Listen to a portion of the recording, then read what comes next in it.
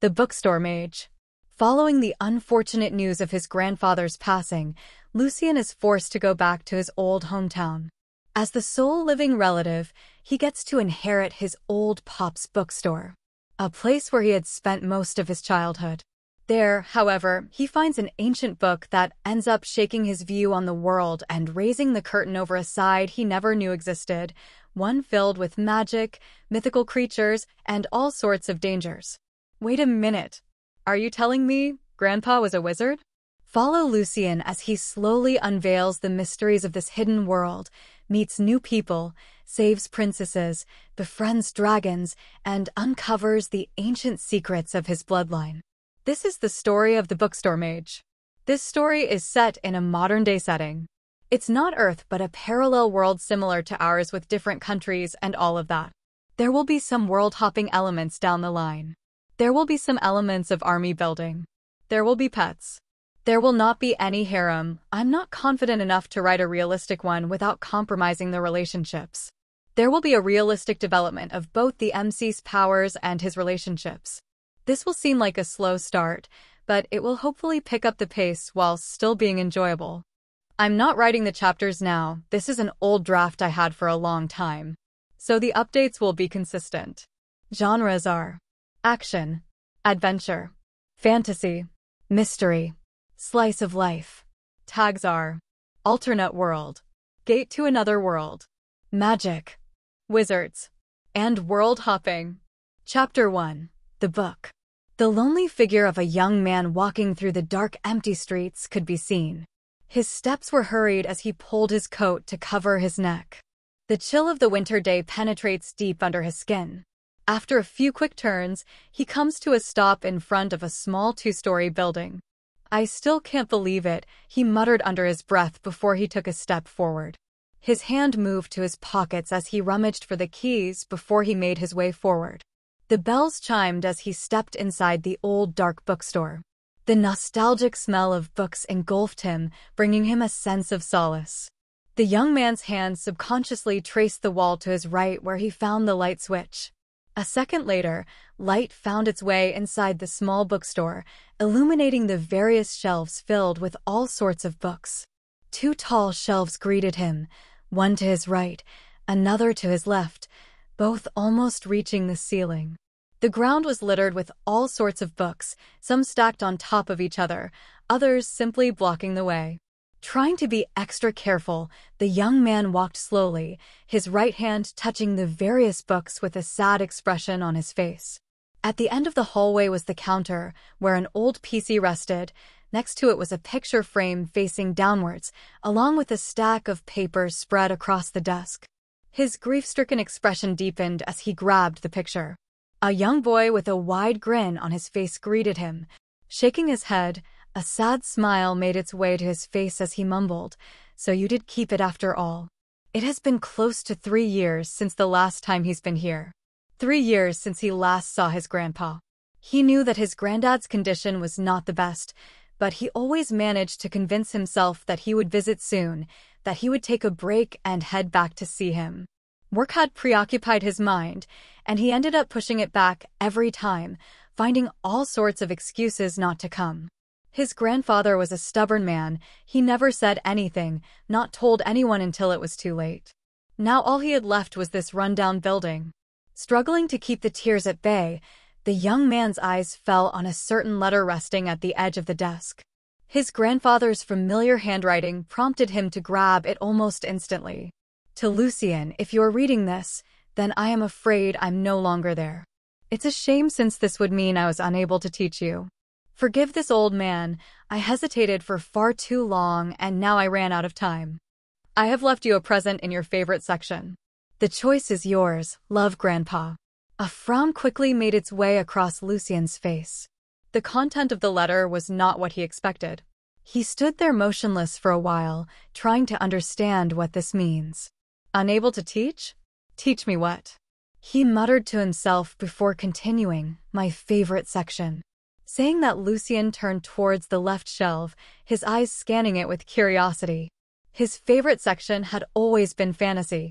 His granddad didn't quite like it, but he still kept a small section at the bottom of the left shelf dedicated to him. Familiar titles greeted him until he came across a strange book, one he had never seen before. What's this? Almost as if by instinct, Lucien pulled the book. A large, complicated magic circle was on its hard brown cover. Its surface was smooth and cold to the touch, giving him a strange feeling. The book was thick, almost twice the size of any he had ever seen. He struggled to move it towards the desk and put it down with a loud thump. A new story? He wondered, yet for some reason, his heart began to throb in excitement. Almost as if he was possessed, Lucien opened the first page. Magic is how the divine come to our rescue, how the devils and monsters reach in and cause harm with their temptations. Be aware, be good, and be very careful what you wish for. There is always a fee. The bold words stunned Lucien for a second before a chuckle escaped his mouth. A novel? Still, the writing style is quite weird. At the bottom of the page was a somewhat familiar name. Oliver Wood. Is this book written by someone in our family? Wondered Lucien, but I don't think I know anyone called Oliver. Glancing at the ancient book, a wild thought ran through his mind. An ancestor? Shaking his head, he turned over the next page. Countless complicated patterns and symbols, weird runes unlike any he had ever seen before, alongside a few messy notes. Simply looking at everything caused his eyes to spin. What the hell is this? He frowned in confusion.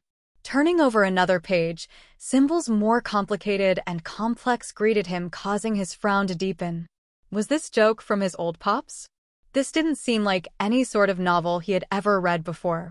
If anything, it looked like a creepy old witchcraft book. Still, Lucien kept turning the pages, patiently trying to find something he could understand. After a while, his eyes lit up as he came across what seemed like relatively simple instructions for a spell.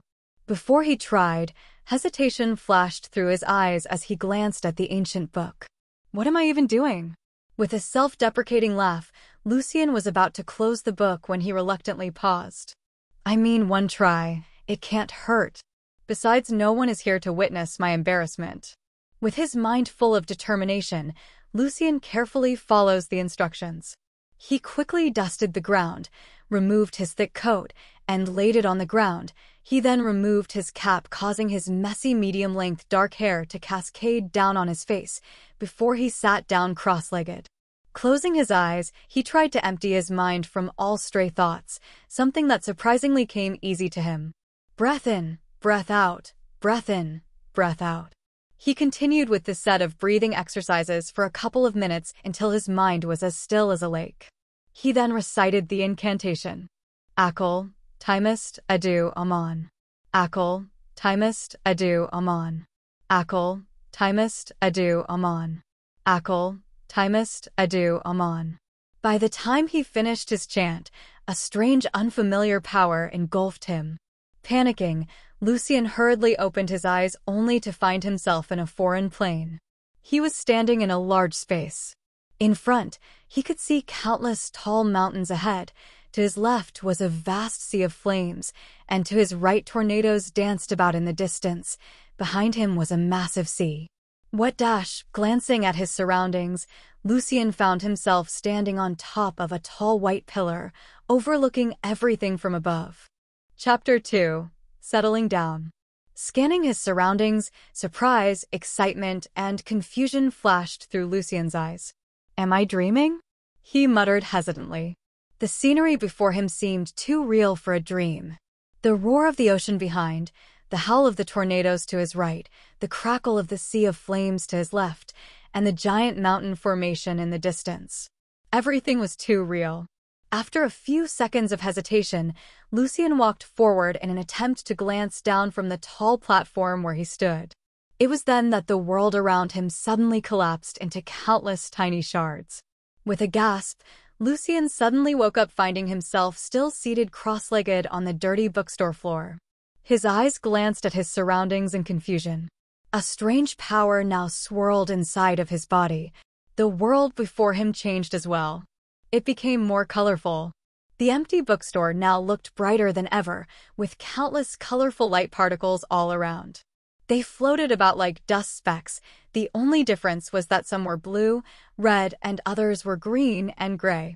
If he strained his eyes, Lucien could see the faint outline of other different colors. This is ridiculous. He mumbled in shock.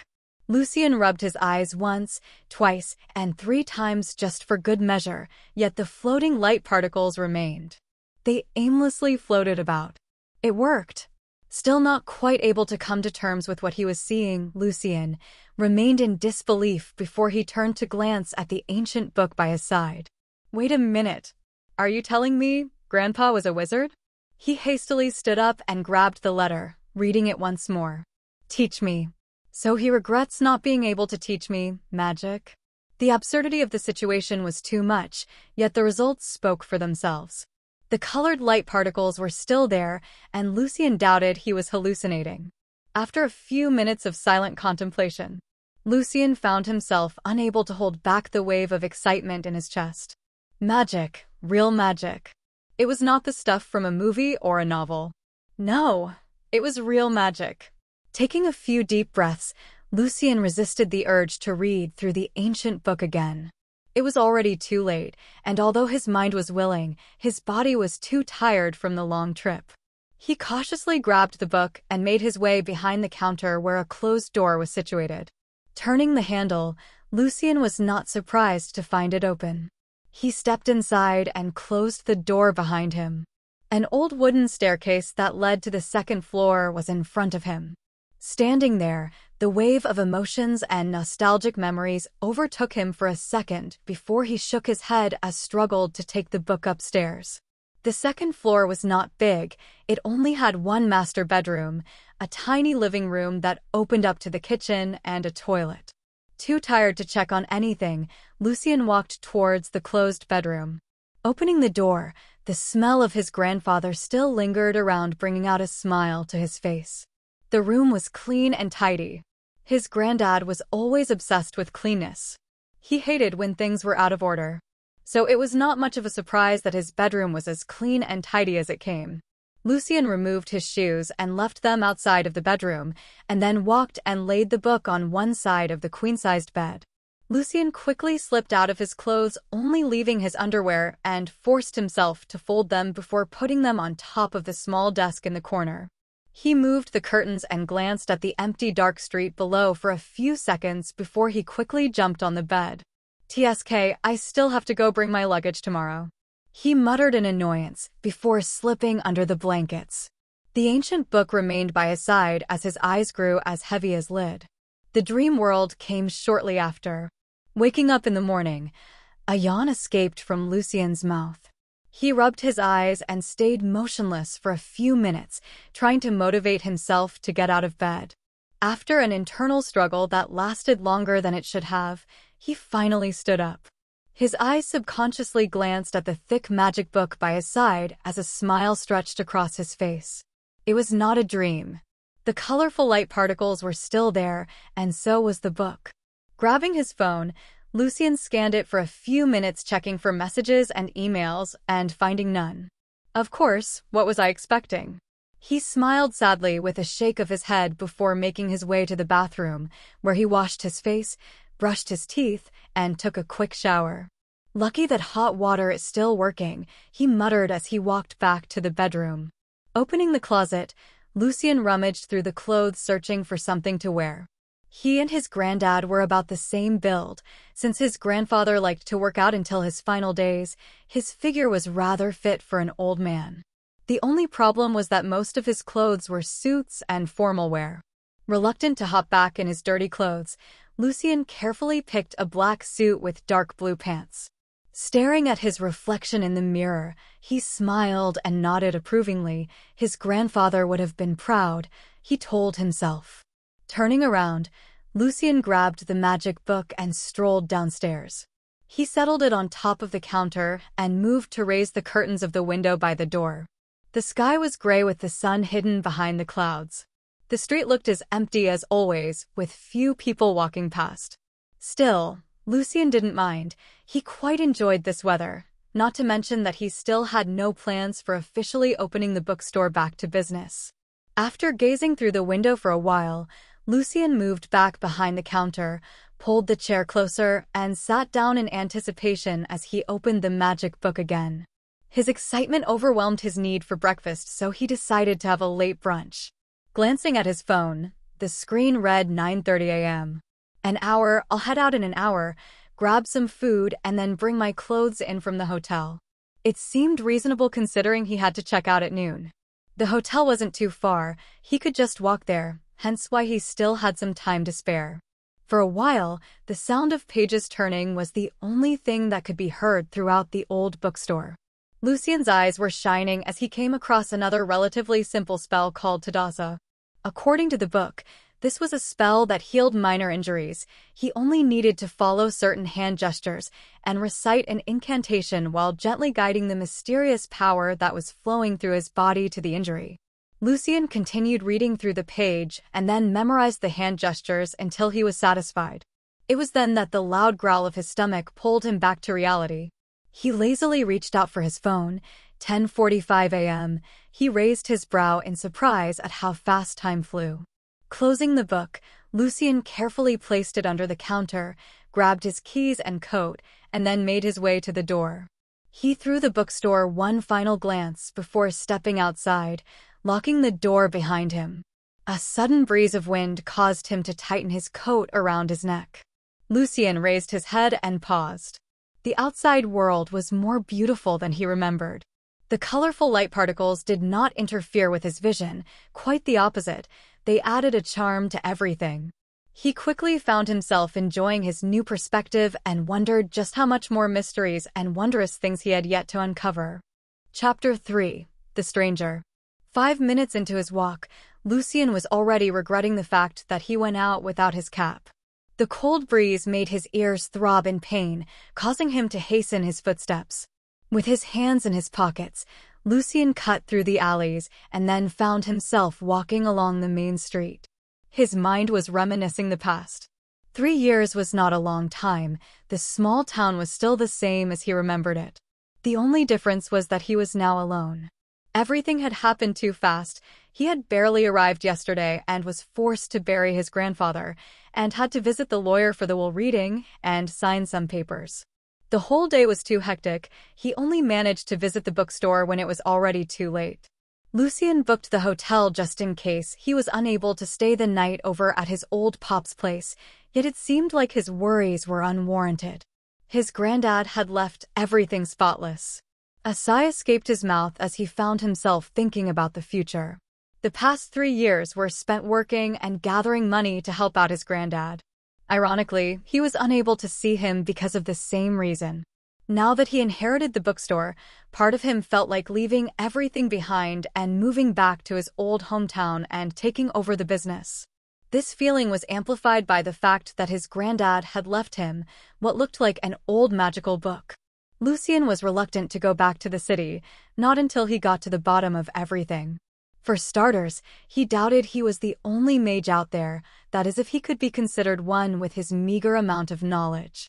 Second of all, his granddad never mentioned anything about his parents and Lucien grew out of that phase where he constantly asked about them. Now, however, with this whole magic thingy, the situation seemed to be far more complicated than he initially expected. With such thoughts occupying his mind, Lucien quickly found himself standing in front of the hotel. He wasted no time and hurriedly went inside. A sigh of relief left his mouth as he escaped the bitter cold winds of January. Lucien nodded at the receptionist, who in turn gave him a polite smile. He then made his way to the elevator when suddenly a tan tall man dressed in a thick leather jacket walked out and bumped into him. Ah, uh, sorry. He apologized. No worries. Lucien thought nothing of it and was about to walk inside the elevator when the tall man's hand stopped him. Lucien glanced at the hand on his shoulder and then back at the man's face in apprehension. Yes? Is there a problem? He asked with a frown.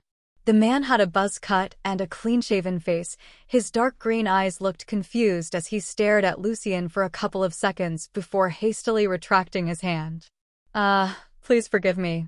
I must have confused you with someone else. The man apologized once more. I'm Ryan. He held his hand to Lucien, who stared at it and then back at him with a weird expression on his face before he reluctantly decided to shake it. Pleasure, I'm Lucien. Lucien, Lucien. The man mumbled under his breath a few times as if he was trying to memorize the name before flashing Lucien a wide smile. Ah, uh, please don't let me hold you any longer.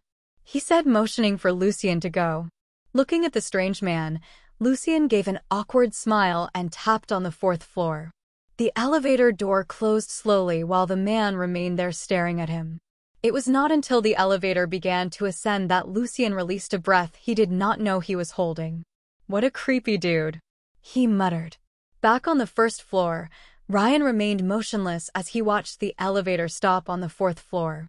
A strange light seemed to flash through his eyes before he turned to walk away. Lucien, Lucien. Interesting, did I see it wrong?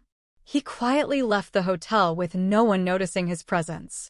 Once outside, he made his way towards a dark alley where his figure seemed to suddenly disappear. Gathering his luggage was not a problem. Lucien didn't even have time to unpack, hence why everything went rather smoothly. He checked out, called for a cab, and headed back to the bookstore. Breakfast had to wait until he brought the luggage back. One look at his two thick bags and then at the cold weather outside was all it took for him to decide on a cab. After he reached the bookstore, Lucien struggled to push his bags behind the counter and checked on the old magic book. Seeing that it was still in its place, Lucien gave a satisfied nod. He'll worry about dragging the bags upstairs when he comes back as that was a problem for future him. With food on his mind, he quickly left the bookstore and made sure he locked the door behind him. On the other side of the street, hidden in a dark alley was a tall tan man. Ryan watched Lucien leave the bookstore with a frown on his face. The young man seemed normal. Perhaps he was wrong after all? No, he quickly shook his head. His eyes had never failed him before. There was something strange about that man. Lucien. I don't think he belongs to any of the families. And he doesn't have the aura of the council, nor that of a rogue. An elemental, maybe? But what would an elemental be doing here? He wondered. Ryan's eyes glanced in the direction where Lucien disappeared before he turned his attention toward the small bookstore. The wooden sign standing on top of the door was no longer legible. After a few minutes of hesitation, he slowly made his way to the front door. He glanced about, making sure that no one was around before his body simply disappeared. When he reappeared, he was already inside the bookstore. His body froze the second he was in. He was unable to sense any magic wards or traps before he leaped, that was the main reason he was so brazen, yet the second he was inside the bookstore, a heavy feeling pressed on his heart. Ryan felt like he was suffocating by simply standing there. He still did not sense any magical interference or traps, but the aura was enough to almost down him to his knees. He hastily reined in his mana, causing his dark green eyes to dim. It was only then that the aura receded, but not completely. It remained there, almost as if warning him not to try anything stupid. He quickly lowered his head and leaped back. His body reappeared in the dark alley he was standing in across the street. The second he appeared, his knees buckled and he fell to the ground gasping for air. What the hell was that? He shivered before glancing at the old bookstore. Ryan felt like someone or something was watching him, and he did not know what. Should I tell the council? He gulped before disappearing once again. Chapter 4 The Council Walking down the street, Lucien glanced at his phone. It was already noon, and he was still indecisive about where to eat. After walking along the main street for a few more minutes, he finally made up his mind and entered a small coffee shop that offered late breakfast. Lucien chose the seat by the window and ordered. He stared absent-mindedly at the people walking outside and at the colorful light particles for a few seconds when he suddenly spotted something strange. In a dark alley a distance across the street, the colorful light particles seemed to gather around a particular area, forming the vague silhouette of a person. Shivers ran down his spine as it looked like that figure was staring at him. He didn't know if it was just a feeling, but he could sense its gaze on him. Just as he was thinking about what to do, the waitress came with his order, distracting him for a split second. When Lucien looked up again, the mysterious figure was no longer there. Still, he was not relieved. If anything, Lucien was more anxious than ever. Who was that figure? Why was it looking at him? The way those particles gathered around it indicated that it was not a simple person. Another mage, perhaps? He wondered, but why was it watching me? Could it be they already figured out that I started learning magic? Do they have a way to tell mages and non-mages apart? Countless thoughts swirled through his mind, but the loud rumbling of his stomach forced him to push them all to the back of his head as he began to dig in. Walking back home, Lucien's eyes constantly darted left and right, fearful that someone was watching him. He kept a watchful gaze on the colorful particles. His gut feeling told him that they were his saving grace. It was because of them that he spotted the mysterious figure in the first place. Inside a tall building, a tall man with tan skin and dark green eyes was walking in hurried steps, following behind an equally tall, beautiful dark-skinned girl. Her ebony hair was cut short reaching her shoulders. She wore a formal dress that complemented her figure perfectly, giving her the impression of a cold, mature business lady. Contrary to her composed appearance, her light brown eyes, however, looked extremely anxious as she passed by the hallways before she came to a stop in front of a large wooden door. It was then that Ryan finally spoke. Uh, the old man will pay me for the information, right, Nia? Clicking her tongue, Nia glared at him before replying in disdain. Don't compare the council to the rest of you rogues. We don't go back on our words. And it's Mr. Chairman for you. Raising his hands in the air, Ryan gave her a wide grin and replied, Right, right, Mr. Chairman, my bad. Ignoring him, Nia proceeded to knock on the door with a respectful expression on her face. A few seconds later, the large wooden door slowly opened by itself. The inside of the room was surprisingly small. It was made in an old Victorian style. A large bookcase took over the entire left wall. On the right were countless portraits of different people, men, and women.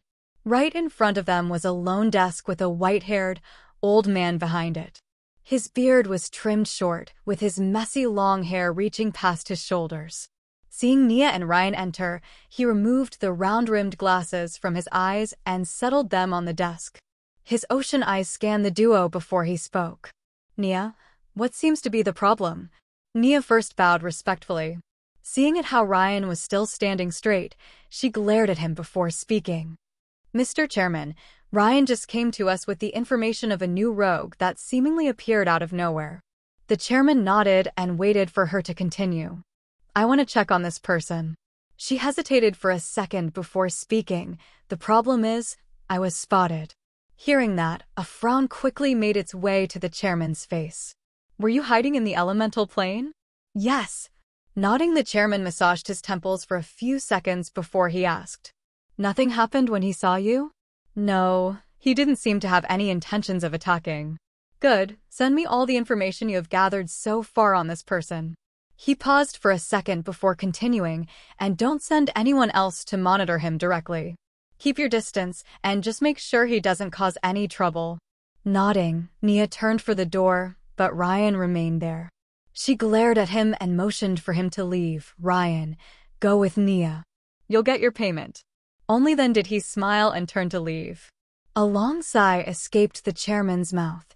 The sudden appearance of a potentially dangerous rogue was not something pleasant, especially if he was one of those that liked to dabble in the dark arts. His strength was still a mystery, but the fact that he was able to easily spot Nia from the elemental plane already placed him high on the danger list. Seconds later, a file suddenly appeared on his desk. The chairman wore his glasses and read the first lines. Code name, the bookstore mage. Real name, Lucien Wood. The current owner of the old bookstore on 27th Street. He used to live there with his grandfather, Thomas Wood before moving out six years ago. Age, 25? Race, unknown. Unable to find further information on the grandfather. Unable to find further information on the parents. Unable to trace Lucien from the time before he came back to the city. Recons noted a strange aura looming inside the bookstore, preventing them from using magic. Proceed with caution. Threat rank? Another sigh escaped his mouth before he removed his glasses and massaged his forehead. Wood, that's not part of any of the main families, and if Ryan isn't familiar with him then that means he isn't part of any old rogue group. No to mention how he completely overlooked his grandfather's presence all this time. Lucien Wood, just who are you? Where did you crawl out from? Meanwhile, back in the bookstore, Lucien was happily reading his magic book. He first revised the healing spell called Tadassa and made sure he completely memorized the hand gestures. After finishing that, he searched the pages for another spell to learn. The countless patterns were slowly making sense. His current best guess was that they showcased the way his mana should flow inside his body. The countless notes, however, were a completely different matter. They were written in a way worse than that of a doctor's handwriting. Still, Lucien was satisfied with his current progress. After a few hours, he finally managed to find another spell that looked promising. It was called Immer, and from what he understood, it seemed like some sort of telekinesis. The hand gestures for this one were non-existent, which excited him the most. The problem was the somewhat complicated patterns. Making up his mind, Lucien vowed to succeed in casting it at least once before going out for lunch.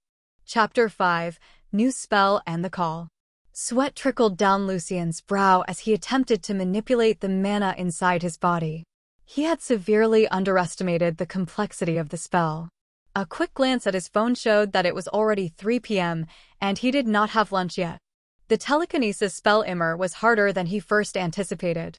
Compared to the minor healing one, Tadasa, the flow of the mana was more difficult to control and extremely hard to follow. This raised a few questions in his mind. Was it related to the absence of hand gestures? What role did they play in the casting process? Lucien had yet to find an answer to his questions, so for now he decided to just stick to the instructions and repeat the technique for as long as it took. After about 30 minutes of him sitting cross-legged trying to direct the flow inside his body, Lucien got bored. He stood up and stretched his legs and arms before grabbing his phone to check for places to eat.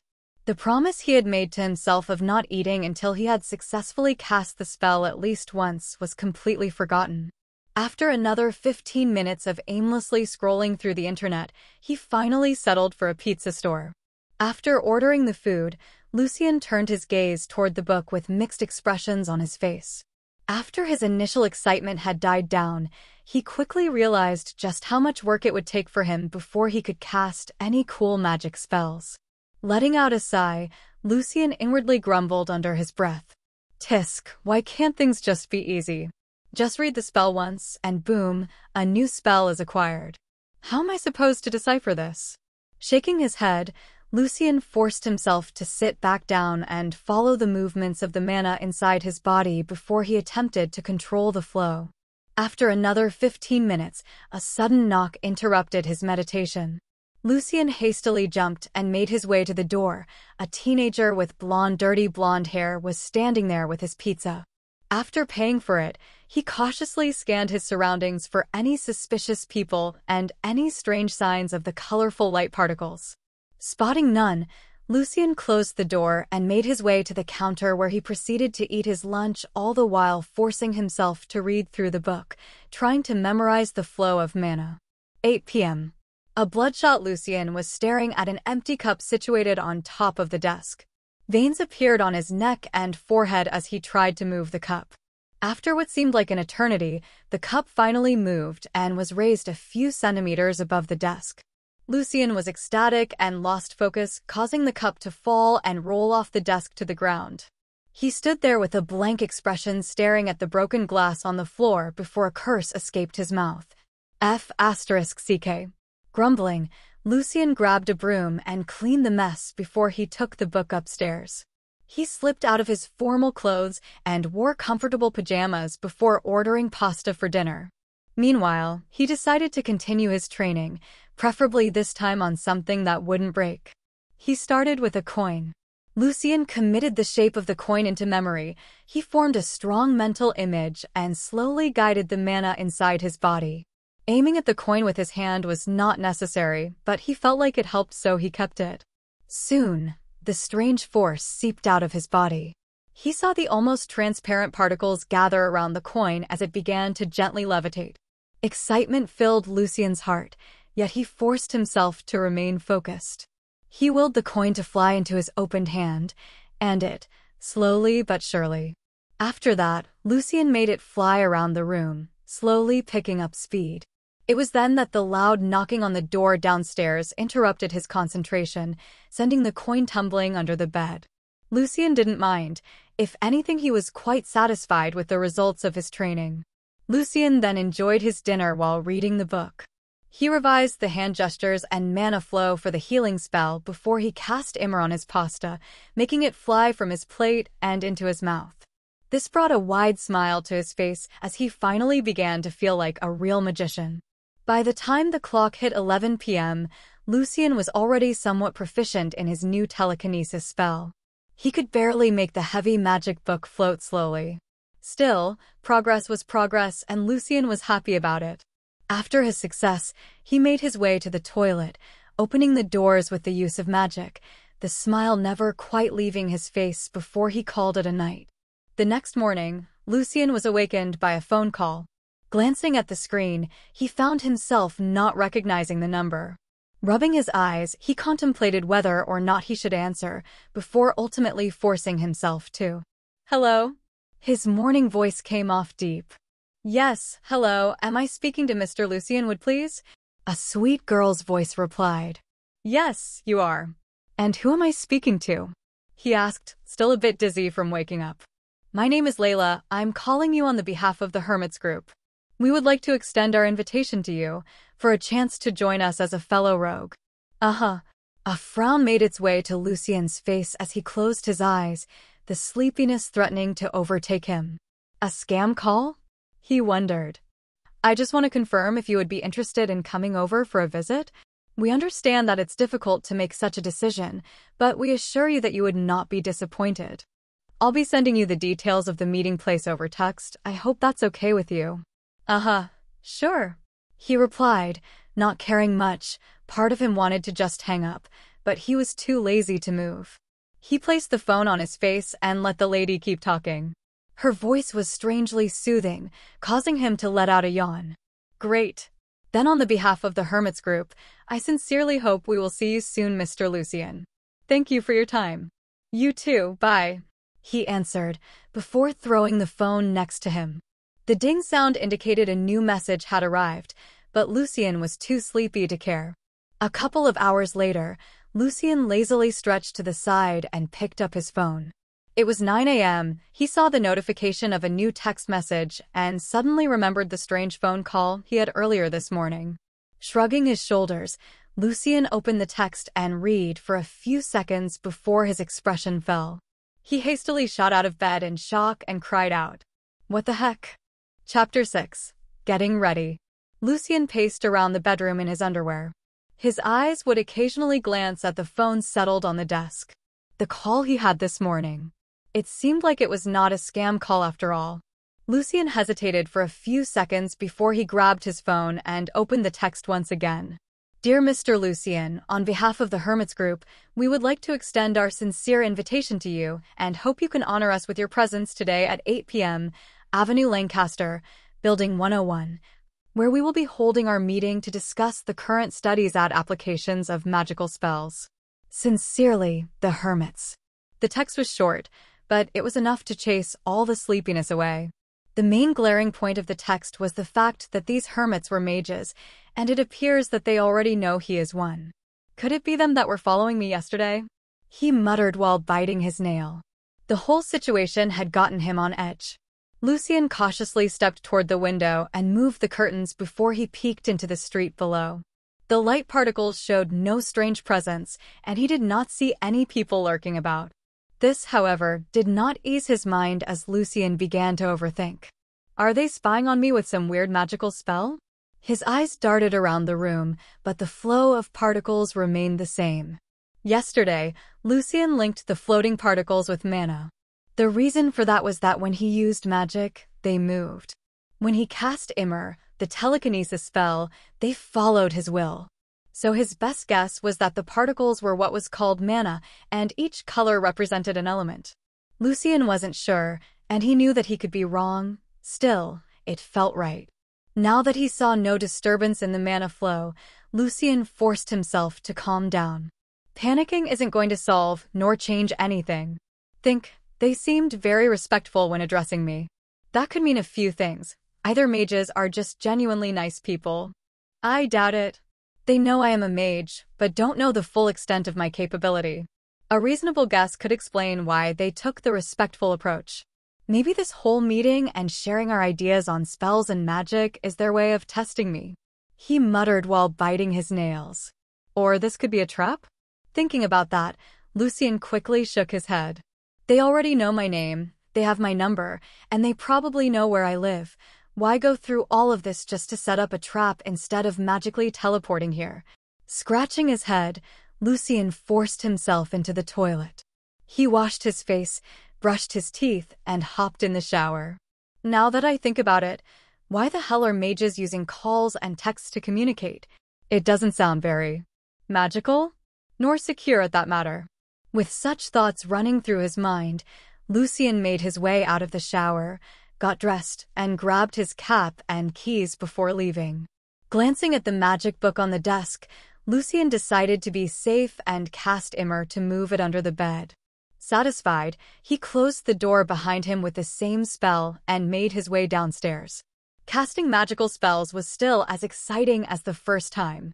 Just seeing all the doors open by themselves was enough to put a wide grin on his face. Locking the bookstore behind him, Lucien turned to leave when he was stopped by a blonde high school girl. She was dressed in casual jeans and an oversized yellow hoodie with a thick black jacket. What are you doing here? She asked. Lucien raised his brow at the girl before answering, I live here. What are you doing here? You live here? What about the old man? The girl's light brown eyes looked concerned as she asked. That was my grandfather. He sadly passed away leaving this place to me, Lucien answered with a sad smile. The girl's eyes widened before she lowered her head. I'm sorry for your loss. I used to come and hang around here, but the bookstore wasn't open for a week, so I was afraid something might have happened. Thank you, and I'm happy to hear that Grandpa still had regulars that came so often. The girl nodded before answering. He was a great man with a lot of stories. Smiling, Lucien replied that he was. I didn't quite catch your name. Ah, uh, sorry, of course, I'm Anna. She offered her hand. Lucien shook it and introduced himself. Pleasure to meet you, Anna, I'm Lucien. So, not to rush you or anything. I'm just wondering if you have any plans for opening the bookstore again? It was my little haven, you know. Ah, uh, I understand what you mean. I've spent most of my childhood there, getting lost in the books. Yes, and although small, it's very cozy. Added Anna with a smile. Oh, damn I'm going to be late. It was a pleasure meeting you, Lucien, but I'm afraid AI have to go. I hope you'll take over the bookstore. I don't want my cozy place to close down for good. And once again, I'm sorry about your grandpa. It's okay, and I'm definitely thinking about it. Saying that, Lucien waved her goodbye and then made his way toward the coffee shop he went to yesterday for breakfast. It was cheap and tasty, so why look elsewhere? The morning passed uneventfully, with Lucien constantly checking his phone for messages. He then spent the afternoon locked at home studying the magic book while practicing Immer. Lucien also didn't forget to revise the healing spells mana flow and hand gestures. Lunch was ordered from outside again, and before he knew it, the clock was already pointing at 7 p.m. The nerves came back as he thought of the meeting with the strange hermits. He just hoped nothing bad was going to happen. Pulling the address on his phone, Lucien frowned at the thought of the cab fare, as the place was a distance away. Well, nothing ventured, nothing gained, I guess? Trying to think positive, Lucien wore his granddad's favorite black suit with an equally black shirt for good luck. He studied his reflection in the mirror for a few seconds, fixing his messy hair before he nodded in satisfaction.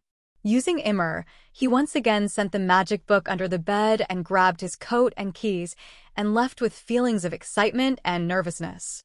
Chapter 7 The Test The cab came to a stop on a desolate street. The buildings were sparse and quite old. The taxi driver, a middle-aged brown man, looked at Lucien with concern in his eyes before asking, Are you sure you are going to be okay, kid? Lucien chuckled at being called a child, but he didn't mind. He flashed the taxi driver a bright smile and answered, Yes, don't worry about it. I'm just visiting some old acquaintances. he said before handing him the money. Nodding, the taxi driver gave him back the change and replied, If you say so, but I wouldn't linger around here for too long. Leaving those words behind, the man drove off in a hurry. Well, that was reassuring, mumbled Lucien under his breath. His eyes darted about scanning the area when he spotted the building he was looking for. The cab had dropped him off right in front of it. Besides, it was not that hard to find considering a large amount of colorful mana was swirling around it. I guess that confirms it. Slightly relieved, Lucien walked there unhurriedly. Trying his best not to look intimidated or bothered, Lucien placed his hands in his pockets, his grip over his phone tightened as the distance between him and the building shortened. It was an old four-story house, one built before the war. Few like these remained throughout the city. The ones situated in better neighborhoods were renovated and sold or rented for ridiculous prices. These, however, were ignored.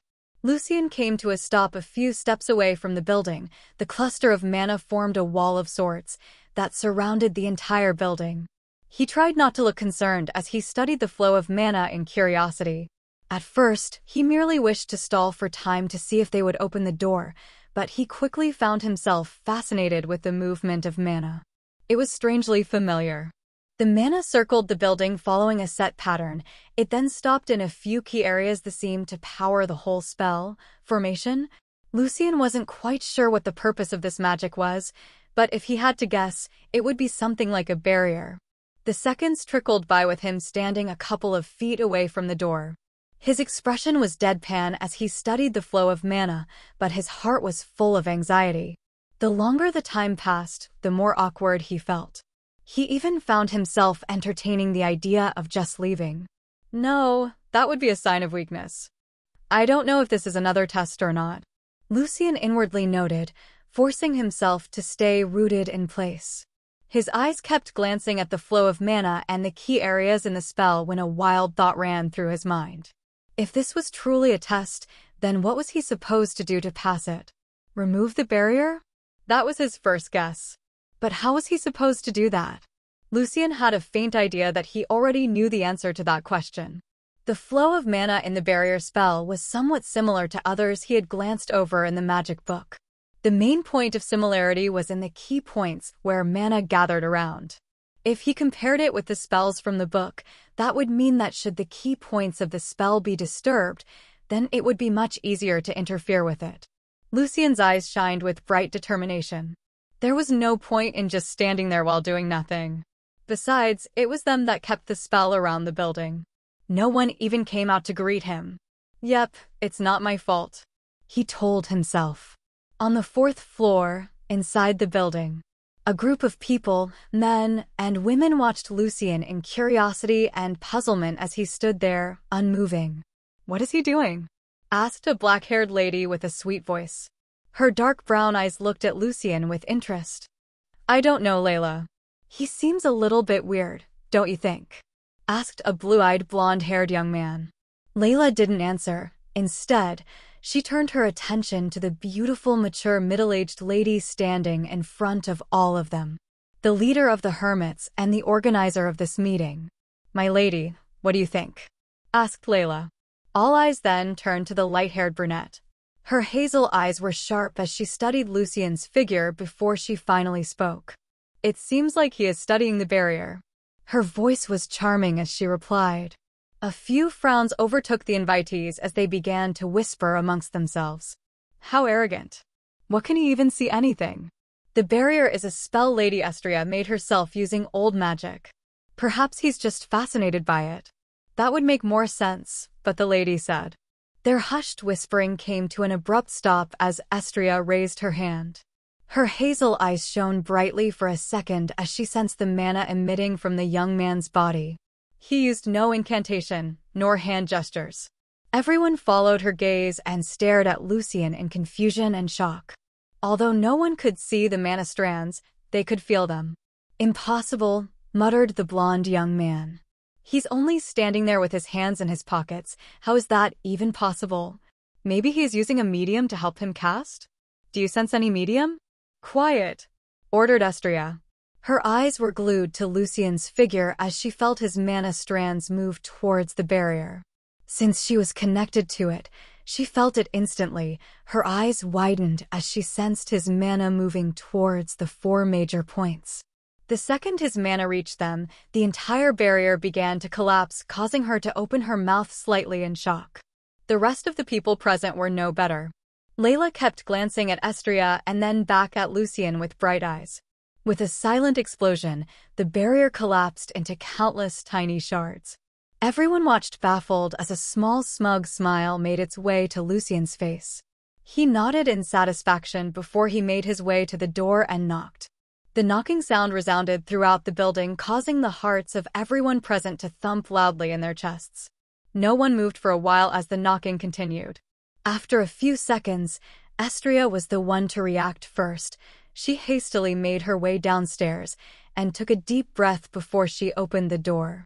Chapter 8 The Meeting Lucien waited patiently by the door. His heart was beating loudly in his chest with a mixture of excitement and nervousness.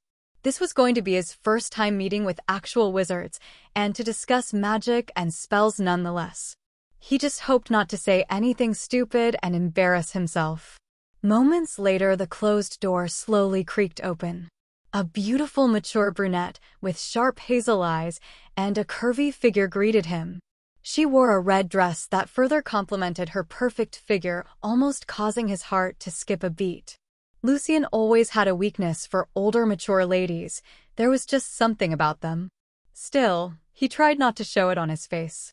Before she could speak, however, he had already stepped toward her with a gentle smile on his face and offered his hand. Hello, my name is Lucien, and I've been invited. I hope I'm not in the wrong place, he asked with a smile. The beautiful lady shook his head with a small smile before she replied, It's a pleasure to meet you, Mr. Lucien. My name is Estria, and I'm the leader of the Hermits, as well as the host of tonight's gathering. We are honored by your presence. Please, call me Lucien. He answered, his smile not quite leaving his face. Estria nodded gently and replied, Great, then please call me Estria as well. She then motioned for him to enter the house. Lucien did not stand on the ceremony. Once inside, he almost lost his composure when he saw what looked like twelve or so people staring at him with various expressions in their eyes. Lucien was not usually the shy type, but it was not easy to be stared at by so many people at the same time. Luckily, Estria came to his rescue. She clapped her hands loudly, gathering everyone's attention before she spoke. Now that Mr. Lucien has joined us, let us all head upstairs and began the meeting. No one disagreed with her. The twelve people quickly left leaving her and Lucien behind. She motioned at the stairs with a respectful expression on her face, please. Lucien gave her a mischievous smile before replying. Thank you, but did I not say to just call me Lucien? Estria raised her brows at his reminder before she answered with a smile. I'll remember that. Lucien. Lucien's smile widened at that before he followed the group upstairs. The house was surprisingly luxurious on the inside. The floors were covered in red carpets, and the walls were decorated with expensive paintings and artworks. A large fancy chandelier was placed right above the entrance. Lucien leisurely climbed to the fourth floor while making idle chatter with Estria. He occasionally asked about some paintings that he found interesting, while also trying to fish for information from the mature lady. Sadly, he failed to gain any significant information. Once he reached the fourth floor, the first thing that greeted him was a large round table that took almost the entirety of the floor. An even more extravagant chandelier decorated the place, casting a soft glow on the open room. There were no doors nor walls, the entire fourth floor was an open hall. The twelve people were already situated in their respective places, while some seats remained vacant. Estria guided him to his place, which luckily for him was next to hers. Once seated, Estria spoke. As everyone knows, this is Mr. She paused for a second and looked at Lucien who had a gentle smile on his face. Estria then coughed lightly and corrected herself. This is Lucien. He will be joining us for our discussion today. I'm sure a test to check his knowledge level is unnecessary as you have all seen him disperse my barrier spell. Hearing that, Lucien secretly nodded. So it was a test after all. Good thing I learned Immer, otherwise I doubt I would have been able to pass that. He inwardly released a sigh of relief. Estria continued, any objections? As expected, no one said a thing. The group then proceeded with their meeting. They first introduced themselves to Lucien the newcomer, and he greeted them back one by one, though their names quickly left his memory. The only ones he remembered were Estria, for reasons, and Layla since he recognized her voice as the one that called him earlier today. After their quick round of introductions, the meeting officially began. A short old man with balding hair was the first one to speak. I've recently been working on an earth-based spell. Its purpose is to hasten the growth of magical plants while retaining their quality. I used the Council's Earth Blessing spell as the foundation and then tried to further improve it. I've had some minor successes, but I'm stuck with the flow of mana. Does anyone have any similar spells for me to use as inspiration? Preferably unseen ones, or from the old era. A few people answered. Some gave their opinions on the matter, others offered certain spells for a price. Lucien watched everything unfold with a hint of a smile. It was not exactly what he expected, but he liked it. Everyone took turns talking, no one interrupted, and they were all very respectful. The one thing he noted, however, and found strange was that every magical spell they talked about or mentioned required an incantation or hand gesture. This confused him because Immer for one didn't need any of those, and Lucien was sure that there were a lot of similar spells in the book that didn't utilize any either. When the turn came to Estria, she turned to glance at Lucien with a curious flash in her eyes. I'd like to ask you, Lucien, the question I believe has been on the minds of everyone present. Just what was that spell you used when you broke down the barrier? How come you didn't use any incantations or hand gestures? You can choose not to answer, of course as expected, so they did find it strange. How should I handle this? If I'm not wrong, then it's not normal that I can see the mana particles. Everyone else just feels it or sense it. I'm not sure how that works, but they're certainly not seeing it. Looking at Estria, Lucien flashed her a mysterious smile and replied vaguely. That's not a hard question to answer. He said, causing her eyes to shine. The spell is simple telekinesis. I used it to manipulate the flow of the mana outside of my body and inside the barrier. Once there, it was simply a matter of pointing it towards the key parts of the formation. A frown quickly made its way to Estria's beautiful face. The way Lucien put it, it did indeed seem quite simple, but the reality was that it was anything but that. First of all, what sort of telekinesis spell allowed one to manipulate one's mana with such accuracy? Secondly, how did he manage to invade the barrier with his mana in the first place? Third of all, how did he know where the key parts of the formation were situated in the first place? Raising her head, Estria found Lucien staring back at her with a mysterious smile on his face. His eyes looked deep as if they held all the secrets of the world. He is extremely dangerous. She thought to herself and mentally noted to treat him with more respect. Chapter 9 Estria Lucien's response didn't seem to satisfy all those present, but no one dared show any dissatisfaction. The meeting continued smoothly with Lucien learning more about the hidden world and its factions. From what he was able to gather, the Hermits were part of the Rogues. The Rogues were what the official organization called the unaffiliated mages. Basically, people that stumbled upon magic one way or another, in a situation somewhat similar to him, or mages that were exiled from the council or one of the main families. Some mages that preferred not to be tied down to any organization were also referred to as rogues.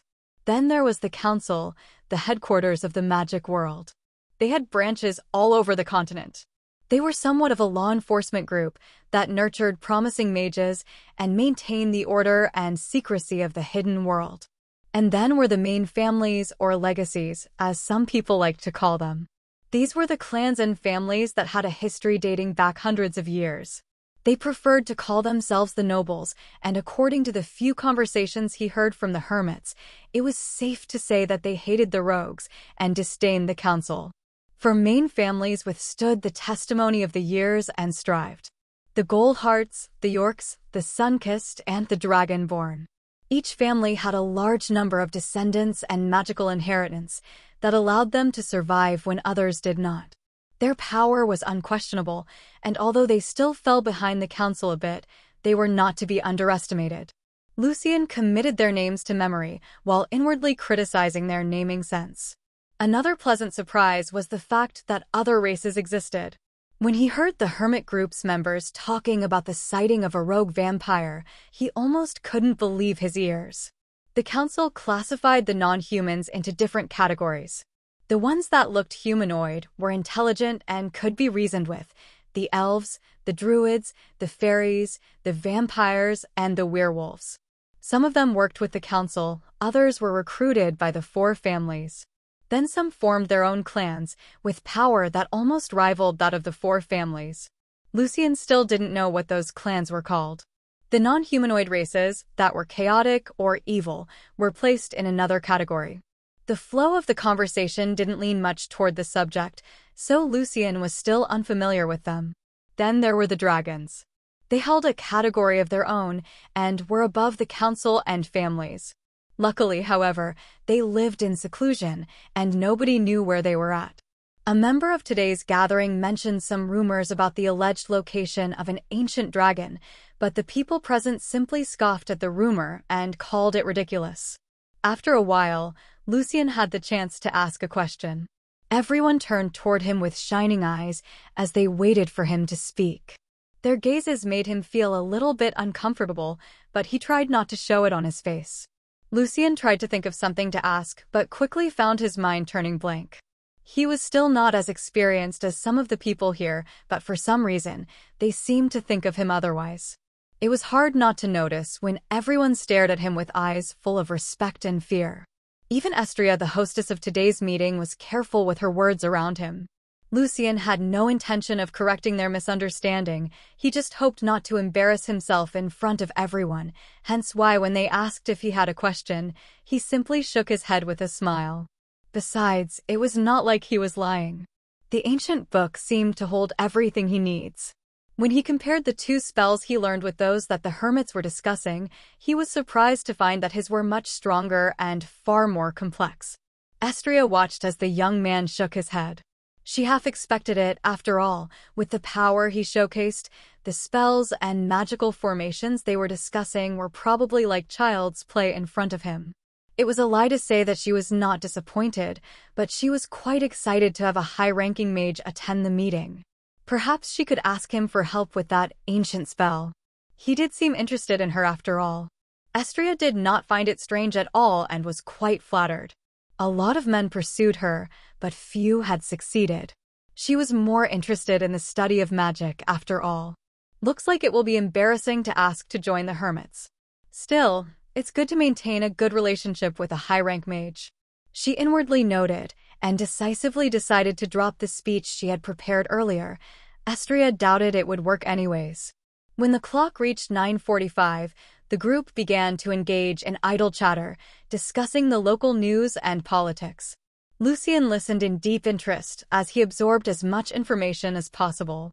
By the time it reached 10, the meeting drew to an end. Estria, the hostess, stood up and thanked everyone for coming before reminding them that the next meeting will be held a week from now, the same day, same time, same place. Everyone then stood up and began to leave, not before they said their goodbyes to both Lucien and Estria. Layla was even bold enough to ask him if it was okay for her to reach out to him, under the pretext of discussing magic and experimenting with spells together. Lucien didn't mind. The girl was pretty and very respectful. Besides, it didn't hurt to have more friends. By the time everyone took their leave, only he and Estria were left behind. He smiled at her and was about to leave as well when she stopped him. Would like to have a cup of tea before leaving? She asked with a mysterious smile. Lucien, who was a bit tired, was about to refuse, but decided otherwise. It has nothing to do with the fact that she's my type. Definitely, nothing to do with it. He repeated in his mind. She guided him to the third floor and into a luxuriously decorated modern room. A queen-sized bed was placed by the large windows and a chic sofa with a classy table in front of it was situated on the other side of the room. Please, don't be shy. She smiled sweetly and guided him to the sofa. Lucien complied and sat down. Now if you'll give me a minute to bring the tea. Any preferences? Uh, not really. I'll just take what you will be having. He answered with a smile. Estria nodded and left the room, leaving him behind. Once he was sure that he was alone, Lucien carefully scanned the room for any signs of danger. He followed the flow of mana to see if there was anything strange, yet he found nothing.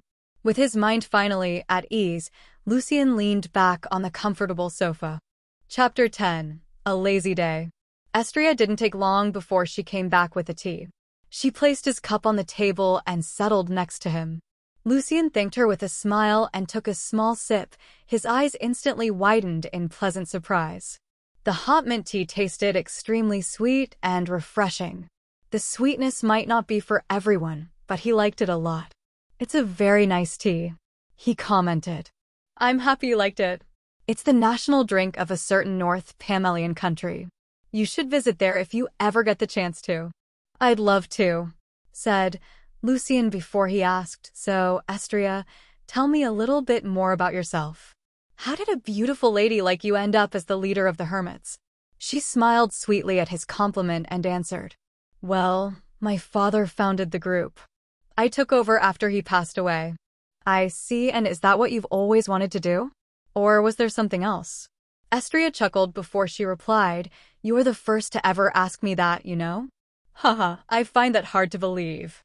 Well, most people find me difficult to approach. Ah, uh, so I take it you don't invite just anyone over for tea? He grinned. Only the ones I like. She answered with a mysterious smile. The mood between the duo was light-hearted as they engaged in idle chatter, with the occasional flirty remarks. Estria tried to pray some information from him, but Lucien masterfully evaded the subject without giving out too many details. The hours passed as the duo's laughter resounded throughout the empty bedroom. When the clock hit eleven, Lucien excused himself. He was already quite tired. Estria was the same. She spoke with the same charming smile. You can use my teleportation array, it should be more convenient. Hearing the word teleportation, Lucien's eye gleamed with curiosity. He knew teleportation existed, so the fact that he could try it already made his heart thump in excitement. Lucien nodded and followed Estria to the second floor. A hallway with four closed doors greeted him. She guided him to the first door. The normal-looking wooden door opened revealing a stone-walled room with countless complicated magical ruins on both the floor and walls. The room had no windows and was quite dark. The only source of light was some strange-looking glowing stones in the four corners of the room, bathing it in a gentle blue glint. Estria motioned for him to stand on top of the magic circle in the middle of the floor. Once Lucien was situated on top, Estria gave him a light peck on the cheek, causing him to smile. Before he could say anything the mana particles gathered around the circle, and the world suddenly turned hazy. By the time Lucien blinked, he was no longer standing in the stone room and was instead in front of his bookstore. His eyes widened in fascination. Lucien had thought that he would feel dizzy or something, but the teleportation was smooth, it gave him no inconvenience whatsoever. Lucien then moved his hand to touch his cheek where Estria had kissed him, his lips curved upwards in satisfaction. Humming a happy tune, Lucien unlocked the door and made his way upstairs. He used Immer to pull the book from under his bed and placed it next to him. He then slipped out of his clothes folded and put them back in the closet before he wore his pajamas. Still humming his happy tune, Lucien went to the toilet and brushed his teeth, took care of his business, and went to bed. His stomach growled in protest, and it was only then that he recalled he had no dinner. Lazy to order anything since he already brushed his teeth and was under the blankets, Lucien closed his eyes and tried to forget his hunger. Sleep overtook him mere minutes after that. The next day, Lucien woke up rather late at almost 11. Still, he was in a quite good mood. He got ready, changed his clothes, and made a quick trip to the neighborhood supermarket to buy some groceries. Once back home, he fixed himself some breakfast along with a cup of coffee to start his day. By then, it was already noon. With nothing planned for the day, Lucien started by cleaning the bookstore and dusting the shelves and counter. After that, he wiped the windows from the inside and then the outside. It was then that an acquaintance dropped by. Hey, Lucien. Oh, morning, Anna. He smiled. Morning? It's already noon, grinned the blonde girl. I had a rather busy night yesterday, so I was a bit tired. Sounds fun. I just finished my uni classes for the day and decided to drop by. I hope you don't mind. I know you said you still didn't open yet. I just missed the place. Not at all. I was just doing some cleaning. Please, you already know the place, he answered while gesturing for her to step inside. Anna smiled sweetly and nodded before she walked to the bookstore. She took a deep breath before she began to gently touch the books on the left shelf. Lucien moved behind the counter and grabbed a chair and placed it down for her. Oh, thank you, you didn't have to. I usually just sat on the floor. No, it's the least I can do. Saying that Lucien decided not to bother the girl and left her to continue with his cleaning. By the time the hour reached 1 p.m., he was already sweating and quite hungry. He walked behind the counter, passing by Anna who was immersed in a fantasy novel. She didn't seem to notice his presence. Lucien then grabbed his phone and ordered lunch. After the cleaning work, he was too lazy to cook. Anna's phone suddenly rang, making him turn to glance at her. The blonde college student stared at her phone in annoyance before she released a sigh. Standing up, she looked at Lucien and spoke. I'm afraid I have to go. I'll see you soon, Lucien. I hope that you won't be closed by then. Lucien simply nodded with a smile and added, See you, Anna. With her gone, Lucien locked the front door and glanced at his phone to check the ETA for his food. Seeing that he still had some time left, he quickly hopped into the shower. By the time he finished, his delivery was also almost there. Lucien grabbed the book with him and went downstairs. Let's check and see if I can find a new spell today. I'd love a teleportation one. That'd be great. He mumbled. Chapter 11 Moon Lucien spent the day practicing Immer and revising the hand gestures and mana flow needed for Tadasa. He came across another spell that he thought might come in handy. It was a simple one that created a flame above his hand. The fun part about it, however, was that he was required to add a hand gesture to make it work. The book didn't specify how the hand gesture should be and left that for Lucien to create one. This gave him a bit of freedom to mess about with it. He learned the flow that the mana should take, but did not proceed in trying the spell. Something told him it was not too smart to play with fire indoors, not to mention in such proximity to so many books. I need to find a place to test my spells, Otherwise, it's going to be a problem down the line. He muttered to himself. Lucien then grabbed his phone and checked on the time. It was already 4 p.m. He used Immer to send the book back under his bed and changed his clothes into something more comfortable before leaving the bookstore. The day was a pleasant one considering it was still the middle of January. The sun shone brightly above, and the sky was a clear blue color. Although it was not warm per se, it was still much better than the past couple of days. Lucien was a bit hungry, so he decided to visit a restaurant he used to frequent with his grandfather back in the day. He didn't have to walk far before he arrived. Thankfully, the diner was still open. He walked inside with conflicted emotions. This was the first time he came without his grandpa, and it made him feel sad. The old waitress recognized him and came to greet him. She gave him her condolences for the passing of his grandfather, and even the chef came out of the back to say hello while telling him to stay strong. His lunch ended up being on the house. Although Lucien insisted on paying, they refused and called it a service. With his mood slightly elevated, Lucien decided to change his usual way back home and instead passed by an empty park. The sound of birds chirping and the smell of trees gave off a serene and pleasant feeling. Lucien's eyes wandered around the park as he gazed at the cluster of green light particles. He guessed the number of certain particles depended on the location. For example, the blue-colored ones would be more prominent. Here in the park, however, the presence of the green ones was more obvious. Lucien found it a bit surprising how deserted the park seemed to be. He seemed like the only person present, not that he minded. Lucien continued his walk when suddenly, a faint whimper made him pause. It sounded like the cry of an injured animal. Lucien glanced about and followed the sound behind a tree off the road. There, he found a small cat with snow-white fur. The cat's bright green eyes gazed back at Lucien with a pitiful expression. It had hurt both of its front limbs and was unable to move. Lucien approached it carefully. Hey, little buddy. How did this happen? He called out in a low voice to not startle it. The cat meowed pitifully but was unable to move. Lucien gently patted its head and back trying to calm it down a little bit. A girl. He mumbled. The injury on the little cat's front limbs looked man-made. It was as if someone had deliberately used a sharp object to hurt the poor cat. Seeing that made Lucien feel sick and angry.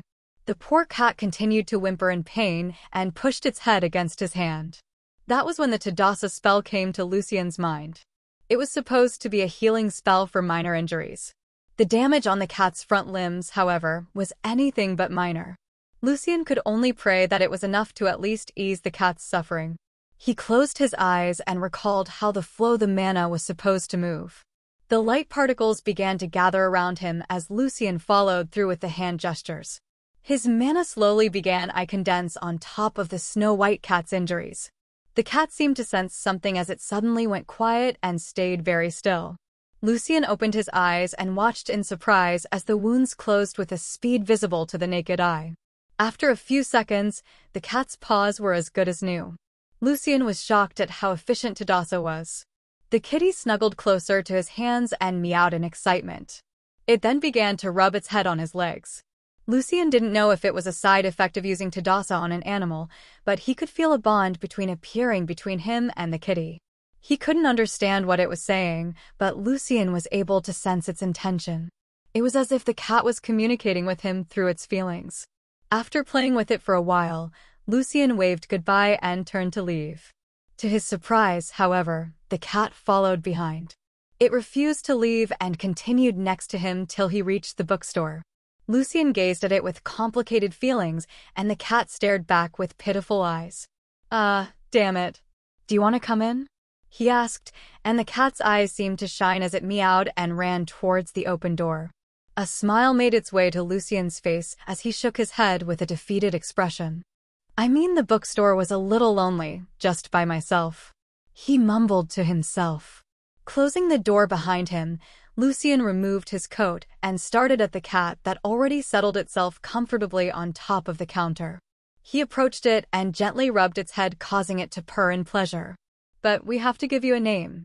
Hearing that, the cat's ears perked as it raised its head to stare at him with an expectant gaze. Lucien was momentarily surprised at how a cat's expression could be so human-like. Well, you'll have to excuse me, though. I'm not very good with names, Lucien said while rubbing his chin deep in thought. How about Moon? The cat meowed happily and jumped on top of his shoulder. Oh, you like that? Lucien laughed and patted it. Okay then, from now on your Moon. Come on, Let's go upstairs. I'll make you something to eat. Chapter 12 The Family The rest of the day was spent with Lucien trying to decipher a new spell. So far, he had learned Tadassa, a minor healing spell that worked surprisingly well. Then there was Immer, a psychic spell that allowed him to move everything with his mind. Lucien had yet to test the limits of Immer, but he had a good feeling about it. Lastly, there was the first mysterious spell that transported him to that strange space. He didn't try it again after that time. Perhaps I should visit again? He mumbled. Moon jumped on top of the desk and laid down on top of the book. That brought a smile to Lucien's face. He gently scratched her head before grabbing his phone to check on the time. 11 p.m. Guess it's about time we call it a night, right? Moon meowed in affirmation. Lucien then changed his clothes, brushed his teeth, and quickly jumped on the bed. Moon joined him and settled on top of the book next to him. Turning off the lights, Lucien closed his eyes with a happy sentiment. The next morning, Lucien woke up relaxed for the first time in a long time. Moon was already up and had moved to stand on top of the desk. When she heard Lucien stir in bed, Moon then jumped out and sat next to the door. Morning sunshine. How did you sleep? He asked with a yawn before making his way to the bathroom for a quick shower. Breakfast today was homemade. He quickly fixed something for Moon as well before he moved to unlock the doors of the bookstore and turn the sign from closed to open. There was no point in leaving it closed when he was sitting here doing nothing, so why not open it? Satisfied, Lucien moved to sit behind the counter and began to study the magic book. The new spell he was trying to decipher was an offensive one that summoned a fireball. A classic spell that every mage should know. Simple, but extremely powerful depending on the amount of mana invested in it.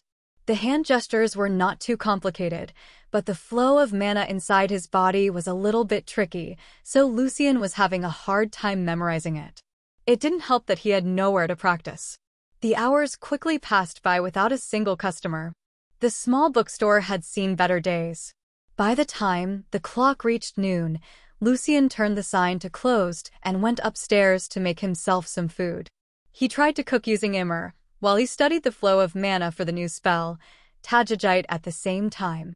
This way he trained his concentration and bettered his control, while constantly improving his mastery over Immer. After a quick lunch, Lucien came back downstairs and reopened the bookstore. Coincidentally, it was at this time that Anna dropped by once again. She greeted him with a smile and made her way to her favorite section, mystery novels. Moon, on the other hand, remained upstairs lazing on top of his bed. In another unknown location, on the other side of town, a young haughty-looking man with flaming red hair and equally red eyes was pacing around inside an extravagant bedroom. His brows were creased as he read the text sent to his phone. Code name, the bookstore mage. Real name, Lucien Wood. The current owner of the old bookstore on 27th Street. He used to live there with his grandfather, Thomas Wood before moving out six years ago. Age, 25? Race, unknown. Unable to find further information on the grandfather. Unable to find further information on the parents. Unable to trace Lucien from the time before he came back to the city. Recons noted a strange aura looming inside the bookstore, preventing them from using magic. Proceed with caution. Threat rank. Clicking his tongue, the young man threw his phone on the bed and grumbled in annoyance. The council is getting sloppier by the day. What kind of report is this? Could it be that they're withholding information? Ron. Following his call, a middle-aged butler with a well-trimmed mustache came into the room. He gave the young man a deep bow and asked, You called, young master? Did you see the file on that new mage? He asked, to which the butler nodded and answered, Yes, I did, young master. Our man inside managed to get a copy of the file as soon as it came in. Then explained to me, what the hell does this threat rank mean? I'm afraid the council believes that this person might be a dangerous mage. They are still unable to determine his level of power, so it is advised to avoid interacting with him for the time being. Shaking his head, the young man clicked his tongue in annoyance and replied, I don't care about any of that. All I want to know is whether he will be useful to the family or not. The butler seemed to understand his master's wishes. He quickly nodded before answering. What type of approach would like us to take, young master? Rubbing his chin, the young man walked around the room for a few seconds before he raised his head to glance at the butler. Since the council is treating this with caution, then we should do the same. There's no point in antagonizing a high-ranking mage. Send someone to offer him a job, see if he accepts. If he does, then we'll test him with that and see what level he reached. If he doesn't. A dangerous gleam flashed through his eyes. The butler nodded and gave a deep bow before he took his leave. Back in the bookstore, Anna had already left, leaving Lucien behind. He was completely immersed in the new spell. Mana constantly gathered and dispersed around his fingertips, as the hint of a spark kept appearing and disappearing. It's not as hard as I expected. The only tricky part is on controlling the size of it. Saying that Lucien carefully snapped his fingers, causing a small flame to appear above his thumb. He smiled in satisfaction, a sense of accomplishment filling him, before he snapped again, causing the flame to disappear. And that's another spell in the bag. He mumbled. A yawn suddenly escaped his lips. Standing up, Lucien stretched his limbs and walked to the window next to the door. The evening sun bathed the street in a golden glow, giving off a pleasant vibe. Standing there while staring at the sky, Lucien found himself hopeful for the future. His heart was finally at ease. Chapter 13 The Nice Butler The next day, early morning, Ron came to a stop in front of the mysterious bookstore. The sky above was gray and gloomy, casting a heavy shadow on his heart. For some reason, the closer he got to the bookstore, the more nervous he found himself getting. Very few people made him feel this way throughout his long life. one of them being the head of the family he served, the Goldhearts. The young master was still immature and too arrogant at times, so the head assigned him to protect and try to guide him. This was the main reason why Ron was the one that came to check on the new mage, to determine his level of danger. The young master was the youngest child of the head, but he was his favorite. Ron didn't approve of the way the head had spoiled him, but he was merely a butler. He had no say in how the head raised his children. Trying to calm his emotions, Ron recalled the council's report. It seemed like there was a strange power interfering with magic surrounding the bookstore. Now that he was feeling it for himself, Ron could tell that this was the abode of a high-ranking mage. He resisted the urge to use magic and stepped into the bookstore. The bells chimed above the door as the interior revealed itself before him. The inside was small, with two shelves on both sides reaching close to the ceiling. At the end of the hallway was a counter with a handsome-looking young man. A snow-white cat was seated next to him, turned to glance at Ron as he walked in with intelligence in its eyes. A summons? That was the first thought that came to Ron's mind. The young man was wearing a black suit and was reading a strange-looking book. He raised his eyes and glanced at Ron with deep, unfathomable eyes. Welcome, he said and then ignored him, turning his attention back to the strange book. Ron found himself strangely fascinated with that book. He felt his consciousness slowly getting drawn into it, his eyes turned glazed as he felt the world turn dim around him. Ron's subconscious screamed danger to him, sending alarm signals throughout his body. Ron felt helpless, but there was nothing he could do. The strange force prevented him from using magic, and the strange dangerous book kept tugging at his soul. Are you okay? came the young man's voice. It sounded like that of a devil mocking him to Ron. Goosebumps formed on the back of his neck as the hair rose in his arms. He was unable to move. His gaze was still locked on the strange book as if he had glimpsed at something forbidden, something he should have not seen. The young man suddenly stood up causing Ron's heart to skip a beat. He was defenseless. Could it be he already knew we were planning to test him? Is this his warning? With a thud, the young man. No, the devil. Closed the book, pulling Ron back from his dazed state. He felt his soul rush back to his body and suddenly gasped for breath. The devil rushed to his side with an expression full of fake concern. Are you okay? Here, come take a seat. Do you want me to call an ambulance for you? And no, I'm good. I was just out of breath. Ron stuttered in reply. This young man was a monster, a devil. How could they come to test him? The damn council. They should have been clearer on the threat rank. Ron had already forgotten that the question marks on Lucien's file meant danger, and was already blaming the council in his heart. He had no thoughts of retaliating against the young man. Not even the head of the Goldhearts family was able to immobilize and subdue him without lifting a finger. Do you want me to grab a cup of water for you? asked the monster in human skin. Ron hastily shook his head. No, I'm good. Thank you for your concern. He squeezed a smile on his face. Now that he was already here, he should try to at least mend the relationship between the family and this monster. For the first time, small seeds of doubt took root in Ron's heart. He was not sure if even the head could be the monster's opponent. Fear took hold of his heart, causing beads of sweat to trickle down his forehead. The monster went behind the counter and placed his devil book behind it before he brought a chair to Ron, prompting him to sit down. Ron complied and took a few seconds to compose himself before he began to speak. Young master, my name is Ron, and I am the butler of the esteemed Goldhearts family. Lucien's heart skipped a beat when he heard the family's name. It was one of the four main families, the nobles as they liked to call themselves. He did not know why their butler came to his small bookstore, but he maintained his poker face. The fact that he came all the way here meant they already knew he was a mage. Is the magic community in this town so small? How come everyone already seems to know about me? Lucien wondered inwardly before giving a faint smile and replied, It's a pleasure to meet you, Mr. Ron. To what do I owe the pleasure? While inwardly sizing up the old man in front of him. He seemed quite sickly and weak. His face was pale like he was about to pass out at any second. Lucien even feared he might suffer from a sudden heart attack. Please call me Ron.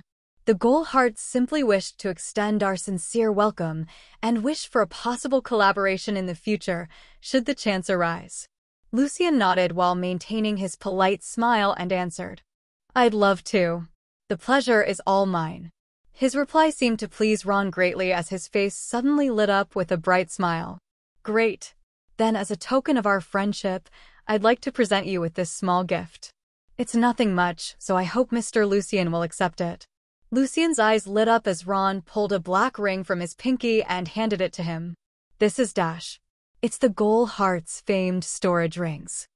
I hope it will come in handy for you, answered Ron in a slight prideful tone. He seemed to value the ring a lot, so Lucien was quite surprised he just handed it to him. His first instinct was to refuse, but it was as if Ron could already read his mind. He hastily replied. It's not much, so I hope Mr. Lucien will give me some face and take it. Saying that the old butler stood up and gave him a deep bow. Now then, I shall take my leave.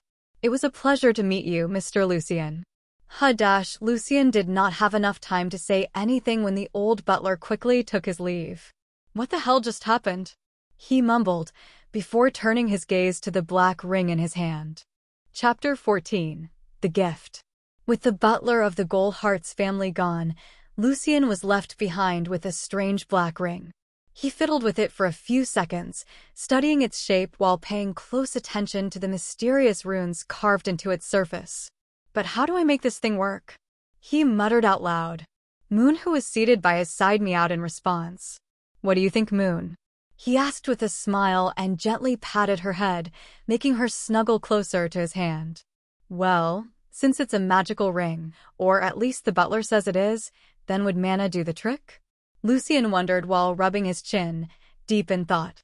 The strange ring had no glowing particles surrounding it, nor did it emit any.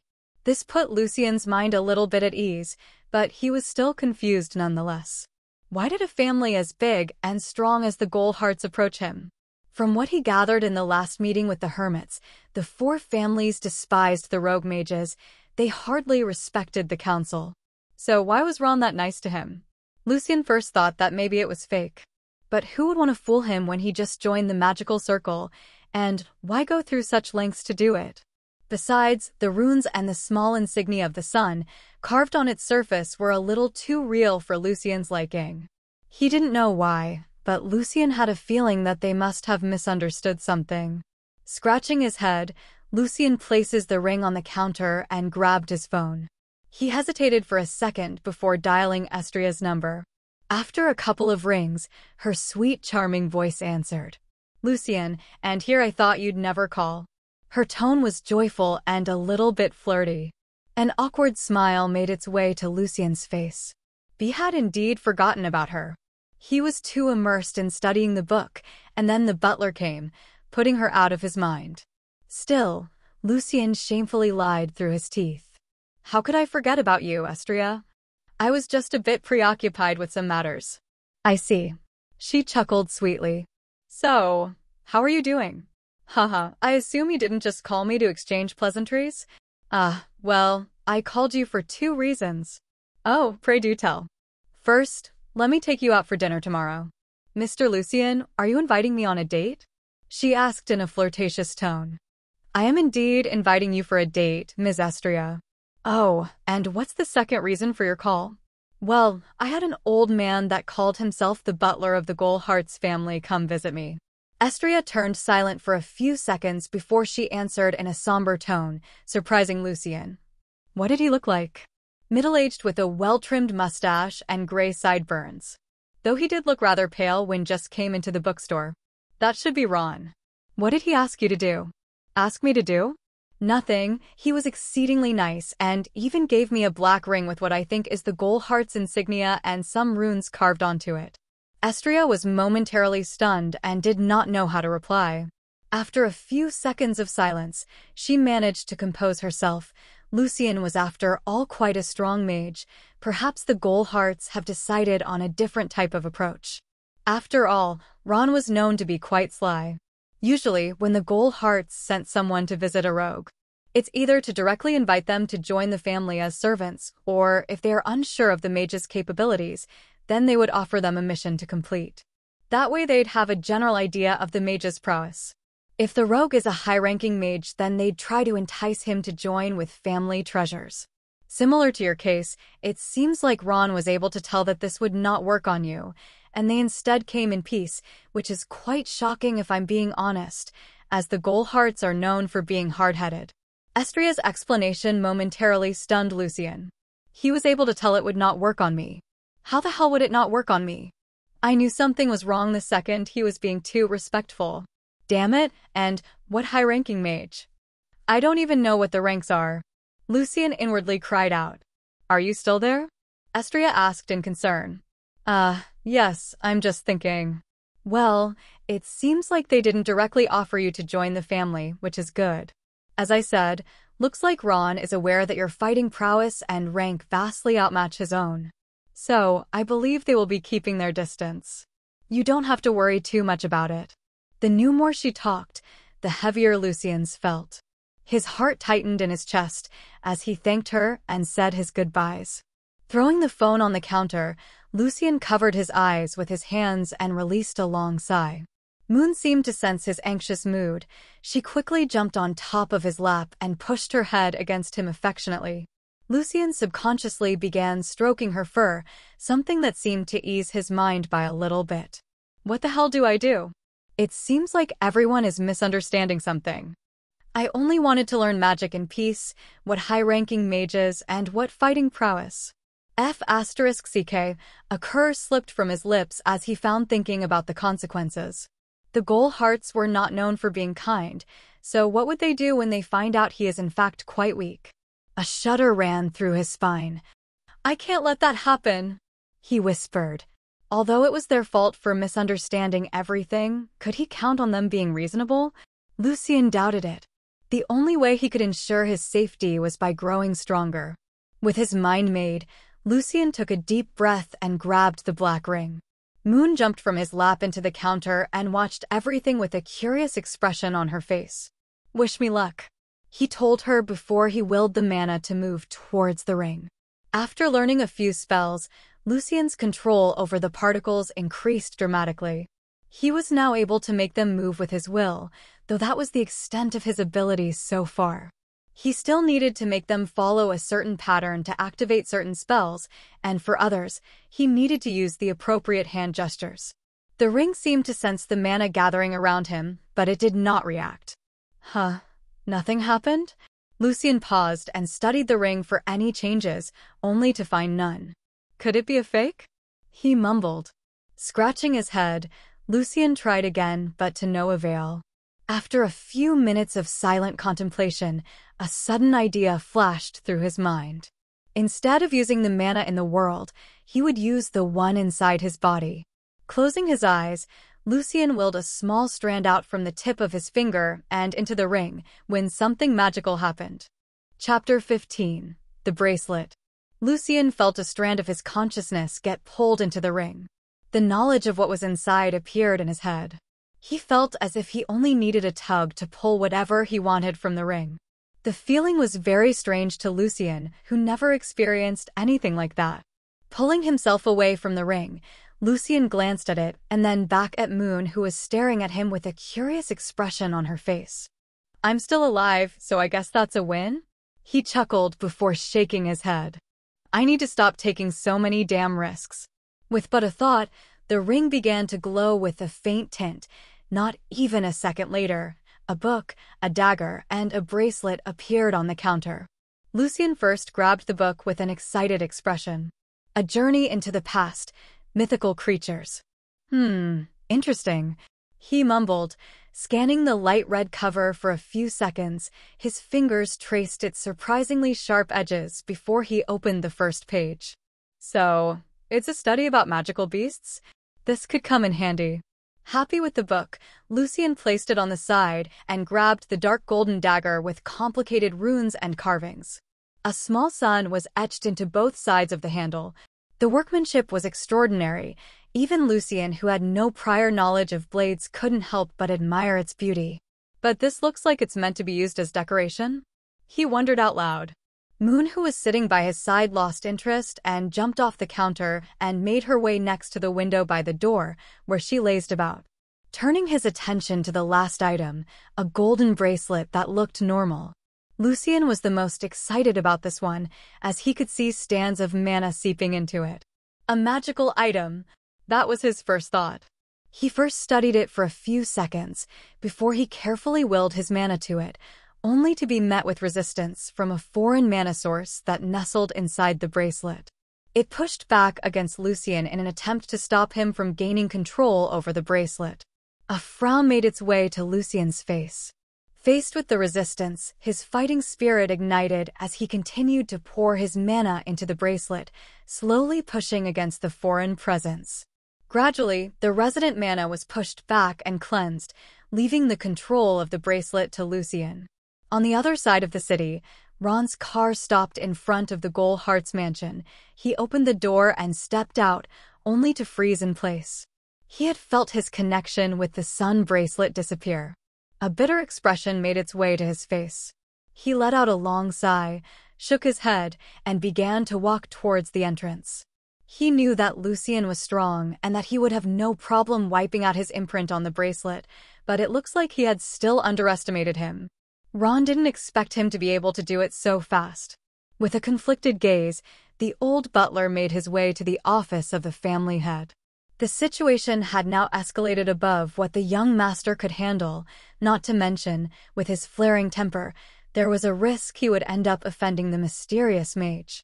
If that were to happen, then Ron was not sure how he would react. He paid a great price to improve their relationship with Lucien. After walking through the luxurious hallways and making his way to the second floor, Ron came to a stop in front of a black door with a large carving of a gold-winged angel. He knocked and then moved a step back with a respectful expression on his face. The door opened by itself, revealing its interior. It was an impressive office, decorated with cold weapons all over the walls. A single window was situated on the wall in front of Ron, next to which was a dark brown desk. A middle-aged man with fiery red hair and an equally red-trimmed beard was staring at Ron with an inquisitive gaze. H.E. placed the book he was reading back on the desk and asked, Ron, I believe I instructed you to follow my youngest. Why are you here? His tone was neutral, but his gaze was sharp. The old butler lowered his head even further and replied, It's about the mysterious mage in the 27th Street, my lord. Hmm? 27th Street. Scratching his head, the middle-aged man frowned as he tried to remember. The bookstore mage, my lord, Ron added. Ah, uh, yes. I remember hearing something about that. And what does that have to do with me? And why are you here and not with the youngest? It is precisely because of that, that I am here, my lord. It's like this, I went to visit the bookstore today, Dash. Back home, Lucien was fiddling with the golden bracelet with a wide smile on his face. It turned out that this was one of the so-called magical artifacts. Lucien's knowledge was not very high in the subject, but he was sure, nonetheless, that this was a treasure. Equipping the bracelet, the wearer would be able to cast five spells without incantation or hand gestures. He only needed to store the spell within the bracelet beforehand, and then he could activate it whenever he wants. Lucien still did not need the bracelet, M at the moment, but he was sure that it would come in handy in the future. Besides, being able to instantly cast a spell was without a doubt a huge advantage. Happy with his gift, Lucien wore the bracelet on his right hand with a satisfied expression. The smile never quite left his face. He liked its design as well, it looked very stylish. As he was admiring it, Moon jumped to his lap and began to meow. Oh, are you hungry? Let's go, I'll make you something to eat. He said and used Immer to grab his book, alongside the Book of Mythical Creatures and the dagger, before making his way upstairs. My control over Immer is already better than it was before. I can already control this much stuff without a problem. Looks like practice does make perfect. Happy with his progress, Lucien placed everything in his room before he made his way to the kitchen to fix something to eat, for both him and Moon. Chapter 16 The Spell Two weeks have passed since Lucien came back to the bookstore. January left, making way for February. The cold weather gradually improved. The chilling winds calmed down. Lucien was seated behind the counter as usual with Moon resting by his side. Anna became a regular. She visited the bookstore whenever she had the chance. The duo slowly grew more comfortable around each other. She was currently resting on the small chair Lucien specifically brought down from upstairs for her. His relationship with Estria remained somewhat the same. She would occasionally call to check on him, and the duo would harmlessly flirt together, yet so far it never got anywhere. The Goldhearts didn't visit him again after Ron's sudden visit. In the past two weeks, Lucien ended up missing one of the Hermit's gatherings and joined one where he learned some interesting pieces of information. The opening of a sudden magical portal. According to what he understood, these portals were usual occurrences. They opened at random times all over the planet. The Council was first created to control these, as some of these portals contained monsters that were a threat. It was the Council's job to monitor and intervene should they deem the portal dangerous. Some portals were stable and could remain open for years, while others would only appear for a mere instant. According to the Hermits, the latest portal was a stable one that opened a short distance from the city. The Council had already deemed it no threat to Earth and gave the clearance for the mages to explore it. Some people in the gathering formed a group for exploration and attempted to invite Lucien. He, however, kindly refused. He was not yet confident enough to tackle alternative dimensions. Besides, he had been busy planning for the reopening of the bookstore. Lucien ended up creating an online page for it and did some light marketing in a somewhat vain attempt at gathering traffic. Some visitors stopped by, but few loaned the books, and even fewer ended up buying some. So the problem of restocking his shelves was still out of his mind. Lucien considered ordering some of the newest books to appeal to a new market yet his budget was a little tight. The money he saved from his last job was still enough to last time for a while, but that did not mean he could recklessly spend it. This meant that Lucien needed a new source of income. Best if it came from the bookstore itself. When it came to magical spells, besides Immer, Tadasa, and Tajajite, the fireball spell, Lucien had ended up learning a couple of useful spells as well. Taffet, a minor spell that summoned a light ball to illuminate his surroundings, he could control its intensity and was able to make it float and follow him, acting like a flashlight.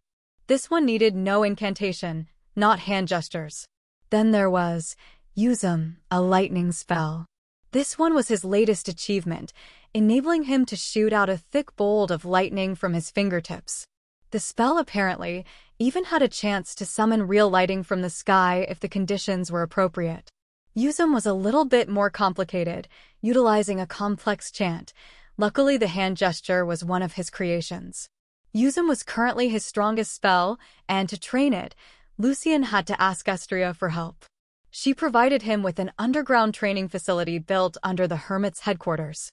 When she heard that he was going to be experimenting with some spells, Estria respected his privacy and did not inquire any further. This was something that Lucien liked about her. She respected boundaries. The final spell in Lucien's arsenal was the first one he learned. The mysterious spell that pulled him inside that special place. Ever since that time, Lucien was unable to cast it properly.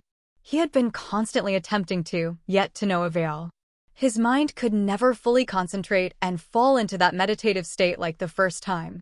Now that he knew magic was real and was excited to unravel its secrets, Lucien could hardly control his passion. This seemed to be a fatal flaw as it prevented the spell from being activated.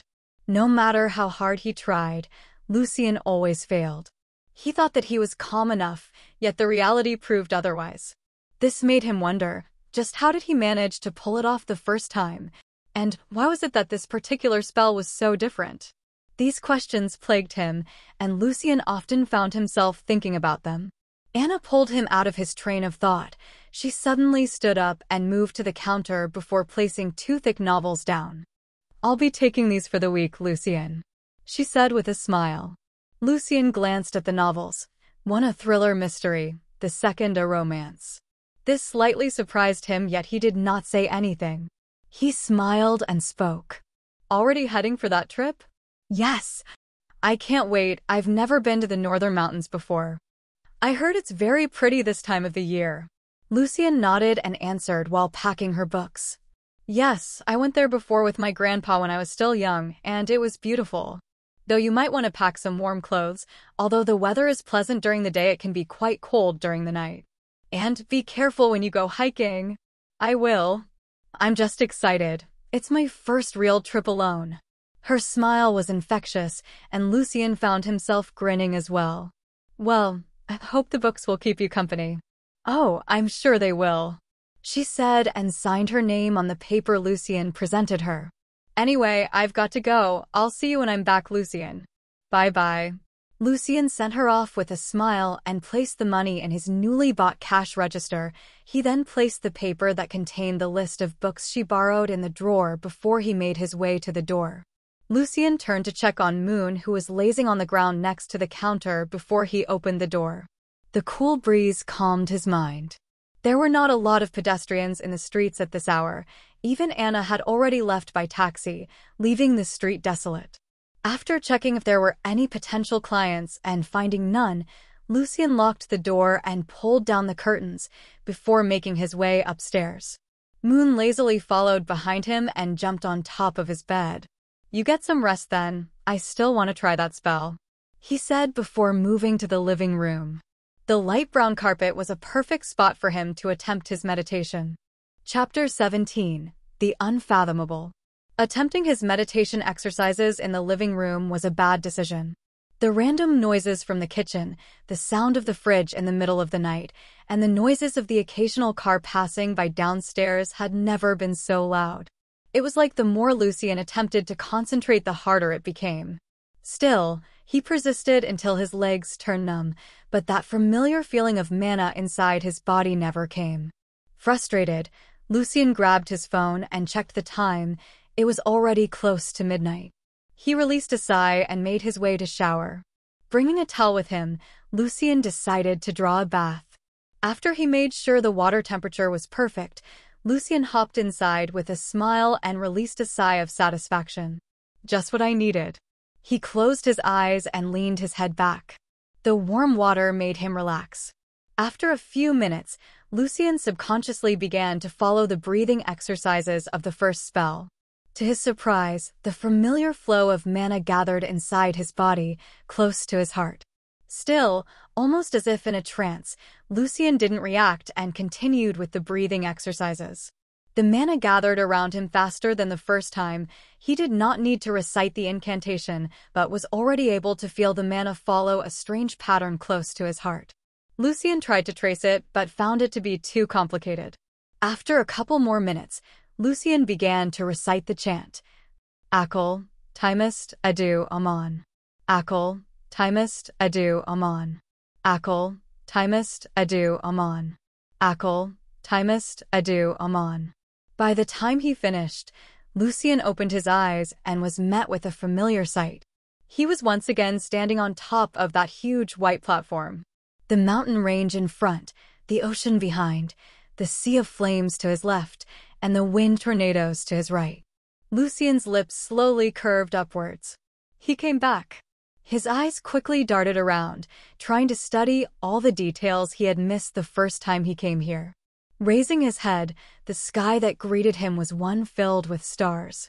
The sight captivated him, and Lucien found himself unable to tear his eyes away from it. After a few seconds, he forcefully shook his head and glanced at the platform. It was circular, with some strange magical runes carved into it. Lucien kneeled and tried to study the weird language etched into the platform. A single phrase caught his gaze. Ilid Notchkad, Dilit Ranagal. Lucien frowned, the phrase didn't seem to be an incantation, but more of a statement. He didn't know why, but he felt like he should know what it meant. He repeated the phrase a few times, trying to commit it to memory. The language used was the same one he utilized to cast spells with incantations. I'll have to check and see if I can find any translations when I'm back, Lucien mumbled under his breath before he stood up. The world around him was more corporal this time. It felt more real. Lucien carefully moved to the edge of the platform and peeked downwards. A gasp suddenly escaped his lips. The drop was huge, and the ground was nowhere to be seen. Instead, a huge dark abyss greeted him. Lucien did not know why, but the moment he glanced at that darkness below, his heart began to thump loudly in his chest. Shivers ran down his spine, and he found himself unable to move. Lucien felt as if a terrifying gaze locked on him and was studying him. He was unable to move, his heart was beating wildly in his chest. Lucien did not know what he was looking at, but one thing was for sure, it was not something he was meant to see. He didn't want to stay here anymore. The longer he stared at the abyss, the more Lucien felt like he was losing a part of himself. As if sensing his intention, the entire world began to collapse. It was then that Lucien caught a glimpse of an incomprehensible, humongous figure lurking in the depths of the abyss. Lucien felt as if lightning struck his brain before the world disappeared completely. Back in the real world, Lucien awakened with a gasp. He shot out of the water, gasping for air. The cold feeling that filled his heart remained. It took him a few minutes to calm down. Lucien did not even want to think back to what he saw. The mere thought of it made him tremble. What the F asterisk CK was that? He cursed and forced himself out of the shower. Lucien then used the towel to dry himself before he made his way to the sink to brush his teeth. His mind was still a mess as he grabbed his toothbrush. His eyes subconsciously glanced back at his reflection in the mirror when he froze. His reflection was grinning. Lucien's hand moved to his mouth, his figure mimicking his actions, only to find out that he was indeed grinning. His dark brown eyes seemed to be glowing with a faint red gleam. I is this? Me? Lucien mumbled. The person in the mirror looked like a crazy madman. Hell, it was not a stretch to call him a devil. Lucien never thought he was capable of looking so, so evil. The toothbrush slipped from his hand and fell to the sink, pulling him out of his trance. By the time he grabbed it and glanced back at the mirror, his grin was gone and his face now looked normal again. Shaking his head, Lucien brushed his teeth while trying not to look in the mirror.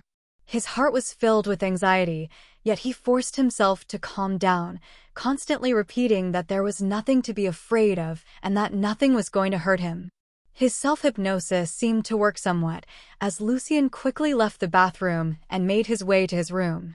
Moon was sitting on top of the desk by the window. Her green eyes looked concerned as she stared at him. Lucien gave her a forced smile and spoke. Good night, Moon. I don't feel very good tonight, so no study session today. Saying that, Lucien jumped under the blankets and turned off the lights. He was afraid that his anxiety would prevent him from sleeping, yet surprisingly, the moment he laid his head on the pillow, Lucien quickly found himself sinking into the dreamland. Moon, who was seated on the desk, hopped down and made her way to the bed. She jumped on top of Lucien's chest and continued to stare at him. Chapter 18 Unexpected Guest the next morning, Lucien woke up feeling that something was different. He didn't know what it was exactly, but he had a distinct feeling that something had changed. Moon was surprisingly up next to him. She was staring at him with a strange expression. Morning sunshine. Strange how you didn't wake me up. He said and patted her head. Moon meowed in response before she jumped out of bed and made her way out of the room. A yawn escaped Lucien's lips as he turned to grab his phone, the clock read 8 a.m. He lazily got out of bed and dragged himself to the toilet. The second he faced the mirror, however, the events of yesterday came rushing to his mind. Lucien wanted to subconsciously avoid it, yet he hesitantly studied his re-election. After making sure that nothing was wrong, Lucien tried to convince himself that he must have been tired yesterday. Still, that scene in the strange astral world made him shiver. Shaking his head, Lucien hopped in the shower to get ready for his day. What he did not see, however, was Moon who had pushed the bathroom door open and was watching him closely. Her green eyes seemed to shine with intelligence as she stood guard. After Lucien finished getting ready for his day, he made his way back to his room and dressed in another one of his grandpa's favorite suits. A dark blue one.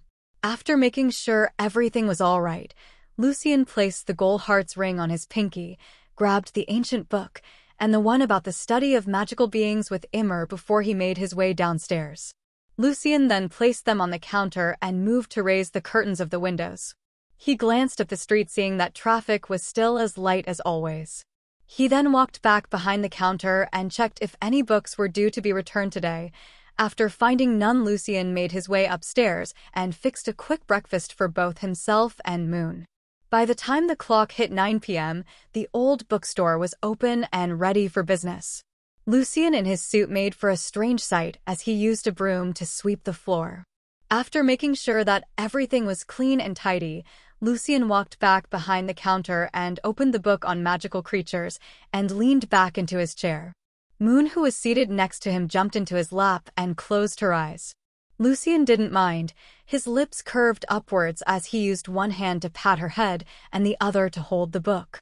The Book of Magical Creatures was an extremely precious gift for Lucien. With its help, he managed to learn about the existence of many strange beings ones that inhabited foreign dimensions, and others that simply lived hidden away from the mundane eye.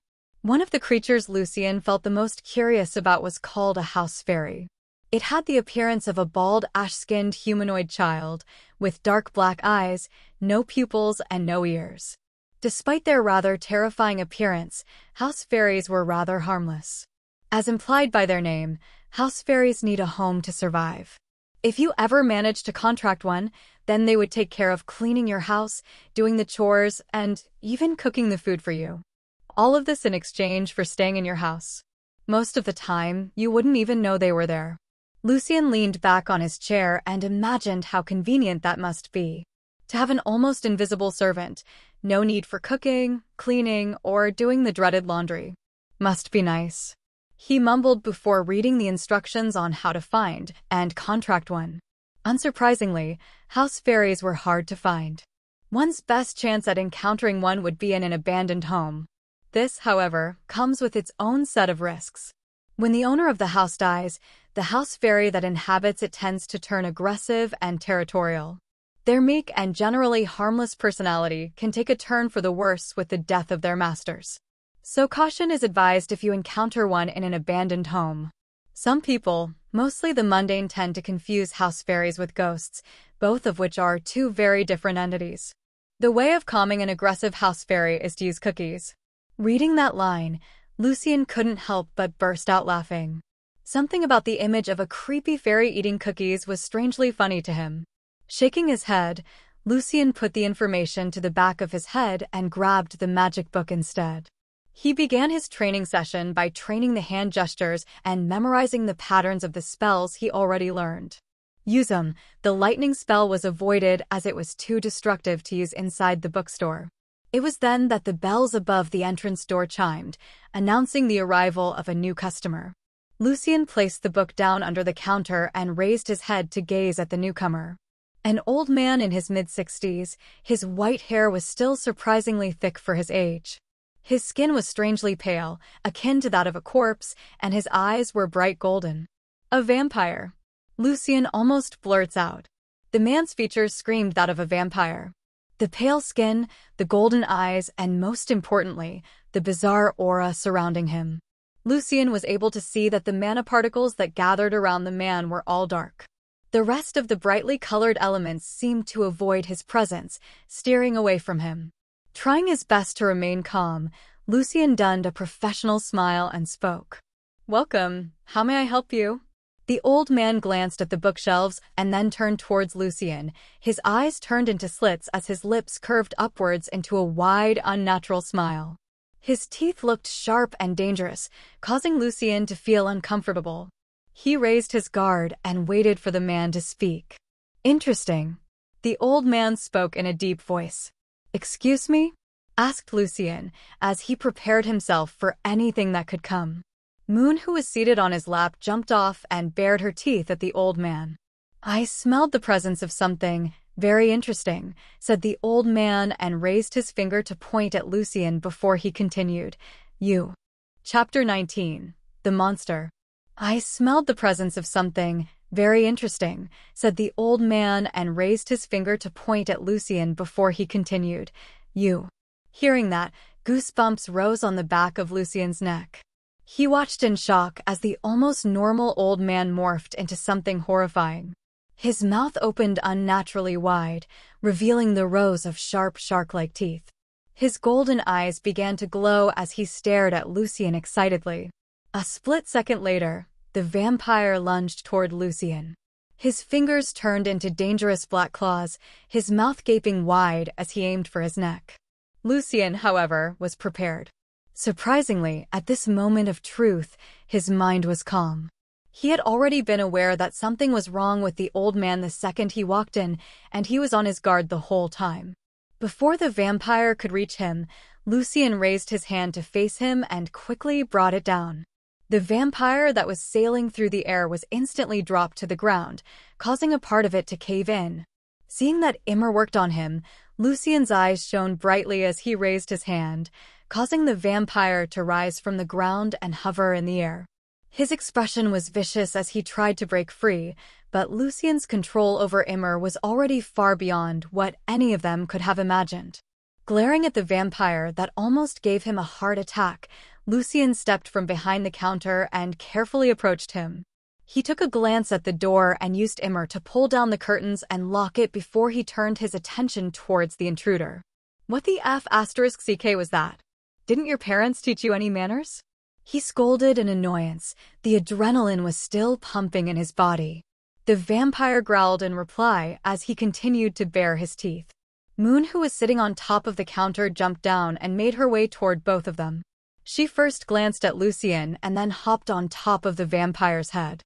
Wait, careful, Lucien warned, yet the cat was already nestled on top of the monster's head. She hissed and began to deliver a series of vicious paw strikes to his face, aiming for his eyes in particular. The proud vampire wanted to roar in anger, yet Lucien quickly used Immer to seal his mouth shut.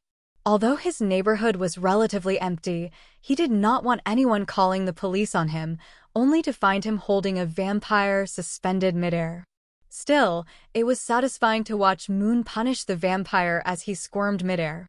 Cuts began to appear on his face, which in turn began to heal at a speed visible to the naked eye. Interesting, Lucien mumbled. It looked like the vampire's famed regeneration was not a hoax after all. It was even more ridiculous now that he was seeing it live. Still, I have to say, I'm a little bit disappointed. I thought vampires were supposed to be strong. You couldn't even put up much of a fight. Lucien's words caused the vampire to shake in anger, his golden eyes burned with rage. He hadn't expected the young magician to be so proficient in high-ranking spells. He didn't even see him cast it before he was pinned to the ground and was now hopelessly made to float about. The damn cat that continued to blind him wasn't helping. The vampire watched as the young man's eyes turned frosty, as if he was suddenly possessed by someone else. His dark brown eyes began to burn with a red glow causing shivers to run down his spine. A wide grin slowly stretched across his face. Even the cat that was hitting him stopped and jumped off before she ran off on top of the counter. What the hell is that? Inwardly cried the vampire. The young man was not normal. How could a mere human change so fast? The aura that he was leaking was tremendous. As a vampire, he was not very sensitive to mana, his body had a natural degree of immunity to it. So he was unable to sense the pressure emitting out of the bookstore. But when faced with Lucien, the vampire felt like he was staring at a devil. He deeply regretted his rash decision to plunge into this damned bookstore headfirst. He deeply regretted not being able to control his urge. He regretted it all. If only he was able to turn back time. The world suddenly turned clearer in Lucien's eyes. He felt a sense of ease and calm wash over him as if something had clicked in his mind. The bound vampire was no longer as scary as he thought him to be. No, why would he be scared? It was the intruder that was supposed to be afraid. Yes. Are you afraid? asked Lucien as he slowly approached the vampire. His hand moved and lightly patted his head with a chuckle. I think we are going to have so much fun together. The grin on his face extended as he turned to make his way upstairs with the vampire floating behind. Moon on the other hand meowed before she followed behind from a distance. Her green eyes seemed to shine with intelligence and concern. Once upstairs, Lucien placed the vampire on the ground of his bedroom and tapped his chin, deep in thought. I heard that healing spells don't work against vampires. I wonder if that's true. He mumbled. The old vampire overheard him, his eyes widened as he struggled to shake his head. Mm-mm. Mm-mm. Oh, you sound excited. Don't worry, it's just a minor healing spell. It shouldn't do much damage. I think. His words were like a hammer that smashed on the vampire's heart. He was confused. Wasn't the young magician supposed to interrogate him? Ask him what was his reason for attacking him? What brought him to this damned shabby old bookstore? What did he seem so unconcerned about the answers? After making sure that the vampire was tightly bound in place, Lucien attempted something that he had yet to try, simultaneously casting two different spells. He needed Immer to stay up to keep the vampire from moving. Tadassa was his goal. He wanted to test how effective his healing spell was against a vampire. Bear with me, will you? After all, you were the one that attacked me in my home. Chapter 20 Crazy? The loud grunts of an old vampire reverberated throughout the bedroom as Lucien kept casting Tadassa on him. He first started by applying it to his legs, and to his immediate surprise, it worked rather too well. The vampire's right leg began to disappear, turning into countless specks of ash. The skin disappeared, and then the meat disappeared before finally, even the bone disappeared. The old vampire kept shaking in his place with a savage expression.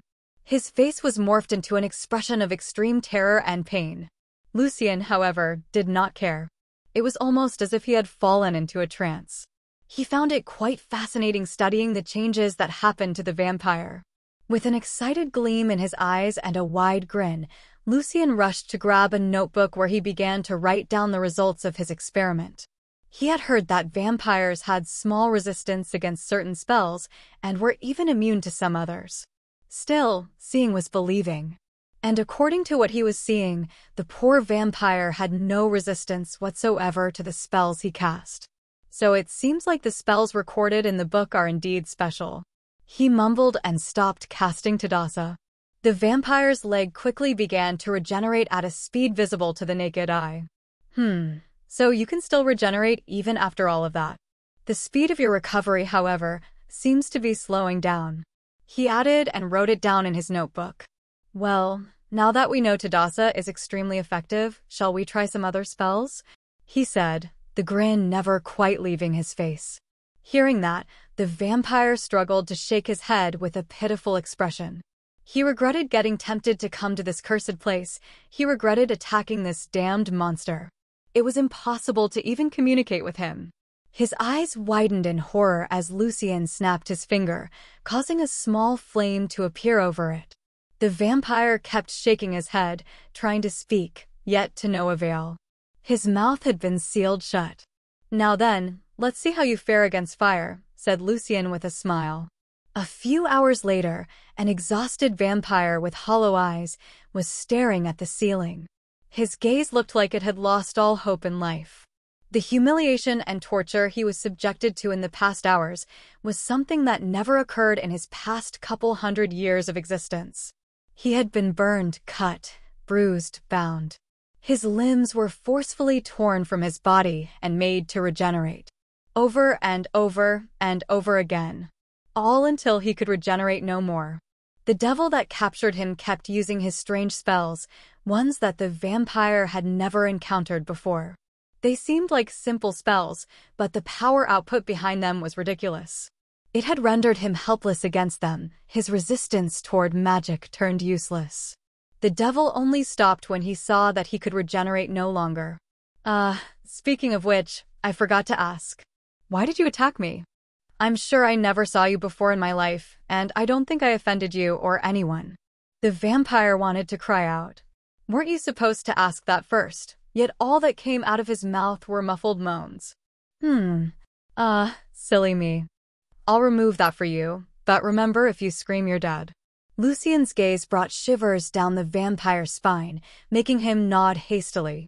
Good, I ask the questions and you answer. He added, to which the vampire hastily nodded again. Good. Lucien then removed Immer's influence on the vampire's mouth granting him freedom over it once more. Name? Darius. Answered the vampire, his voice hoarse and tired. Age? Darius raised his brows at the question, yet did not dare dally in his reply. 204. Damn, you're old. Lucien subconsciously muttered, causing Darius' eyes to twitch. Uh, sorry. So, why did you come to my place? Darius hesitated for a second before answering. I smelled something very appetizing, something that called me over. Clicking his tongue in annoyance, Lucien raised his hand in a threatening manner, causing the old vampire to flinch before he asked. That makes no damn sense to me. Explain, what the hell do you mean something very appetizing? Darius once again hesitated, his face turned strange as he motioned with his head toward Lucien. Me? Lucien asked with a frown. Darius nodded and explained. There's a strange aura emitting from your body. If it was not for it. Damn it, I would not have been so stupid. A frown made its way to Lucien's face. A strange aura? He did not know why, but his hands immediately went to his face. They hesitantly traced his wide grin before a serious expression overtook him. Leaving the bound vampire on the ground, Lucien rushed out of the room and made his way to the bathroom. The sight that greeted him was that of his smiling face and glowing red eyes. The scene made him pause in shock. It was as if a veil was suddenly lifted from his mind. The gravity of the situation and of what he had just done slowly sunk in. What the F asterisk CK? He mumbled in shock as he raised his hands in front of his face. What the hell just happened? Moon's meow suddenly pulled him out of his trance. Lucien turned to glance at her as she rubbed her head against his legs. A long sigh escaped his lips as he kneeled to scratch her head. Moon, I think I'm going crazy. Meow. Back in an undisclosed location, a short-haired, beautiful black lady was racing down the hallways with an anxious expression.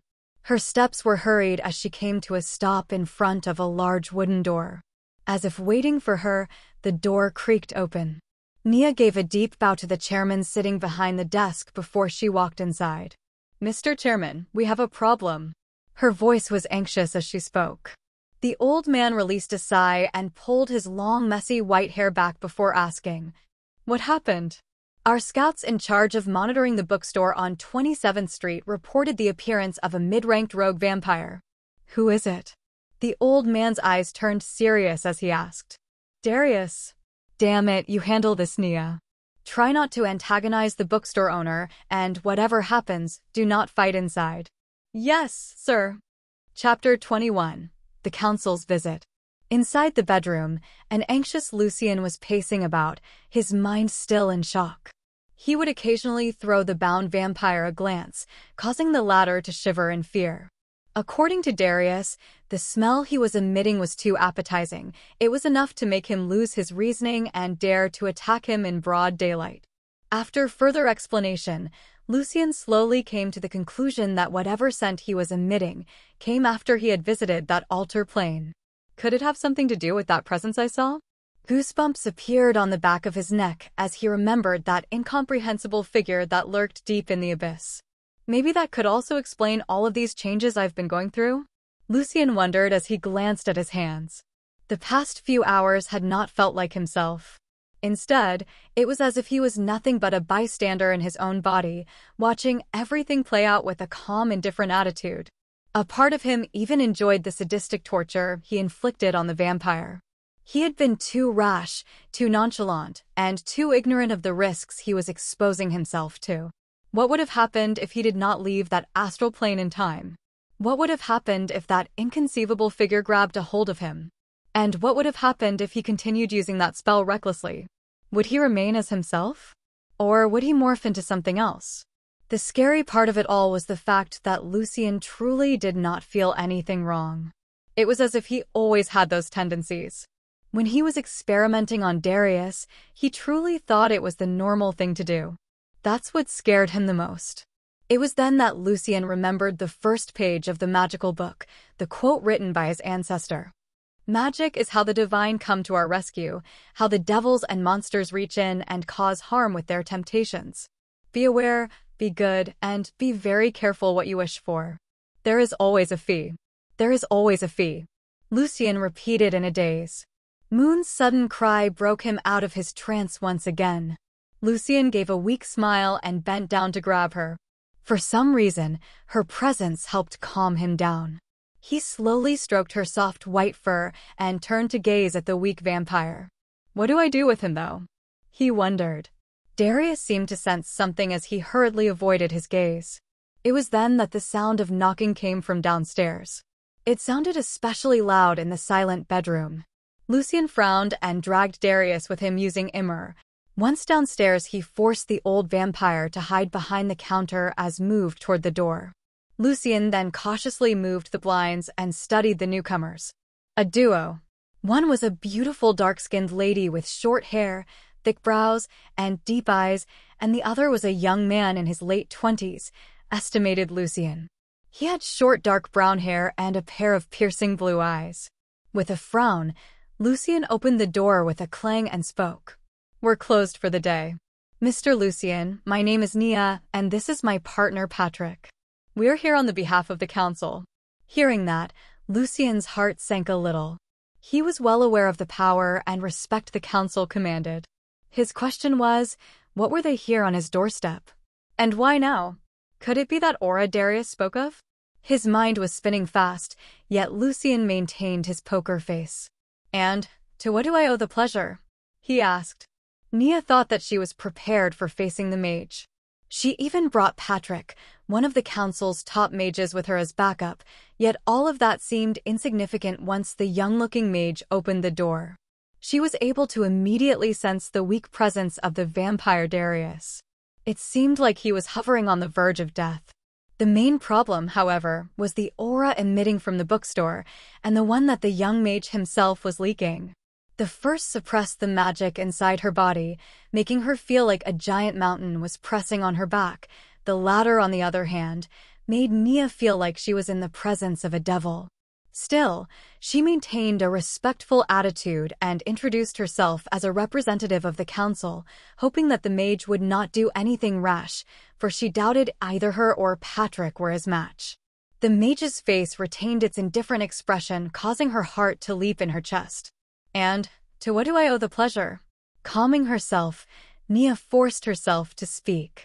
The council would like to ask you to hand the criminal Darius the vampire over for justice. You will be handsomely compensated for your troubles. A frown made its way to the mage's face. Nia felt the world spin. Patrick, who was by her side, tensed up and got ready. It's over, Nia thought. To their surprise, however, the young mage simply moved back and further opened the door to the bookstore. Please, come in. His invitation looked like that of a monster inviting them to the jaws of the abyss. Nia hesitated for a second before she stepped inside, followed by Patrick. The tall bookshelves on both sides greeted her, yet she was not in the mood to study them. The pressure multiplied once she was inside. Nia was sure that it would be impossible for her to use magic here. Her mind began to spin as various thoughts ran wild in her head. Did he bring us inside to finish us off? Does he not care about the council? Before she could say anything, however, the young mage waves his hand. The figure of the old vampire Darius floated from behind the counter. He had a bleak look on his face. His pale face looked worse than normal. He dared not gaze at Lucien directly. Chantless casting. And so easily. Just what level did he reach? Nia's eyes widened in shock. I presume it was him you were looking for? Why, yes. Nia stuttered in reply. Well then, he's all yours. Nia gulped nervously. She still couldn't believe how easy it was. She cautiously motioned for Patrick to grab the vampire. To her surprise, Darius couldn't even struggle. He was too weak to move. If anything, he looked relieved looking at them. Just what did he do to him? Chapter 22 Encounter With the Council's sudden visit, Lucien's concern turned out to be unwarranted. They ended up taking the old vampire off his hands and did not overstay their welcome. This made Lucien have a somewhat of a not bad impression of them. Now that he remained alone, Lucien made his way upstairs and changed into some comfortable sports clothes. He did not forget the jacket since it was still cold out in February. Moon followed behind him through it all, and when it was time to leave, she effortlessly jumped on his shoulders and nestled there. Her presence caused Lucien's lips to curl upwards as he locked the bookstore and left for a walk. The sun set in the sky in fresh colors of orange gold and red, stretching far and wide. Lucien's steps halted as he raised his head to admire the view. His heart turned melancholic as memories of his grandpa flashed through his mind. He had thrown himself into studying magic to cope with the loss, and to some extent, it worked. Yet it was still hard waking up to an empty house, a house that lacked his presence. A heavy sigh escaped his lips as Lucien pulled the jacket closer to his neck. He then began to walk with no certain destination in mind. He needed to clear his head. Had this been in the past weeks, Lucien would have used the old magic book to escape the pain, yet after what happened with the vampire, he was unsure. A part of him was afraid. Lucien was afraid that if he continued down this line, he would end up losing himself. He would end up losing that which made him human. Was that something he was ready for? Shaking his head, Lucien's steps subconsciously brought him before a July 11th. He walked inside, causing the bells to jingle. An average-looking young girl greeted him with a cheerful attitude. Welcome. Lucien simply nodded with a forced smile and moved to grab an energy drink. He could feel the young clerk's gaze on him, or more specifically on Moon who was seated on his shoulders. Lucien then moved to check out. The young clerk was unable to hold herself back as she spoke. That's cute, kitty. Can I pet her, please? Sure, answered Lucien. He then came closer to the young clerk who hesitantly reached out to pet Moon. Through the bond between them, Lucien was able to tell that the cat was displeased by this interaction, so after a few pets and an angry Moon, Lucien excused himself and paid for the drink before he took his leave. Once he stepped out of the store, a series of fast paw attacks assaulted his head. Ouch! Okay, okay. I'm sorry. I should have asked you for permission. He said and grabbed the troublemaker in his arms. Moon, still in her bad mood, jumped off and began to walk by herself. This caused Lucien's lips to stretch upwards, as it made him feel like he was raising a child. Come on, Moon. I'll make you the chicken breasts you like to eat. This made her halt her steps. She slowly turned to look at him, almost as if to make sure he was not lying before she jumped on his shoulders once again. After aimlessly walking for a while, Lucien was ready to head back home when a strange disturbance in mana caught his attention. The glowing mana particles in a certain alley were hectic, causing him to pause. His rational part thought it would be best to ignore it and just go back home. Sadly, his curiosity seemed to overwhelm his sense of judgment. Carefully, Lucien crossed the street and made his way toward the dark alley. The sky had long since turned dark. The lights of the city made it impossible to see any stars in the sky. Yet in this particular alley, the light seemed to be absent. Ah, why the F asterisk CK am I coming here for? This is like the plot of every horror movie that ever existed. Lucien inwardly berated himself. His curiosity, however, was too strong. Moon, who was resting on his shoulder, jumped off and bared her teeth at something. Lucien's eyes took a few seconds to adjust to the dark alley. His ears perked as he caught the sound of an animal growling from behind the dumpster. Moon was on the verge of jumping out and attacking whatever was there. Lucien, on other hand, tried not to be rash. He attempted to calm her down through their bond, but was still nonetheless prepared for anything that might happen. Red piercing eyes that seemed to shine in the darkness greeted him. Lucien's mouth opened in shock at the creature that appeared from behind the dumpster. It was a head. A female head floating in the air with dangling organs. The head had blood splattered all over its mouth. The smell suddenly assaulted Lucien as he took a step back. That was when his eye caught sight of a horrifying scene, a man was collapsed on the ground, his eyes open wide in shock and terror. The man's chest was split open, and his organs were spilling out. The scene caused Lucien to take another step back. He staggered, nauseous, and clutched his stomach struggling to keep himself steady. The floating head of terror made its move then, as it launched itself towards him. Before Lucien could do anything, Moon jumped out and slapped it away with a force far beyond her little frame. Lucien had no time to consider what just happened. He instantly used Immer to hold the floating head in place. To his surprise, however, Immer was only able to make it a pause for a second before it launched itself toward him again with a silent cry. Lucien took another step back, his mind panicked as the red eyes locked on his. Just as the head was about to reach him, Moon stepped forward again for the save. This time, she decisively latched onto it and refused to let go. The head slammed into the alley wall, sending both of them crashing to the ground. This brought Lucien out of his trance as he saw Moon collapse on the ground. You mother F asterisk cur. He cursed and willed the mana inside his body along with the one in his surroundings before he died snapped his fingers, using Tajajite. A fireball suddenly appeared and shot towards the head that was struggling to fly away. The second the fireball made contact, both it and the head exploded with a bang forcing Lucien to cover his eyes. After a few seconds, he hastily scanned his surroundings, finding no signs of the monster before he rushed toward Moon and used Tadassa. Chapter 23 Questions Thankfully, Moon's injuries were not that serious. After casting Tadassa, she quickly jumped on his shoulders and refused to get down. Lucien didn't mind. A sigh of relief escaped his lips. The floating head was burned with nothing left to show for it. The only indication that remained of its existence was the corpse of the poor man sprawled on the ground with his guts spilling. Lucien subconsciously averted his gaze. He had never seen murder before, and certainly not one as bloody as this. It was completely different than the movies. The smell was overwhelming, and the sight was enough to make his lunch threaten to jump from his stomach. But what should I do? I can't leave the poor guy like this. A part of him wanted nothing to do with this whole situation. He was tempted to bolt out of this alley and never look back again.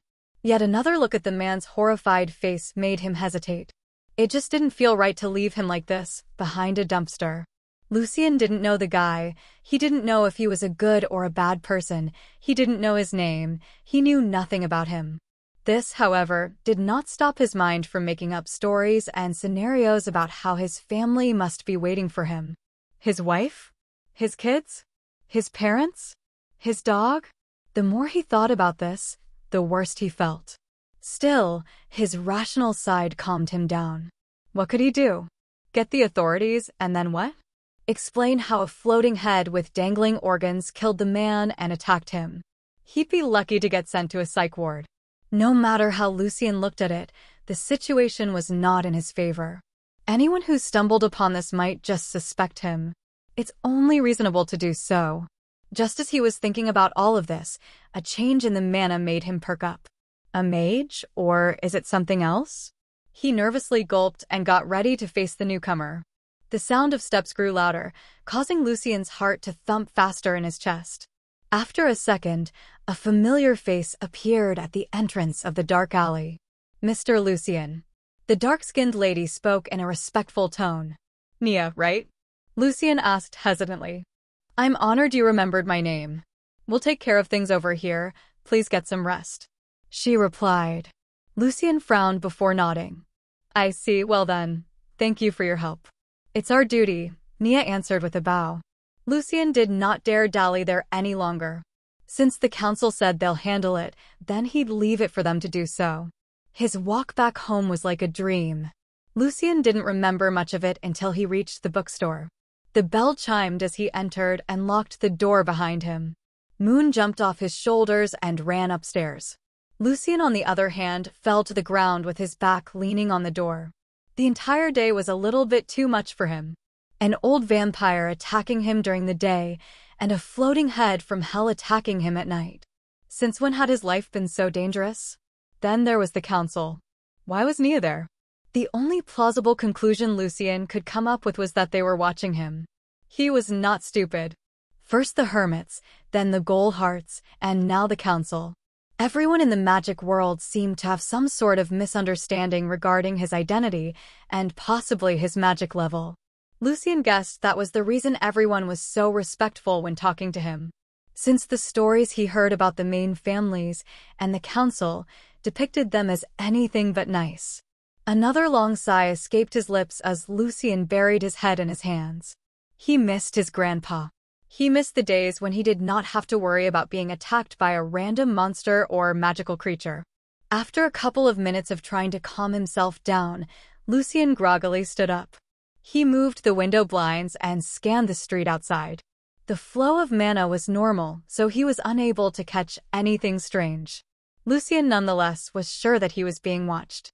Since the Council's job is to maintain order in the magical world, then I suppose I'm considered an unknown element. They should be keeping tabs on me. They think I'm a high-rank mage, so they didn't want to risk offending me, but they can't just let me be since there's always the danger of me going out of control. Lucien inwardly analyzed his situation while pacing around the bookstore. So what should I do? He suddenly paused. This misunderstanding came with a lot of advantages, but it was also laced with danger. Rubbing his head, Lucien's expression turned worried. He removed his jacket and made his way upstairs. Without changing his clothes, Lucien sat down on the desk by his window and grabbed an empty notebook. From what I understand so far, mages are divided into ranks. Novice, apprentice, journeyman, high mage, sage, archmage. Each rank is further divided into three smaller stages. Bronze, silver, gold. It was a fairly simple grading system. The only problem was that Lucien had no idea how it worked. What rank was he supposed to be at? And what dictated such a thing? Was it the number of spells mastered? Or perhaps their power? Lucien made sure to jot down everything in his notebook. I wonder what rank was that vampire? He suddenly mumbled.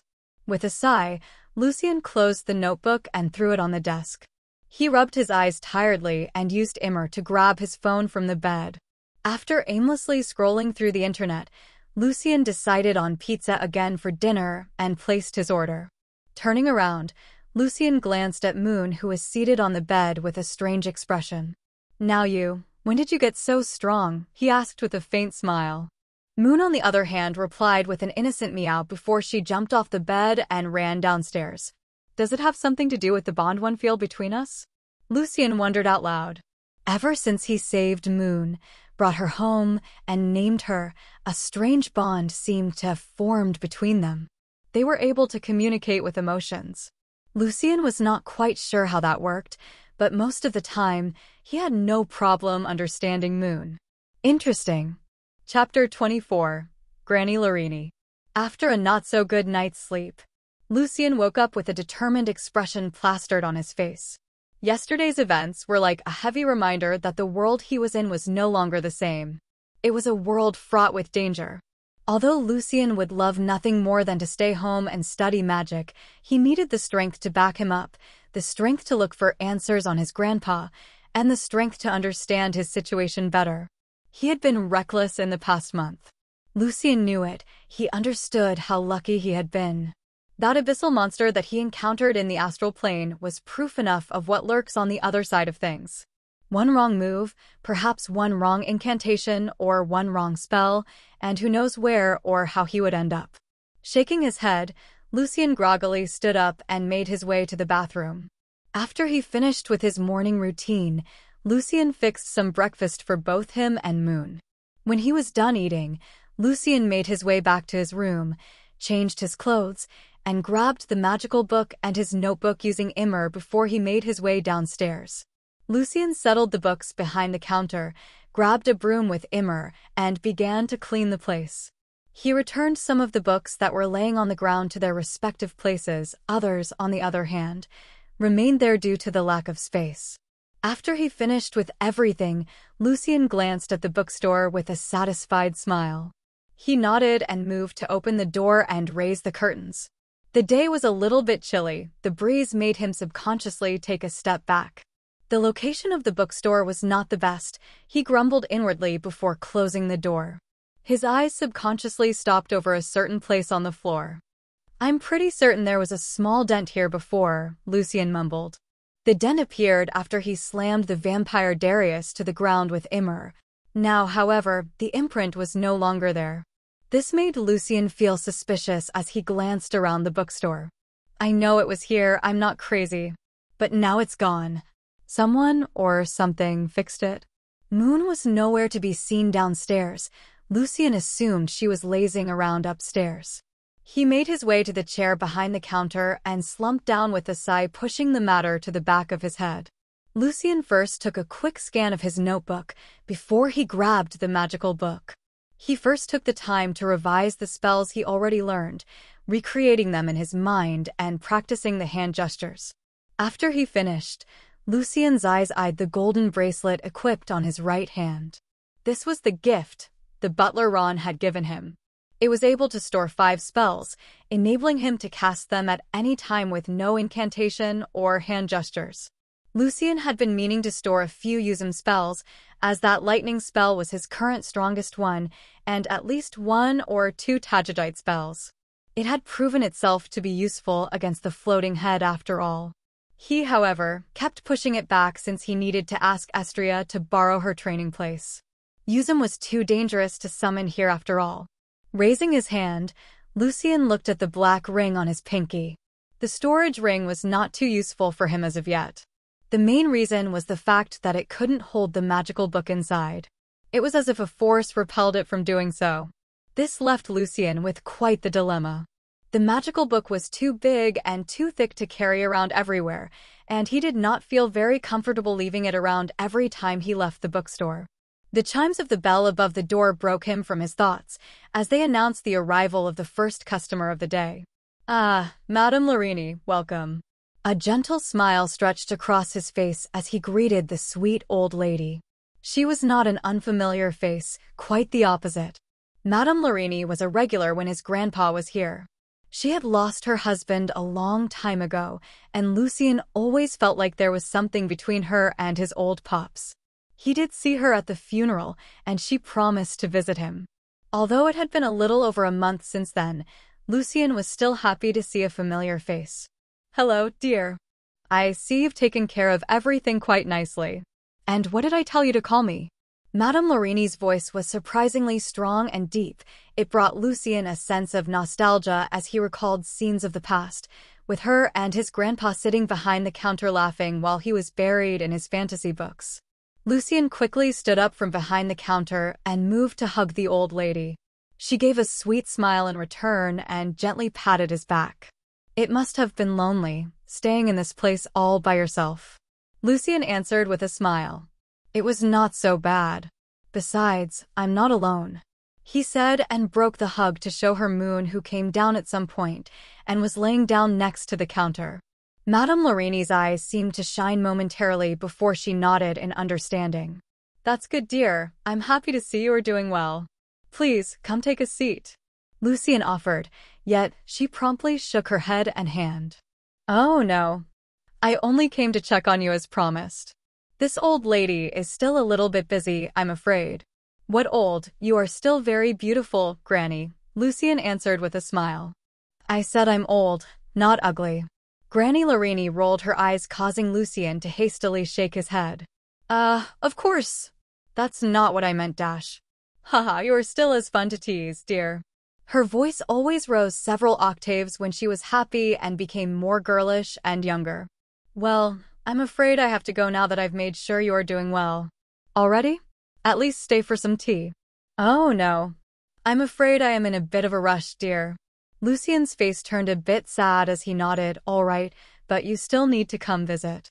Of course, Granny Lorini said and pinched his cheeks like she used to do when he was a child.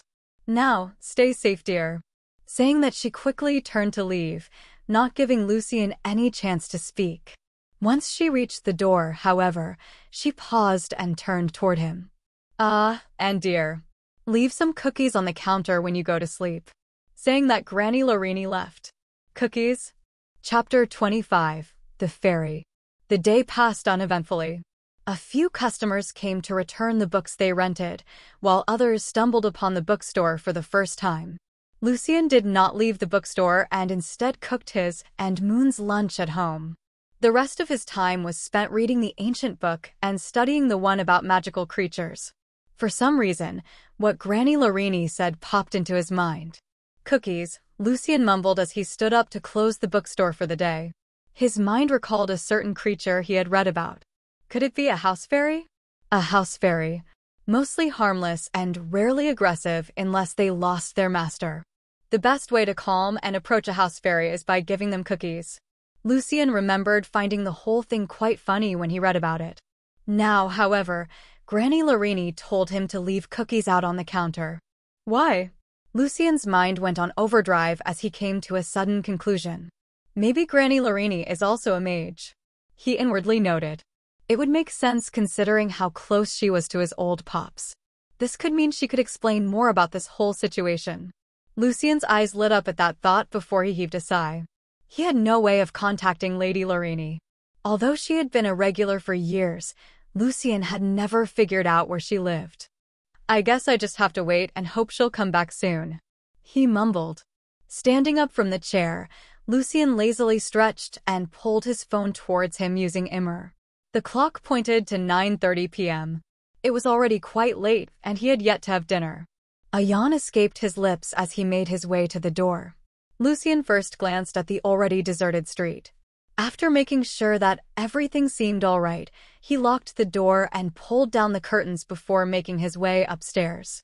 Lucien contemplated whether or not to order food. Eh, I'm too lazy to cook. Pizza it is then. He mumbled. After placing the order, Lucien changed his clothes into his nightwear and moved to the kitchen to search for cookies.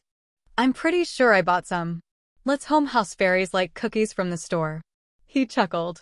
His search finally yielded results when he found the bag of cookies hidden away above the fridge. There we go. He then grabbed a plate and placed a few cookies there. Lucien was about to go down when he paused, deep in thought. It's missing something. Moon meowed by his side in reply. You think so too, right? He nodded and scratched his head.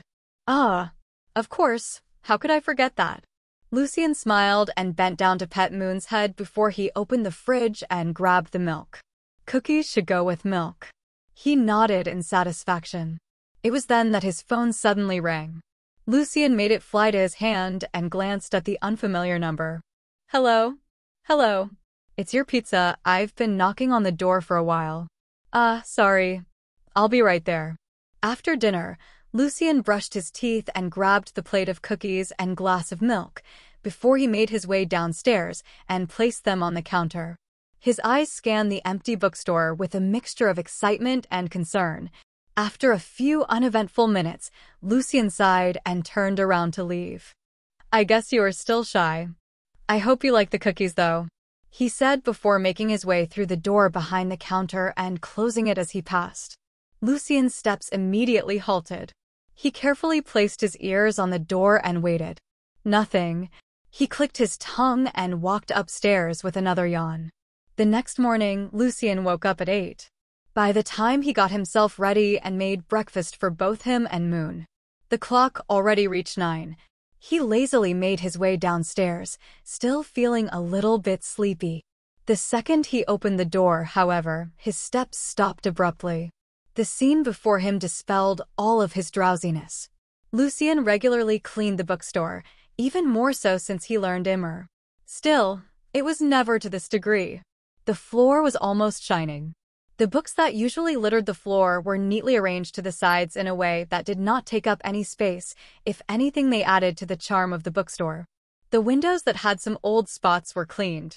Heck, Lucien was unable to find a speck of dust in the whole place. His eyes were subconsciously drawn to the empty and cleaned glass of milk and plate of cookies. They were placed on the counter, where all of the paperwork Lucien had was neatly arranged. A wide smile overtook his face as he kept scanning the whole place. His fingers traced the shelves with a look of admiration as he continually nodded in satisfaction. Amazing! Lucien muttered. He had his doubts and suspected that a house fairy did indeed live here. His old pop was a mysterious old mage after all, so it was not that shocking. What he did not expect was the efficiency of it all. Lucien did not hear a single thing. He wasn't a heavy sleeper, yet the house fairy did not seem to make a sound. Amazing! He couldn't help but blurt out again, his eyes shining in excitement. This changed everything, he thought. No more dishes. No more laundry. And no more cleaning. He almost shouted, yet restrained himself. Ahem, dear house fairy, are you there? He called out in a gentle tone, yet got no response. Ah, uh, give me a second. Lucien called out before he grabbed the empty glass and plate and ran upstairs. Moments later, he was back with a full glass of milk and the now full plate of cookies. Moon was following behind him with a strange expression on her face. After observing him for a few seconds, she turned her attention toward a particular spot before she quickly lost interest and made her way back upstairs. Lucien, on the other hand, carefully placed the plate and glass on the counter. His eyes continued to scan his surroundings in excitement as he spoke. Please consider this a thank you for the amazing job you've done. Lucien then slowly sat down behind the counter and patiently waited. House fairies seemed to be masters at hiding. Even with the help of his eyes that were able to see the mana particles, Lucien could not figure out where the fairy was at. Come on, don't be shy. Chapter 26 Another Meeting The day passed by normally with no signs of the house fairy. Lucien would have been lying if he said he was not disappointed. A sigh escaped his lips as he glanced at the untouched glass of milk and plate of cookies. It was already close to closing time, and tonight was special. He had promised to go visit the hermits for their weekly meetups. Lucien unhurriedly stood out up and stretched. Moon, who was seated next to him on the floor, pushed her head against his leg. Lucien obliged and scratched her back and head. After doing that, Lucien closed the bookstore a little bit early for the day. The meetup would take place at 8 p.m., and it was already 7. He made his way upstairs and changed into his grandpa's favorite dark suit before he studied his reflection and nodded in satisfaction. Lucien left the door to the house on the second floor open. He glanced at Moon who was following him and spoke. Can I count on you to watch the house while I'm out? Meow. Her reply prompted a smile to stretch across Lucien's face, and he was unable to hold himself from patting her again. Once he reached downstairs, his eyes subconsciously glanced at the glass of milk and plate of cookies. I guess he's still shy. Or is it a she? With such thoughts swirling through his mind, Lucien took his leave and closed the door behind him. The bookstore turned silent. Moon, who was left alone, jumped on top of the counter and glanced at the milk and cookies with clear desire in her eyes, yet she forced herself not to touch them. A cry escaped her mouth following which a small hand materialized out of thin air. The hand was as pale as a corpse. It reached out for the cookies first, making them disappear one after another. After the cookies were gone, the stranger finally appeared. If Lucien was still here, he would be surprised to see that the Standhouse fairy was different from the ones he read about. This one had long white hair reaching its back, pale white skin, and piercing gray eyes. It was difficult to ascertain the gender of the house fairy, as it wore a suit that typically belonged to butlers, but its features looked feminine. The house fairy quickly reached out for the milk and drank it in one gulp. It left a tiny bit and passed it to Moon, who was watching the whole ordeal with shining eyes. Moon, seemingly happy with the house fairy, moved to the glass and finished the milk with a satisfied expression on her face. Soon after, the house fairy disappeared and the glass and plate began to float in the air. As always, Lucien found it hard to catch a cab that was willing to drive him to Avenue Lancaster. He didn't blame them either, that street was not known for its safety. After a while, an old driver finally agreed. The ride was mostly spent in silence. Once they reached in front of Building 101, the old driver finally spoke for the first time. I don't know what you're doing here, son, but you'd best not linger for long. This place is not for people like you. There's evil lurking around here, said the old driver. Lucien thanked him for his advice and handed him his fare before he got off. The old taxi driver spoke no further and hastily left. Lucien first scanned his surroundings. After making sure that no one was following him, he quickly approached the invisible barrier surrounding the building. As soon as he reached it, however, the barrier made way and allowed him to enter. This was the work of Estria after Lucien was accepted as an unofficial member of the Hermits. He didn't need to knock when the door suddenly opened. A pretty young girl with dark hair and brown eyes greeted him with a smile. Mr. Lucien, I was thinking about when you'll finally visit again. Hello, Layla. I apologize, I've been rather busy lately. Lucien answered with a smile as Layla made way for him to enter. The duo chatted amicably as they made their way to the fourth floor. The design of the house was once again different, which made Lucien inwardly sigh in wonder. The whole house was an old magical item according to Estria. Except for the master bedroom and the teleportation room, the inside would constantly change every three days, sometimes even daily. It was interesting to see and it reminded Lucien of the many applications of magic he had yet to unveil. The fourth floor of this time was akin to a hotel lounge. The mages were all situated on the chairs and couches, talking to each other in small groups. Lucien's eyes, however, were instantly drawn to the figure standing by the window. The second he appeared, all mages stopped what they were doing and stood up respectfully to greet him. Lucien still found it a bit hard to get used to the treatment, yet he maintained his smile and greeted everyone before he made his way toward Estria, who was smiling at him. Well, look who finally decided to join us, said Estria with a smile.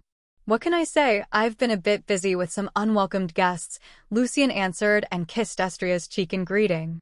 She didn't mind and instead frowned and asked, Unwelcomed guests? Lucien nodded and continued. An old vampire, Darius I believe was his name. Estria's eyes widened slightly before her frown resurfaced. You know him? Lucien asked. Not personally, but I've heard about him before. Hard not to when he's been around for a couple of centuries. He's also a rogue, but the difference is he is one of the most wanted ones by the council. Hmm. Well, let's talk more about it after the meeting, Estria added with a smile. Lucien nodded and replied with a smile. After you. Ladies, gentlemen. Let the meeting begin. Estria's voice silenced the entire floor. Lucien's eyes shone as strands of mana began to move across the entire fourth floor. As if on cue, all of the mages present stood up and made their way to the center of the floor in a circle. The furniture slowly came to life and made its way to the center as well, forming a large circle behind the mages. A tall, comfortable chair appeared behind Lucien where he promptly sat down. Estria was to his right, and Layla was to his left. Chapter 27 Ian The meeting proceeded as usual. A few debates over a couple of spells. Lucien refrained from participating in such topics and instead chose to listen carefully. His knowledge was still quite insignificant, so the less he talked the fewer mistakes he would make. Estria, on the other hand, was quite active in joining the conversations. Layla, who was seated by his side, remained relatively silent as well. Lucien caught her sneaking a few peeks at his face, but thought nothing of it. The meeting continued with nothing catching his interest until a young blonde-haired man, with bright blue eyes, stood up and spoke. I've come across a strange spell, but I don't know what it is. It's written in a strange language I've never seen before. Lucien's ears perked up at that, and he turned his attention towards the young man. The group of mages present, however, sighed and shook their heads while muttering to each other. It's Ian again. He should really let go of those childish fantasies. I don't understand why he insists that it's an actual ancient magical language. He's just desperate. Don't you know that he has been stuck at the bronze novice rank ever since he started? Although the conversations between the mages were quiet, they still managed to make their way to Lucien's ears. He scanned the young man's face with interest. The young mage did not seem to care much about what others said about him. He carefully reached out to his bag and grabbed an ancient piece of yellowish paper before he gently placed it on the round table that had materialized in the middle. Lucien's eyes were subconsciously drawn to the piece of paper when his heart suddenly skipped a beat. The language used was one that he was familiar with. It was the same as the one in the magic book his old pops left him. He tried to control his expression to not betray his emotions. The young mage pointed at the crude drawing of shining lights that seemed to follow a certain pattern before he spoke. I believe this should be a guide to learning the spell. Lucien inwardly nodded. The shining lights represented the floating mana particles, and the pattern should be the one to follow to activate the spell. Although Lucien wasn't completely sure, he was still convinced that the spell was indeed legit. The rest of the mages present, however, thought otherwise. As far as he knew, nobody was able to see mana. The most they could do was feel it, and even that was not accurate enough. Hence why it was hard for these mages to assume that the shining lights were in fact mana particles. Boy, I know it's hard to progress to the next rank. But you are still young and still have potential. Don't waste your time with these baseless superstitions. An old lady who was seated opposite to Lucien spoke in a kind tone. Before the young mage could reply, a middle-aged man with a well-trimmed beard spoke impatiently. This is not wasting your time, but ours as well. Do you think it's easy to discover a new spell? Not to mention an ancient magical language? Stop wasting our time on this. I think I speak for everyone when I say we are tired of this bullshit. Lucien was surprised at the strong reaction everyone was showing. The young blonde mage frowned and gritted his teeth before he sat back down and gently grabbed the old piece of paper before he placed it in his bag. Estria waved her hand silencing everyone before she spoke. Enough. Who's next? The meeting proceeded with no problems or unexpected interruptions. It continued that way until it was close to midnight. Estria stood up and announced the end of the discussion. Everyone stood up and began to take their leave. Lucien, on the other hand, remained seated. His eyes were glued on the young blonde mage who had a downcast expression on his face.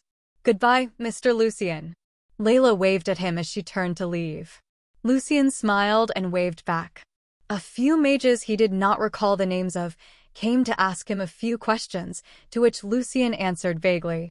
His eyes never quite left Ian, the young mage, throughout the whole time.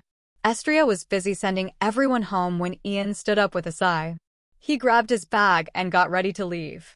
It was then that Lucien excused himself from the group and made his way to the young mage. Excuse me. Ian, who didn't expect to be stopped, turned around with a puzzled face. His eyes widened in shock as he realized who called him.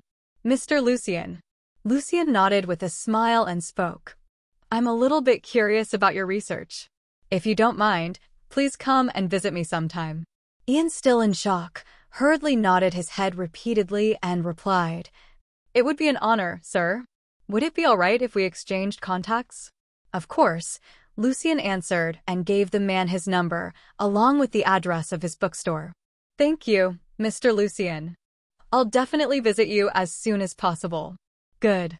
Now if you'll excuse me, I still have some matters to discuss with Estria. Why yes, Please take care. Ian responded excitedly with a bow. The few mages that stayed behind watched the entire ordeal in confusion and began to whisper amongst themselves. Tisk, he's going to end up wasting the high mage's time as well. Mr. Lucien is too nice. Another mage sighed in reply. Lucien didn't care about their opinion. He instead made his way to the window on the other side of the floor. He watched the various mages slowly take their leave in groups of two and three, with a few minutes in between each exit. After the final group left, Estria, who was the organizer of the meeting, came back. She glanced at Lucien with a sweet smile. Her hazel eyes seemed to shine as she looked at him. Well then, Mr. Lucien. Please follow me. Lucien shook his head and replied, I thought I told you to call me Lucien. You did. Estria answered with feigned ignorance. She then led him to her bedroom, which was surprisingly the same as last time. So the whole house changes, except for the master bedroom? Estria gave him a mysterious smile and replied, Something like that. Hmm. Lucien nodded and settled down on the couch. Tea. I'd like that, thank you. Chapter 28 A Good Night. Estria came back with the tea and placed it on the table before Lucien. He glanced at it and asked, Green tea. Yes, same as last time. I hope you don't mind. Not at all. Besides, anything is bound to taste better with a pleasant company. Lucien answered with a smile. Estria covered her mouth and chuckled. That was very cheesy. Lucien shrugged in reply. I'm only saying the truth. I'm sure you are. I suppose you only tell the truth to all the girls you meet. What can I say? I'm an honest man, Lucien answered and took a sip of his tea. The sweetness lingered in his mouth for a few seconds as he savored the taste. The duo continued with their light-hearted flirting for a while before Estria steered the conversation toward the main topic. So, Darius? She asked before gently placing the empty teacup on the table. Yes, not a very pleasant visit. Quite the rude customer, I must say. Lucien joked, to which Estria laughed and shook her head. I wouldn't expect anything less. He's not very famed for his manners. Yes, I figured. You mentioned something about him being on the wanted list of the council. Estria leaned back on the couch and crossed her legs, assuming a more comfortable position before she spoke. That's what I know. I'm not very familiar with the details, but if I'm not mistaken, it had something to do with him attacking a small mountain village up north. Oh! Lucien frowned. He had a group of like-minded vampires that followed him. They preached something about the New World Order and how the fantastical side of the world should be the one to rule publicly. So basically, the opposite of everything that the council is working for? Yes, Darius and his little group were notorious a few years back. They crossed the line, however, with the Mountain Village incident. That's when the council increased the resources spent on hunting them. Eventually, only Darius was left, and not much was heard about him until now, that is. I see. Lucien nodded and refrained from asking more about the Mountain Village attack. He had a feeling he would not like to know the exact details. Still, it is quite strange how he managed to go unnoticed for all these years right under their noses, Estria mumbled out loud. Perhaps he wasn't hiding here in Holden? That's a possibility, but I doubt it. Intrigued, Lucien couldn't help but ask. Oh, why do you think so? Well, Holden is a special place. Even with its relatively small size, the number of mages and magical beings that exist here is far larger than normal. This wasn't always the case, though. Hmm, and what does that have to do with Darius? Simple, it's easier for him to hide here, rather than elsewhere. There are a lot of unknown things lurking beneath Holden's surface. Lucien frowned at her reply, but did not interrupt, and instead waited for her to continue. There's a reason why the Council's branch here doesn't care much about us rogues. They have bigger things to worry about. Some of the older mages say that an ancient devil was sealed under the city, while others believe it's been blessed. Some even think that there's a treasure to be found. And what do you believe? Lucien asked. Estria fell silent for a few seconds as she raised her head and glanced at the ceiling. What do I believe? That's hard to say. I do think that things are not as simple as they seem. They seldom are. Estria then turned her gaze toward Lucien. Her sharp hazel eyes seemed to be able to look right through him. The density of mana in Holden has also been steadily increasing for the past couple of decades. So who knows? Perhaps there really is a treasure waiting to be found, Lucien tried to maintain an unconcerned expression on his face. He shrugged and replied, Maybe. Inwardly, however, his mind was in turmoil. Lucien did not know why he instantly thought of that terrifying entity in the astral plane when Estria talked about an ancient devil being sealed below the city. Trying not to sound too ignorant, Lucien asked carefully, When exactly did you say the mana density started to grow? Shaking her head, Estria answered, I'm not sure. I only heard about it from my father, bless his soul. Something about it changed 20-something years ago that made the mana grow. Most of the mages don't care much for that, calling it a happy side effect. Still, the question remains, a side effect of what? Lucien nodded his head to indicate his understanding. Inside, though his heart skipped a beat. He didn't know if he was reading too much into it, but his grandpa came to Holden 23 years ago to be exact. The coincidences just seemed to continue. The increase in mana density when he came, the mysterious entity sealed underneath the astral plane, and then there was the book he left him in the center of it all. Just what did you hide from me, Grandpa? Are you all right? Estria's voice broke him from his chain of thoughts. Ah, uh, yes. I just have a lot on my mind. Lucien responded with a smile. Well, it is getting late. Taking the hint, Lucien stood up to take his leave. Indeed, I'll be on my way then. Please, let me send you off again, Estria spoke. I'm not sure I'll find any cabs at this hour, so I'll be grateful if you do. Oh, it's my pleasure. Estria then led Lucien to the teleportation room and motioned for him to get inside. He instead turned to face her. Lucien was a little bit taller than the mature lady, forcing her to slightly raise her head to look at him. I forgot to ask, I still need to use your training ground if that's all right. No problem. I'll be a bit busy tomorrow, so I won't be here, but the day after tomorrow should be all right. Nodding, Lucien thanked her and added, Well? Confused, Estria tilted her head in confusion. Well, what? Where's my kiss goodbye? He asked with a mischievous grin. Estria rolled her eyes and chuckled. You're going to need to make some more effort than that, Mr. Lucien. She said while sarcastically adding the Mr. part. Still, Estria moved closer to him and gently cupped his face between her hands. She closed her eyes and angled her face to his. Lucien met her halfway through until their lips locked. The kiss was small, gentle, and very meaningful. Before it could escalate to anything further, Estria quickly broke away and pushed Lucien to the middle of the teleportation circle. A faint blush was visible on her face as she spoke. Goodbye, Mr. Lucien. And with those final words, Lucien disappeared only to find himself standing next to his bookstore door. His lips curved upwards into a wide grin as he fumbled for his keys. The sweet smell of her perfume still lingered in his nose as his hand subconsciously reached out for the light switch to his right. Tonight is a good night. Chapter 29 Acting the Part. The next day was spent as usual. A few regular customers dropped by, with a couple of new ones who stumbled upon the bookstore by chance. Slowly, but surely, Lucien's old bookstore was gaining traffic.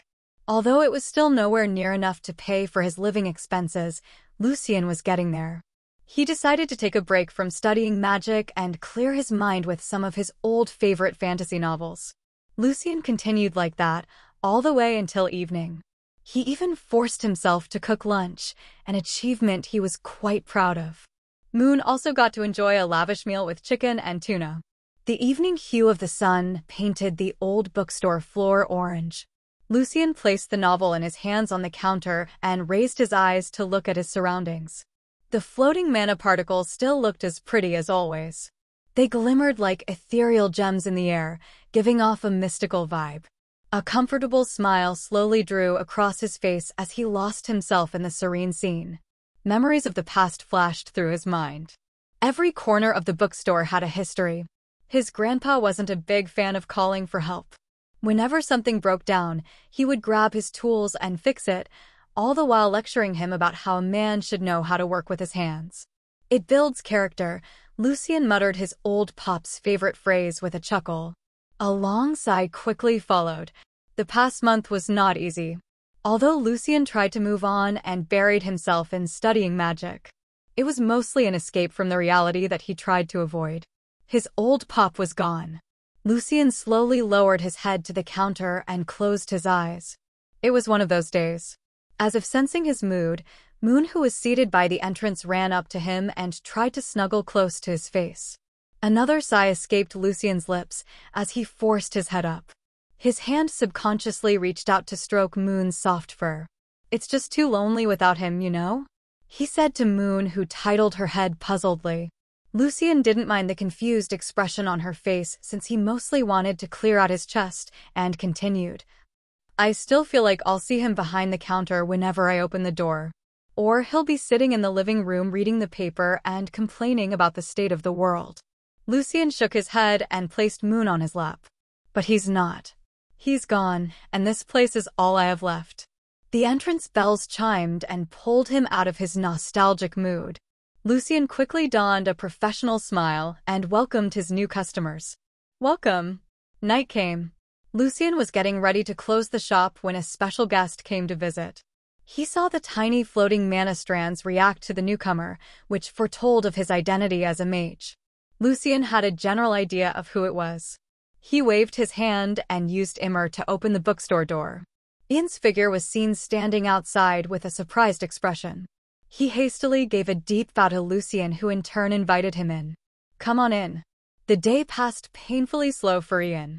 Ever since he got the invitation to visit the mysterious High Mage yesterday, his mind was not able to calm down. Ian kept thinking of various possibilities and dangers he could face, yet his curiosity won over. He didn't care, as long as he found his answers. Everyone called him crazy, but he knew that the strange language was magical. And if proving that meant heading into the devil's jaw, then that's exactly what he will do. It took Ian the entire day mostly mentally preparing himself. All of that, however, proved to be useless once he found himself standing before the old bookstore. His heart thumped loudly in his chest. He quickly took a few deep breaths and prepared himself when the door suddenly opened. Ian froze for a second before he quickly bowed. The mysterious mage spoke in an inviting tone. Come on in. The second Ian took his first step inside the bookstore, he felt an unknown force hindering his ability to use mana. It was as if a giant mountain was bearing down on his back. It felt suffocating almost. Ian quickly released his control over the mana, which alleviated the feeling slightly, making it a bit more bearable. He slowly walked inside, the door closed behind him. Ian's eyes curiously glanced at the bookshelves to his left and right as he made his way toward the counter. It looks like a normal bookstore, but I can't be fooled. Just that oppressive aura is proof enough that it's anything but normal. Please sit down. The mysterious mage waved his hand again, dragging a small chair from near one of the shelves behind Ian. Thank you. Ian, was it? The enigmatic mage asked, to which he hurriedly nodded. Yes, it's a pleasure to officially meet you, Sir Wood. Oh, please. Lucien is fine. Ian hesitated before he ultimately answered with a nod. The mysterious mage seemed pleased with his response as his lips curved slightly upwards into a small smile. Eh about the paper. Ian was almost unable to contain his excitement. He stuttered as he spoke. Lucien chuckled in reply and answered. Calm down. Isn't a mage supposed to keep his calm at all times? Embarrassed, Ian hurriedly lowered his head in shame. I'm sorry. I let my curiosity get the best of me. Lucien waved his hand dismissively and continued. It's all right, I don't mind. If anything, your dedication to unraveling the unknown is commendable. Ian's eyes lit up at the sudden praise. Everyone mocked him for not following the already paved way of magic. They ridiculed him saying he was just wasting his time and that he would never find anything, yet the mysterious mage in front of him seemed to think otherwise. His heart felt warm as he hurriedly lowered his head to express his gratitude. It may have been a simple praise, but to Ian, it meant the world. Thank you. Lucien smiled in satisfaction and added, While it's good striving for the unknown, one must not let his emotions cloud his judgment. A mage must always remain rational. Ian quickly nodded and replied, Yes, thank you for your teachings. I think that should be enough to build an image of a mysterious mage in his eyes. Lucien inwardly mumbled. He had no intentions of clearing the misunderstanding regarding his identity. For now, that acted as a shield almost against all of the big factions. That was something Lucien did not want to lose. And so, the first step in maintaining his mysterious identity was to act the part. Something Lucien was trying to do with Ian. Now, though, how do I handle the situation with the spell? He contemplated inwardly. Chapter 30 An Old Spell. Would you like to drink something? Tea or perhaps coffee? Tea would be lovely, thank you, Ian answered with a smile. Lucien nodded and was about to stand up when a sudden breeze made him halt. His eyes widened ever so slightly as a hand as pale as a corpse appeared out of thin air. The hand placed an empty plate before him and Ian before it disappeared once again. The young mage was so shocked he almost tumbled to the floor, yet he quickly tried to maintain his calm once he saw that the high mage was not alarmed.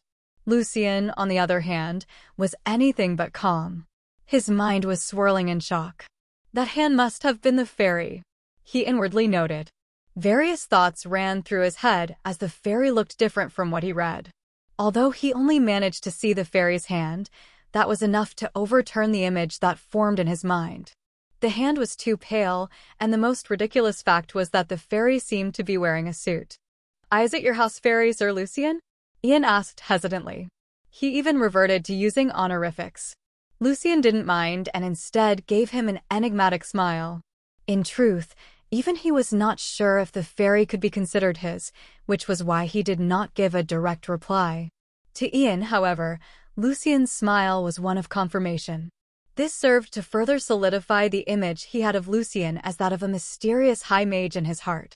A few seconds later, the fairy reappeared. This time the duo were both able to see it clearly as it did not hide, a short pale fairy with long white hair and piercing gray eyes. The little fairy donned a butler suit. In its hands were two cups of tea.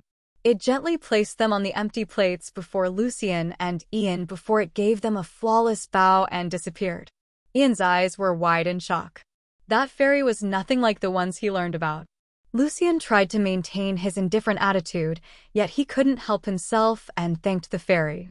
Thank you. Ian, who was still surprised by its appearance, hurriedly thanked the fairy as well. Tea thank you. Lucien glanced at the tea before him and slowly brought it to his mouth. His eyes, on the other hand, were carefully studying Ian, who took a sip from his cup. Great tea. Lucien smiled and tried it himself. The green tea was hot and extremely sweet. It caused him to raise his brows in surprise. Isn't this the tea Estria likes to serve me? Lucien inwardly wondered how the fairy was able to tell that he liked it. His eyes subconsciously glanced in the direction where it disappeared before he turned his attention back to Ian. Now was not the time. The duo engaged in light chatter, with Ian doing most of the talking. He was a surprisingly easygoing young man. Once he felt comfortable enough, Ian began to overshare, something Lucien didn't mind at all and was instead quite grateful for. Thanks to that, Lucien was able to understand a few things that were confusing him. The main one was how mages were classified. According to Ian, one was considered a novice mage of the bronze rank when they managed to sense the presence of mana and learned their first spell to control it. This was Ian's rank. To upgrade to the silver rank, a mage must learn a total of two beginner spells, and to go from silver to the gold rank they must earn a total of three. It was fairly simple for the novice rank, as beginner spells were not considered very hard, nor were they very useful. To upgrade, to the apprentice level, on the other hand, a mage must master one apprentice-level spell for the bronze rank, two for silver, and three for gold. Now the thing with the system was that it was the council and the main families that classified the spells. These two forces held a monopoly over almost all known spells and the methods of learning them. This made it hard for the rogues to grow, which was one of the main reasons a lot of groups held periodic meetings where they shared their learnings. All of the spells, the council and main families approved of were considered orthodox and anything they didn't was unorthodox and deemed evil. It was a simple system where they controlled what was considered normal and what was not. Now, if that was the truth, and if the unorthodox spells were actually dangerous was something Lucien did not know yet. And so, with the pressure of the council and the main families, not many people dared pursue the unorthodox spells fearing the unknown dangers they held. As for the ranks above apprentice, Ian had no idea about them. Mr. Lucien, about this spell. Ian suddenly spoke as he brought out the old paper from his bag and gently placed it on the counter. Lucien carefully used Immer to bring the paper closer to him. A frown quickly made its way across his face as he asked, Where did you find this? Ian lowered his gaze and scratched the back of his head before he hesitantly replied. I bought it from the Mage Market down in Bronx Street. Mage Market? Lucien subconsciously asked, to which Ian answered. Ah, uh, yes. I forgot that you just came to Holden not long ago. Below Bronx Street is where the Mage Market is situated. If you'd like, I can take you there. Sure, I'll let you know when I'm free. Ian happily nodded before he once again motioned at the yellowish paper. W as I actually scammed Mr. Lucien. Lucien hesitated for a second. A part of him wanted to lie to keep the spell for himself. The magical book was the last and most important thing his grandfather left him. Lucien was sure that the spell on that paper was somewhat related to it. Yet one look at the poor young man seated across from him made him sigh inwardly. The first words he stumbled across when he found the magical book flashed through his mind. Be aware, be good. I believe it is indeed an old spell, though I myself am not sure what type of spell it is exactly. Lucien decided to answer honestly. Ian's eyes lit up at the revelation. I was right. A small smile drew across Lucien's face as he nodded. Yes, but I would very careful if I was you. Ian hastily nodded in understanding. Yes, if the council was to get wind of this, I'm not sure if they would simply remain idle. Lucien nodded before adding, which is why it's best if you keep the knowledge of this being an ancient spell hidden. Ian frowned for a second his eyes darted between the old yellowish paper and Lucien's face for a few seconds before he hesitantly asked, Can I ask you, Mr. Lucien, to help me keep it safe? Ah. Chapter 31 The Naive Mage Surprised at the sudden request, Lucien couldn't help but blurt out. Ah. Ian scratched his head in embarrassment before he replied, now that I am sure of the value of the paper, I'm afraid I don't have the capabilities to protect it and protect myself from the harm it may bring. Lucien mentally retorted, Weren't you going about in the meetings, saying how it must be an ancient spell? Now that it's confirmed you throw it at me. Lucien was very confused by Ian's change in attitude. I am ashamed to admit that I don't have any close friends, not to mention mages that I could confide in the secret. Although there's nothing I'd love more than to study that spell, I'm afraid my current level is too lacking for that. So, Mr. Lucien, please hold on to it for me. Ian shamelessly asked with his head bowed and continued. With Mr. Lucien's level, I'm sure that spells like these are not that rare to you. But for me, it represents a shining beacon of hope. Frowning Lucien stared at the young, but very naive mage and spoke. Ian, although we've seen each other a few times in the past hermit meetings, we were still practically strangers. What you are doing now is entrusting me, someone, you barely know with your shining beacon of hope. Don't you think that's quite naive of you? Although Lucien wanted to keep the spell, he still felt the need to teach this young mage a lesson. He still didn't know what sort of society the magic world was, but Lucien doubted it was a place for the gullible and trusting. Then again, Lucien found himself growing fond of the young mage. In just the past couple of hours they've been talking, he enjoyed his company. His innocent way of thinking and his oversharing made Lucien feel almost like an older brother. I know it sounds strange, but I believe this is my best bet. Although I can keep the paper as I've been doing before, I do not want to risk it now that I know of its value. Besides, I trust you, Mr. Lucien. A chuckle escaped Lucien's lips as he shook his head. Again, you're too trusting. Just because we've talked for a little bit, shared some tea, and you already trust me. Embarrassed, Ian scratched the back of his head while Lucien continued with his lecture. As I said, as a mage, you should always be rational. Well, it's good to follow your emotions on certain matters, but when it comes to things like this, Lucien paused and motioned for the floating paper before he continued. It's best to be smart about it. I understand. Thank you for your teachings, Mr. Lucien. And stop calling me Mr. Just Lucien is fine. A small smile drew across Ian's face as he nodded in understanding. Then, Lucien. About the spell, Lucien rolled his eyes and let out a sigh before he answered. I'll hold on to it for you this time. Thank you. Ian replied with a beaming smile. Why is this kid so happy? If anything, it's you who is doing me a favor. Lucien sighed inwardly. Still, he couldn't help but get infected by Ian's cheerful mood as a smile subconsciously stretched across his face. Well, it's getting late and I should probably head back home, Ian said and suddenly stood up. Lucien nodded and walked him to the entrance. Be careful on your way back.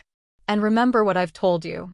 Yes, a mage must always be rational. Lucien chuckled and sent the young mage away. With Ian gone, he quickly closed the bookstore for the day as it was already quite late. His eyes subconsciously glanced in the direction where the fairy had appeared earlier. The two cups of tea, along with the plates, were already cleared from the counter. How convenient.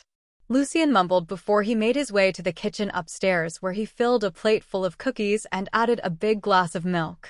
Moon was lazing around in the living room and glanced at him for a second before she turned away and continued ignoring him. Once downstairs, Lucien placed the plate of cookies and the glass of milk on the counter. He then turned his gaze around the bookstore in an attempt to spot the fairy, yet to no avail. As always, thank you for your hard work. I hope you enjoy the cookies. Lucien spoke and grabbed the old yellowish paper that Ian left before he retired upstairs for the night. As soon as he left, a small figure wearing a butler suit appeared before the counter. It glanced at the cookies and milk before it turned its head in the direction of the stairs. A faint, almost unnoticeable smile drew across its face. Upstairs, Lucien got ready for bed. He first changed out of his clothes and donned his pajamas. After brushing his teeth, Lucien walked back to his room. He first moved the window blinds ever so slightly as he scanned the street below and made sure nothing seemed out of the ordinary. After that, Lucien grabbed the old spell that Ian left and used Immer to bring the magical book next to him. He first studied the flow of mana, which was surprisingly more complicated than he expected. Lucien spent a few minutes trying to understand it, but something felt wrong. It was almost as if a part of the spell was missing. This made it significantly harder to learn or master it. A frown overtook his face as he realized that with just the paper, it would be nigh impossible to learn the spell. Letting out a sigh, Lucien opened the mysterious book his grandpa left him and gently placed the old spell inside. No matter, I'll start looking for it tomorrow. Maybe I'll even find the full version inside, Lucien mumbled to himself with a sigh. It was already too late, and he was feeling quite sleepy, so he carefully placed the magical book next to him on one side of the bed before he snuggled under the blankets.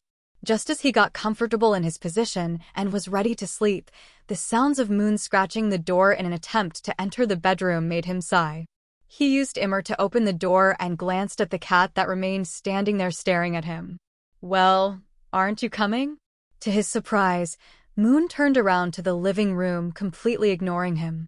Huh. With another sigh, Lucien shook his head and turned off the lights. Chapter 32 The Trace The next morning, Lucien went about his business as usual. He didn't forget to thank the invisible fairy for its hard work as it even managed to clean and iron his laundry. Something he was still amazed about. Lucien didn't consider himself to be a heavy sleeper, but even so, he failed to catch a glimpse of the fairy. Still, considering it refused to show itself before him, Lucien decided to leave the matter to rest for now. After eating breakfast, Lucien changed his clothes to leave the bookstore a bit earlier in the morning. He was running low on groceries, and so a trip to the local supermarket was required. The weather outside looked cloudy and quite gloomy, so Lucien donned his heavy coat and top hat to cover his head. Before leaving, he turned to glance at Moon who was lazing on top of the counter and spoke. Behave. I'll be right back and I'll bring you back some snacks. Moon's ears perked up at the mention of snacks, but she still tried to maintain her indifferent attitude. Lucien chuckled at that and locked the door behind him. The sudden cold breeze made him shiver. Damn it, why is it so cold? He grumbled and quickly made his way to the supermarket. Inside a certain forest was an old rundown mansion. The old weathered manor looked to be abandoned from the outside. After so much time, the home had discovered the company of weeds, trees, and flora. The interior, however, was well maintained. Long red carpets were placed along the hallways, with expensive-looking furniture decorating the entire place. Still, even with the well-designed interior, a solemn, heavy mood seemed to be looming in the old manor. Two pale, lanky figures could be seen hurrying down one of the many hallways. The creatures lacked a head, and their facial features were instead on their chest. They wore no clothing and had no distinctive private parts. The figures quickly stopped when they reached an open living room with a grand piano in the middle.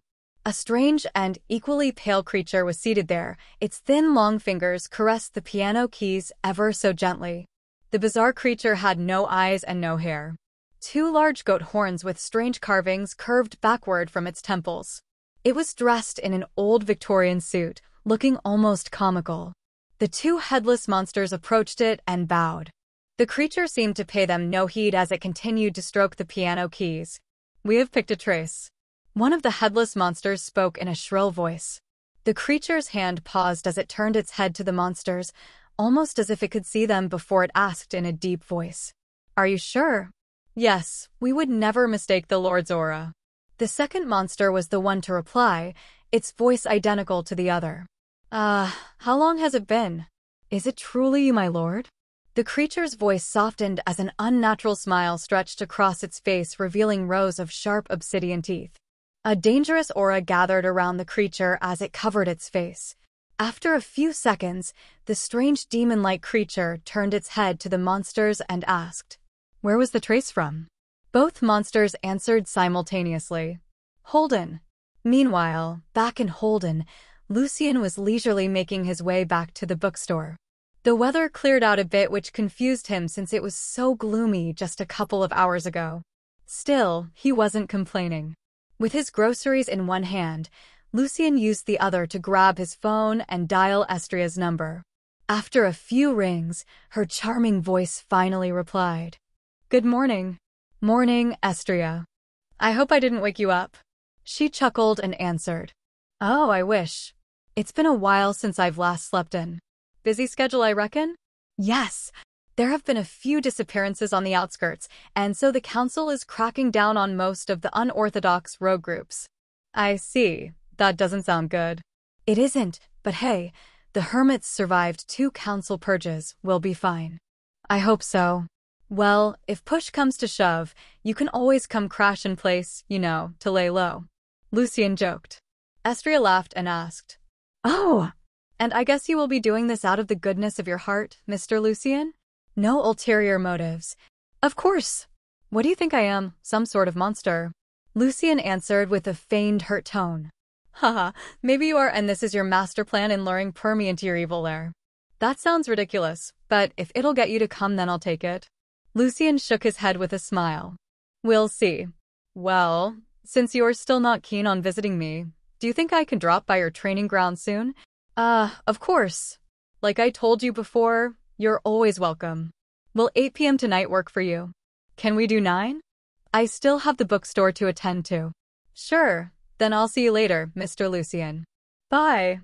Back in the bookstore, Lucien moved directly to the kitchen and placed his groceries down on the small kitchen table, and was about to start putting everything in its place when a pack of cookies slipped and fell under the table.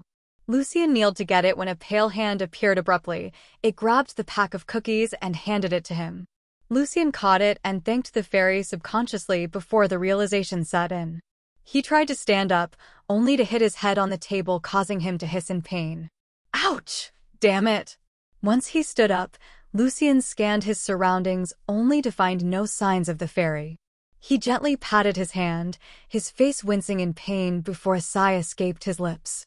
This is not good for my heart. Lucien inwardly mumbled. He was about to resume setting his groceries only to pause in shock. They were not there anymore. His eyes darted about, and he quickly moved to open the fridge door. There most of the groceries were neatly placed inside. Lucien then moved to open another cabinet where everything was already settled. But how? He couldn't help but ask. His eyes glanced at the pack of cookies in his hands before he sighed once again. Okay then, I guess more cookies for you. Chapter 33 Lightning Later that night, Lucien closed the bookstore and made his way to Estria's place.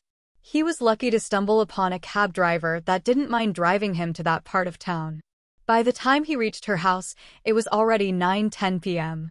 Lucien thanked the driver and handed him his fare before he stepped out of the car and adjusted his clothes. After making sure everything was all right, Lucien straightened his back almost subconsciously and walked to the door. He didn't need to wait long before Estria opened it and greeted him with a smile and a kiss on the cheek. Lucien grinned mischievously and asked, I thought we moved on from the cheek kisses? Estria, who wore a light blue winter dress, lightly slapped his hand and answered, Oh, I guess that means no more kisses for you. She smiled and closed the door behind them. Lucien shook his head and replied, No, that's not what I meant. He then held her by one hand, the other gently caressed her face as he planted a soft kiss on her lips. Estria didn't move away and returned his kiss before she asked with a teasing smile. And who told you you can do that? Lucien raised his brows, his lips lightly curved upwards, and replied, I don't see you moving away, Miss Estria. Estria rolled her eyes, her smile not quite leaving her face. Well, come along then, Mr. Lucien. As much as I'd love to keep you company, I'm afraid I still have a few matters to attend to. That's a bummer. Indeed, it is. Then again, if you wanted to see me, you could have taken me out on that date you promised, but forgot about. Estria casually added, causing Lucien to shift his gaze away awkwardly. Ah, uh, I didn't forget. I'm just trying to plan something special. Can't have anything less for a special lady such as yourself. His attempt at salvaging the situation seemed to work slightly as Estria rolled her eyes once again with a faint smile before she replied, Sure, Something special you say? I'll look forward to it then. The duo continued with their light-hearted conversation as Estria led Lucien to the underground training area. After going down a long flight of stairs, the duo finally reached a large open area with an elevated arena right in the middle. To the sides, a few old-school weapons were placed. Swords, axes, maces, and spears. Lucien even spotted a few bows. He turned to glance at Estria and asked, I don't recall those being there last time. Estria shook her head and answered with a shrug. They weren't. I don't pick the changes, the house spirit does. The house spirit, as Lucien came to understand, was what Estria called the entity that controlled the house. It was different than a house fairy, as a house spirit was in a sense the house itself, and not an independent living creature. Well, it does have an interesting case, that's for sure. Yes, tell me about it. At least it doesn't change my room, so that's good. Estria paused for a second as she scanned the training area before she added, Well, I guess I'll just leave you to it. Lucien nodded. Thank you, Estria. Don't mention it. She waved him off and then made her way upstairs. With her gone, Lucien first made his way to the weapons area. His curiosity got the best of him as he grabbed a long sword, only to be surprised by its heavy weight. He used both hands to hold the blade and carefully studied the exquisitely made runes on its hilt. Pretty, Lucien remarked before he gently placed the sword back in its place. He then moved to study the axes and then the maces, and then the spears, before finally the bows. All the weapons had a few things in common. Firstly, their extraordinary workmanship and the runes on their hilts. None of them, however, felt quite right in his hand so Lucien ended up putting them all back in their place. He quickly glanced at the stairs where Estria disappeared off before he moved to the middle of the arena and sat down on the ground. Lucien then carefully removed the bracelet from his hand and held it in his palms. He took a deep breath, closed his eyes, and steadied his breathing. The mana strands were almost visible to him even with his eyes closed.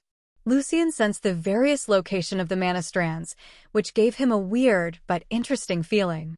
Lucien first started by storing two Tajight, since the fireball spell proved itself to be quite useful once. Then he cast one Tadassa spell on the spell, which effectively stored it as well. Lucien still needed some time to cast the healing spell, so having the advantage of an instantaneous health spell in the middle of a battle was sure to be useful. This left him with two spell slots, both of which Lucien used to store Yuzum, the Lightning Bolt spell. This one was his most dangerous and unstable spell, but it was also his trump card. Its downside, however, was the long chant time and the complicated hand gestures. As he used Yuzum, the air in the underground training area turned heavy. Strands of Lucien's hair suddenly stood up as his eyes turned serious. The moment the spell was cast, he instantly closed his eyes as a bright flash of lightning flickered in the arena, momentarily dyeing the entire place in bright white light. An ear-deafening thunderclap quickly followed, Yet Lucien as the caster was still somewhat protected so it did not affect him as much. He felt as if the entire underground area was shaking. Lucien then hastily glanced at his bracelet, only to pause in shock. A small crack was now clearly visible on its surface. It's damaged. He mumbled with a dumbfounded expression. Lucien was sure that if he was to add another Yuzum spell, the bracelet would simply break. What the F asterisk CK? Isn't this supposed to be a treasure? Did he scam me? In his surprise, Lucien could not help but curse as he stared at the now cracked golden bracelet. At least it's not that obvious. He muttered in an attempt to console himself. With a sigh, Lucien slowly stood up and dusted himself before he made his way upstairs. His initial excitement turned into disappointment. Chapter 34 Guests after finishing what he had initially come for, and with nothing much to do, Lucien decided to look for Estria. He made his way upstairs while humming a cheerful tone in an attempt to clear his mind from the disappointment that the bracelet gave him. His eyes would occasionally glance down at the small crack causing him to resist the urge to sigh. Once Lucien made it to the first floor, he was surprised to find Estria already there waiting for him. She held a stack of papers in her hands with a frown. Seeing that he arrived, she briefly raised her head and asked, Did you forget anything? No, I already finished what I came for, Lucien answered with a shrug. Estria nodded and replied with a chuckle. You are lucky that the basement is soundproof. I don't know what you have been doing there, but whatever it was it certainly shook the whole house. You even got the house spirit complaining. An awkward smile hung on his face as he spoke. Uh, sorry about that. I may have gone a little bit overboard. Estria waved her free hand and continued. No, no, it's fine. I only came down to see you since the house spirit informed me that you've left the basement. She then pointed at the papers in her hands and continued. I'm afraid our little date will have to wait. I'd offer you some tea again, but dash. Taking the hint, Lucien quickly shook his head and replied, That's all right, we'll leave it for next time. I'd like that, Estria answered with a smile. Would you mind sending me off?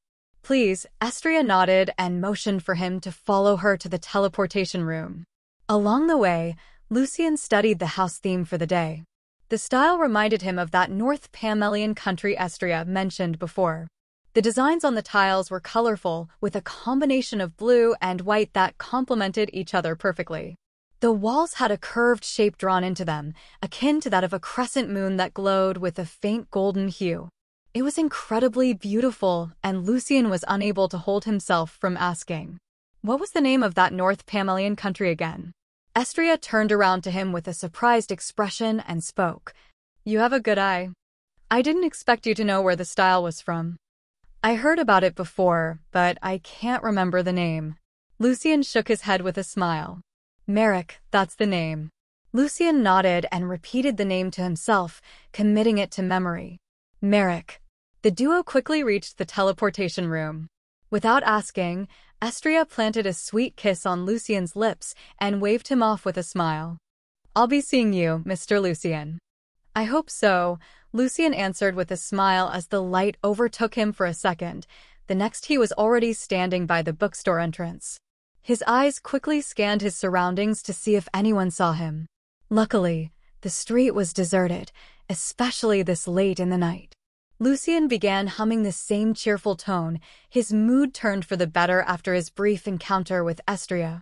He rummaged for his keys in his pockets and opened the door. The light was automatically switched on before he could reach out for the light switch, causing him to quickly turn his gaze to that direction in surprise. He barely managed to make out the vague outline of a pale arm before it disappeared completely. That's not good for my heart, Lucien inwardly sighed. Good evening. He called out to the house fairy, not expecting a reply. Moon was nowhere to be seen, so he assumed she was lazing about upstairs. Lucien took off his coat and made his way upstairs. The light turned off on the first floor once he left.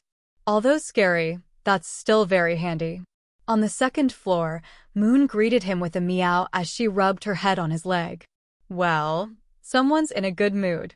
Lucien smiled and scratched her head and back before he opened the door to his bedroom with Immer. Moon quickly followed after him and took her place on the bed. Lucien didn't mind and quickly changed his clothes. He then moved to brush his teeth and came back to slip under the blankets. The magical book floated from under the bed into his hand as Lucien began to review the spells he had learned. After doing that, he spent the next hour trying to find a match for the spell Ian left him, yet to no avail. A yawn escaped his mouth as he grabbed his phone to check the time. It's 10 already. I'll just continue tomorrow. He used Immer to send the book over to the desk by the window and turned off the lights. Moon moved over to snuggle closer to him, which caused his lips to curve upwards. Good night, Moon. Good night, Fairy Butler. At 2 a.m., two headless lanky figures emerged out of the shadows in a dark alley.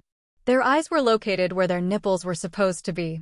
The strange creatures walked out of the alley and glanced at the dark bookstore across the street. It's there. It's there.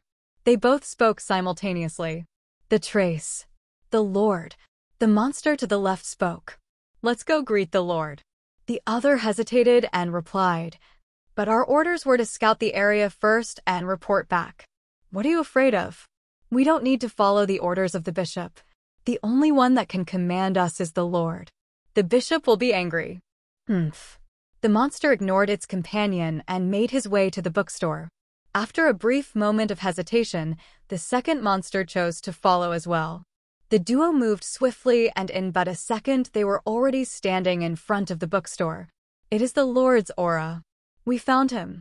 The monsters were unable to control their expression. Their faces morphed into ones full of excitement and devotion. They were about to take a step forward when the bookstore door silently opened, revealing abyssal darkness inside. The two monsters took that as an invitation and quickly walked in. The door closed behind them with a thud. A distance away from the bookstore, two masked figures were standing on top of a rooftop keeping watch. Did you see that? One of the figures suddenly asked. See what? The door, It suddenly opened by itself. Are you sure? Yes. But nothing was there. It only opened for a couple of seconds and then closed. I don't know why, but it gave me goosebumps. Continue monitoring it and see if anything shows up. The second masked individual ordered. Yes, sir. Chapter 35 The Little Butler. Inside the bookstore, two strange headless monsters squeezed in between the shelves. The faces on their chests were morphed into ones full of crazed devotion as they sensed the heavy aura looming inside. They only took a few steps before a short pale fairy, dressed in a butler's suit appeared before them. The monsters paused and glanced at the small fairy in confusion. The Lord, one of them asked. The other quickly replied, No, it's missing the Lord's aura. Kill? Kill. Their expressions quickly turned ferocious as both monsters disappeared from their place and reappeared behind and in front of the fairy respectively. Obsidian sharp claws extended from the monster's fingers as they aimed to maim the butler fairy. Before their attacks could reach it, however, a strange force extended out from the fairy's body paralyzing the monsters in their place. Their claws stopped mere millimeters away from the fairy's face and neck. The small butler's sharp gray eyes seemed to shine momentarily, causing an inconceivable pressure to descend on the monsters. Their bodies planted to the ground with a loud thud, yet surprisingly the noise didn't seem to go far as an invisible shield appeared and surrounded the trio. The fairy snapped its fingers and the two creatures teleported closer to the door. It slowly approached them, causing the monsters to shiver subconsciously. An emotion they had long since forgotten resurfaced. Fear. The fairy paused a step before them, its gray eyes looked especially sharp in the darkness. It opened its mouth and spoke in a gentle voice, akin to that of a gentle summer breeze. The Lord is resting. If you interrupt his sleep, you die. The two monsters dared not rebuke the fairy's words. They simply lay there in silence waiting for it to continue speaking. Did the Lord summon you? The fairy asked in a tone that demanded an answer. One of the monsters shivered and replied, The Bishop Dash. Before he could finish, the small fairy snapped its fingers, causing the monster's arm to be ripped off its body. Dark red blood spurted out, only to be stopped by the fairy as it gathered it all into a floating sphere. The monster tried to scream in pain, only to find its voice gone. I said, Did the Lord summon you? The fairy asked again. This time its cold gaze fell on the second monster. It quickly replied, No, we came looking for the Lord. As soon as he finished, both of his arms were forcefully ripped off its body. The floating sphere of blood grew in size as the fairy gathered every drop. The monster was unable to cry out in pain, either. The Lord didn't summon you, and yet you still came to look for him. Leave one leg behind and disappear from my sight. The fairy ordered. The monster with only one arm left only hesitated for a split second before it decisively tore off one of his legs. The second one used some sort of magic as a dark shadowy blade materialized out of thin air and cut his leg clean off. The two monsters dared not linger any longer. The second their bodies regained strength, the duo teleported out of the bookstore. The fairy then blasted both of their legs in a puff of red blood, which further grew the blood sphere. The sphere began to rotate in midair as the fairy glanced at it with hunger in its eyes. Meow. Moon's sudden call caused the fairy to roll its eyes as it turned to glance at the cat that was sitting on top of the counter. Moon's piercing green eyes locked on the fairy, as lazily licked its paws. The fairy hesitated for a second. It then waved its hand, causing a small part of the sphere to detach and fly over to Moon, who greedily opened her mouth and swallowed it whole. The fairy shook its head and turned to what was left. Its mouth opened unnaturally wide, causing the sphere to fly straight into it. A satisfied expression hung on its face before it disappeared as silence once again reigned in the old bookstore. Outside, the two monsters reappeared in a distant dark alley. Their bodies were visibly paler and their auras weaker, yet surprisingly all of their limbs were intact. One of the monsters asked, Who was that? Too strong, I don't know. The Lord's servant? Maybe. The Lord did not summon us. Are we no longer needed? No longer useful? What to do? The second monster asked. Prove our worth to the Lord. The first monster answered. How? Kill the bugs spying on the Lord. The second monster hesitated before it replied. The bishop will be angry. The first monster harumphed and was about to ignore his companion. The lord might get angry. This caused him to pause as he slowly turned to glance at the second monster with an inquiring look. What do you mean? The lord must surely know they are there, yet he left them unharmed. After a few seconds of silent contemplation, the first monster silently replied, Hmm, let's go back. The next morning, Lucien woke up in a good mood. He took a quick shower, brushed his teeth, and made some breakfast for both himself and Moon. He also did not forget to take the plate of cookies and glass of milk downstairs for the fairy. This time, he didn't wait to see if the fairy will appear and instead left directly for the second floor. After eating his breakfast, he donned a cream-colored suit and made his way downstairs to open the bookstore for business. The glass of milk and plate of cookies had already disappeared, which brought a smile to Lucien's face. The day proceeded smoothly, it was a surprisingly busy one as well. Quite a few customers ended up buying the books, and a few regulars brought back the ones they loaned. I need to restock soon. Lucien inwardly mumbled. He turned his old PC on and was checking through the store emails when the bells chimed making him raise his head. Welcome, uh, Anna. Welcome back. The lively young girl walked in with a smile. The second she did, however, the smile quickly fell off her face as she turned pale. The sudden change surprised Lucien. His eyes were subconsciously drawn to the tiny mana particles that surrounded Anna. He was about to ask when the particles stopped moving and continued floating about aimlessly. Anna, you. The young girl raised her head to glance at him in a mixture of shock and awe. Mr. Lucien, you're a mage? Chapter 36 A New Mage Lucien moved to the door and locked it. He then proceeded to lower the window blinds before he made his way behind the counter. He glanced at Anna, who was seated on a small chair in front of it, and asked, Would you like to drink something? Tea, coffee? Just water, please. Lucien nodded and was about to head upstairs when the butler fairy appeared by the side with two glasses of water. It then gently placed them before the duo and gave a deep bow before it disappeared. Lucien, who started to get used to the fairy's sudden entrances, was not alarmed. Anna, on the other hand, gasped loudly and quickly placed her hand over her mouth. Thank you, said Lucien. Tea, thank you. Anna quickly followed after him. The entire scene made him chuckle inwardly as it was almost the same as when Ian came to visit. What was that, Mr. Lucien? Anna couldn't help but ask with gleaming eyes. Lucien leaned back on his chair and replied with a faint smile. That's a house fairy. A house fairy? She asked again, to which Lucien simply nodded and refrained from elaborating. Anna hesitated for a second before she reached out for the cup of water. After a few seconds, she finally mustered the courage to ask, So you are a mage, right, Mr. Lucien? What do you think? Lucien smiled in reply. I can't believe it! So the oppressive aura in here is from you? Is that why I can't use circulated my mana? She asked. Lucien maintained his enigmatic smile causing Anna to take his silence as that of confirmation. Lucien, however, was just as confused as she was. Oppressive aura? What the hell is that? He inwardly mumbled. Changing the subject, Lucien quickly asked, When did you become a mage? It happened on my trip to the northern mountains. I met a wandering mage who said something about me having the potential to grow to a high mage. At first, I thought he was just a random crazy guy, but then he summoned a giant horned wolf in front of my eyes. Anna explained with glimmering eyes, it seemed like the entire scene had a great impact on her. Some sort of summoning spell?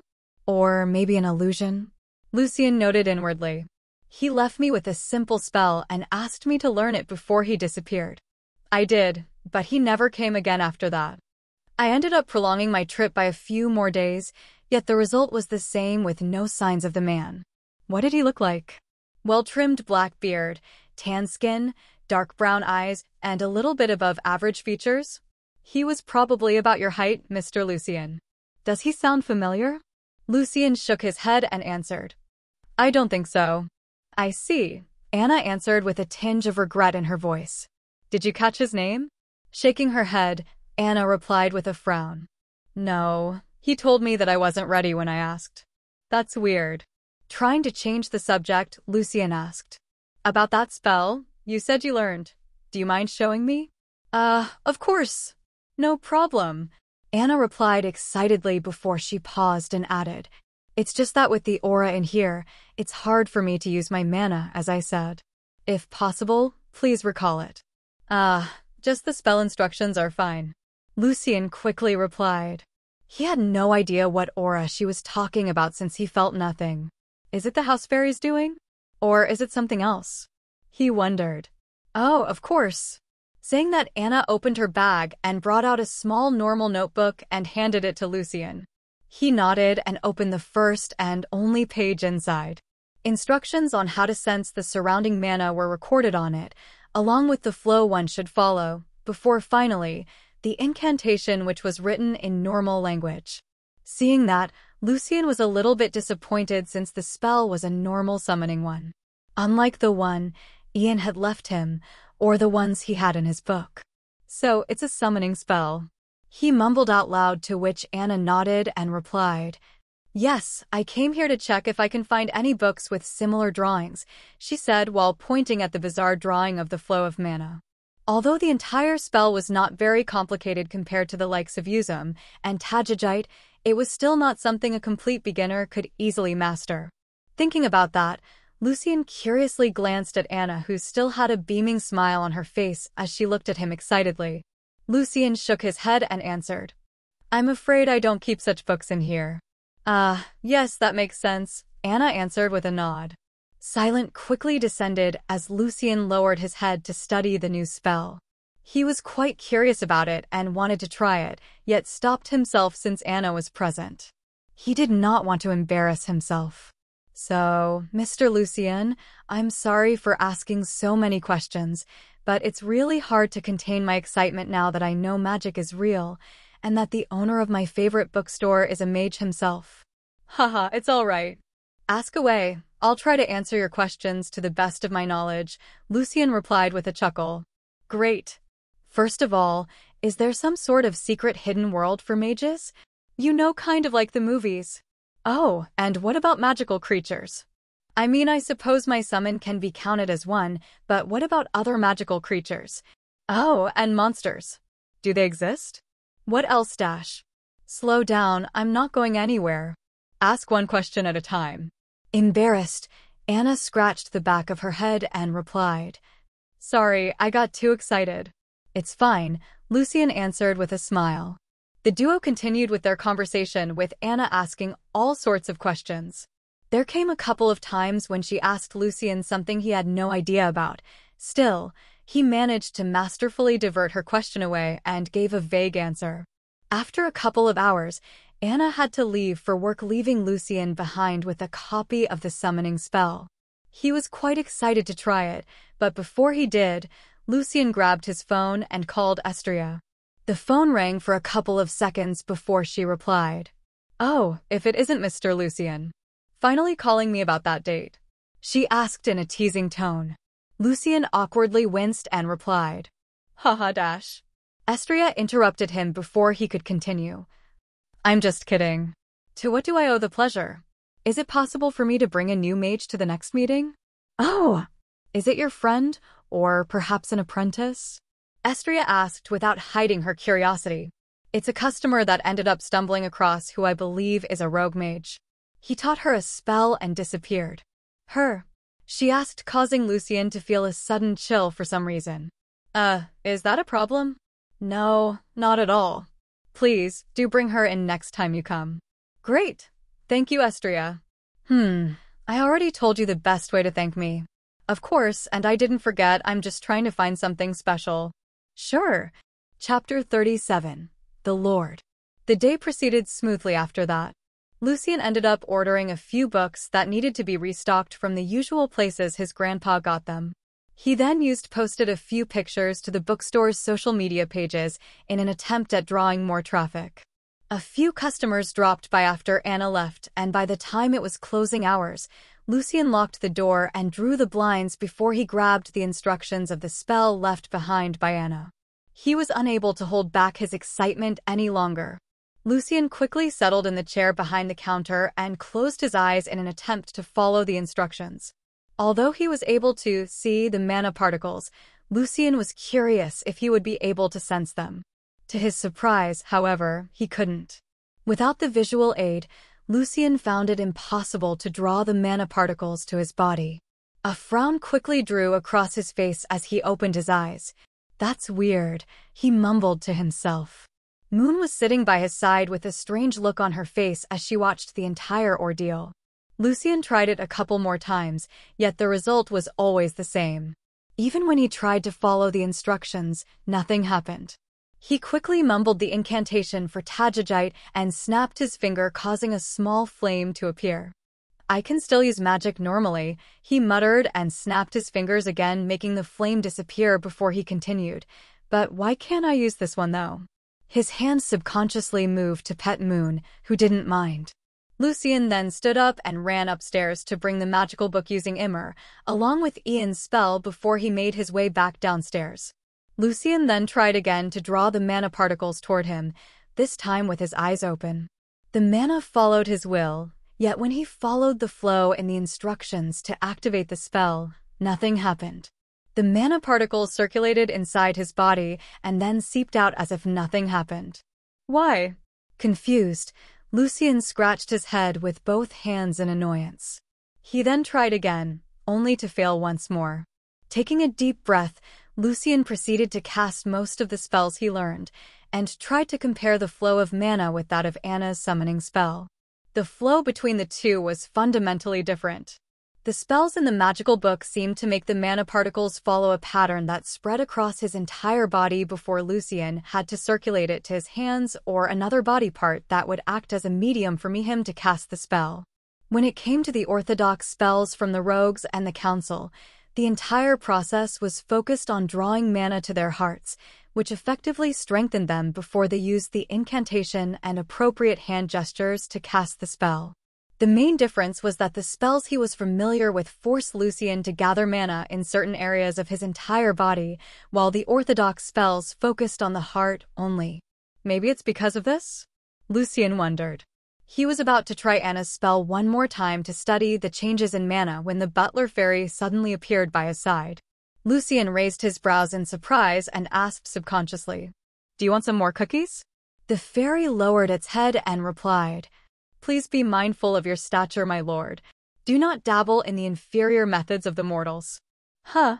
Lucien's eyes widened in shock as the fairy's sweet voice surprised him. Wait, wait, wait. What do you mean inferior methods? And what lord? And mortals? I think you are missing something. The fairy retained its poker face and replied, You are the old lord's successor and last in the family line. So you are the lord. Grandpa? Lucien asked. He already knew that his old pop was not a normal mage, but he never quite understood just how much. The fairy simply nodded and took a step back. Wait, what do you know about Grandpa? And what did mean when you said, mortals? The implications of that is. The butler fairy lowered its head and replied, It is exactly as I said, my lord. You should not lower his stature and use the inferior methods of the lower races. Confused, Lucien answered hesitantly. But I am human as well? The butler fairy slowly raised its head and glanced at Lucien with its sharp gray eyes before it spoke in a slow, sweet tone. Please do not lump yourself in the same category as the mortals, my lord. Lucien fell silent at the butler fairy's reply. He wavered for a few seconds before he asked again. Then what am I? The butler fairy raised its head, its eyes locked with Lucien's, and for a second it looked as if the fairy saw something it shouldn't. It quickly lowered its gaze and answered. I am afraid I don't have the right to answer that, my lord. Huh. What does that mean? Why not? The fairy remained silent with its head lowered. Lucien frowned, his mind still in turmoil as he ordered. You said I'm your lord. Then, in that case, I order you to tell me, what am I? The butler fairy gave him a deep bow and answered, I apologize, but I cannot go against the old lord's order. My grandpa again? He didn't want you to tell me? But why? Lucien lowered his gaze and mumbled. By the time he raised his head, the fairy was already gone. Lucien slumped back on the chair behind the counter, with countless thoughts swirling through his mind. It was not an everyday occurrence where a magical butler fairy shakes your whole worldview and tells you that you are not a human being. Moon jumped over to his lap and meowed, causing him to start scratching her back deep in thought. But I feel... human? It can't be right. Confused, Lucien raised one hand close to his face and studied it. The small knife scar on his palm from when he tried to help his grandpa in the kitchen was still there. Lucien rubbed it with his thumb deep in thought as he tried to recall scenes from his past. He couldn't remember a single incident dent that could prove that he was not human, except for when he used that first spell and saw that terrifying creature in the abyss. A shiver ran down his spine as Lucien quickly shook his head and tried not to think about it. Just why did you not tell me anything, Grandpa? Chapter 38 Uninvited Guest The night darkened as the hours passed. Heavy rain spattered on the window outside the bookstore. The water on the road almost reached the door. The lights inside the bookstore were still on and emitted a warm light in the darkness. Mixed with the wooden shelves and books, it gave off a cozy atmosphere. Lucien, who was seated behind the counter, glanced at the cup of coffee placed in front of him. A pleasant aroma exuded from it. A sigh escaped his lips as he grabbed the cup and pulled a small chair using Immer next to the window before he sat down. His gaze was distant as he watched the night outside. The glass reflected his thin figure and messy dark hair. As the heat from the coffee subsided, he took a sip. The taste was as great as always. The fairy sure knew how to make coffee. The aroma lingered in his nose as he lowered the cup. Another sigh escaped his mouth. It was already past the time he usually went to bed, but Lucien was not in the mood to sleep yet. The fairy refused to show itself no matter how many times he called or ordered it. It only briefly appeared before him to place the cup of coffee on the counter and disappeared as fast as it came. Lucien's mind was still in turmoil as he took another sip. He didn't know how to feel, or what to feel for that matter. He didn't know if there was any truth to what the butler fairy told him either. Not a human. Shaking his head, Lucien leaned back on the shelf behind him and glanced at the ceiling. The sound of crystal raindrops falling was very soothing. He always loved the rain. Some people found such weather to be depressing, but he preferred it over bright sunny days. It was cozy. Closing his eyes, Lucien tightened his grip on the cup of coffee, the heat warming his cold hands. He stayed like that for a few seconds, unmoving when a sudden flash of lightning illuminated the bookstore. He opened his eyes just in time as the thunder rumbled in the sky. The rain intensified outside with no people in sight. Using Immer, Lucien turned off the light, plunging the bookstore into darkness. Another flash of lightning brightened the world, followed by the boom of thunder. Lucien, however, remained unmoving. A part of him felt betrayed.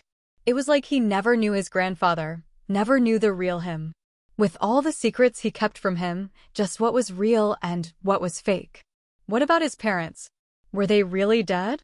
Then there was the question of why he never told him anything. Why did he wait until he died to leave that book behind? What's the point? What do you want me to do, Grandpa?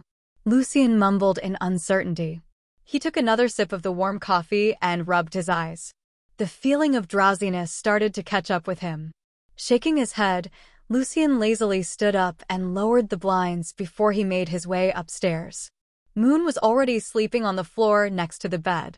Lucien then quickly changed to his pajamas and brushed his teeth before he made his way to the bed.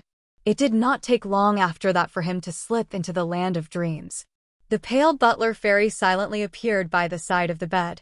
It grabbed the empty cup of coffee Lucien placed by his nightstand and gave him a deep bow. Sweet dreams, my lord. It then silently disappeared. On another side of the city, inside an old abandoned house, a strange pale creature was facing two headless monsters. The creature's long, thin fingers caressed its bald head and gently scratched its two large goat horns before it adjusted the old Victorian suit it wore. I believe I told you to just scout the area, it said in a grave tone. Although the creature had no eyes, the headless monsters dared not look at it directly. They lowered themselves, and the first one replied. We couldn't help ourselves. The second monster continued after him. The Lord's aura was calling us. The horned monster took a deep breath and asked, And yet you say you didn't even see the Lord. Both of the headless monsters answered at the same time. No. This small guard, you say? How strong is it exactly? The creature asked again as it moved closer to the monsters. Its long fingers caressed their regrown limbs with its sharp nails drawing blood. The monsters did not react and instead remained steady.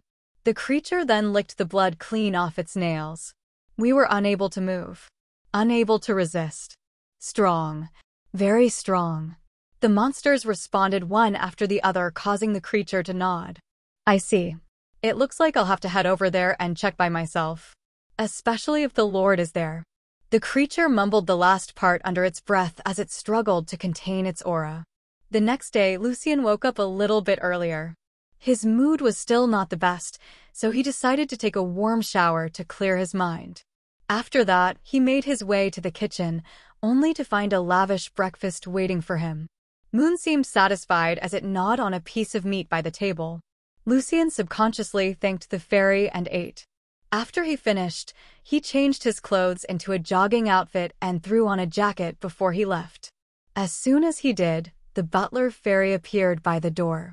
It glanced out of the window at Lucien's departing figure before a sigh escaped its mouth. I hope you were right about this, my lord. Saying that the fairy turned around and glanced at Moon who was sitting on top of the counter. We will be having some uninvited guests soon. Go and keep an eye on the lord. Moon meowed and licked its paw with no intention of going. The fairy shook its head and continued. You know I'm the one making your food, right? Hearing the word food, Moon's eyes lit up as it quickly hopped off the counter and ran out. The fairy snapped its finger causing the door to open, sending Moon off. It then snapped its fingers again, closing it. Now, let's see who dares to disrespect the Lord's orders. Chapter 39 The Call Walking through the streets of Holden, Lucien's mind was full of various thoughts. He barely registered where his feet were taking him. He wasn't a big fan of walking or running in the mornings, but he had to do something to clear his mind. Few people walked the streets this early in the morning, only the occasional car passing by. Lucien began to subconsciously hum a happy tune. The floating mana danced about around him in a captivating display of soft lights. Lucien continued until he reached a corner coffee shop. He stopped before it and hesitated for a couple of seconds before he ultimately made his way inside to have some breakfast. Outside of the coffee shop, Moon was sitting on top of a bench across the street. She licked her paws and kept her gaze on Lucien. Back at the bookstore, the bishop monster teleported abruptly outside of the door. It turns out net its head around as if it could see before it turned to face the door. A couple of passers-by passed by the monster, but did not seem to notice his presence at all. Once the street cleared out, the door to the bookstore silently opened. A wide smile extended across the bishop monster's face as he made his way inside. The door closed behind him. Unnatural darkness swirled within the bookstore, making it impossible to make out the shapes of anything.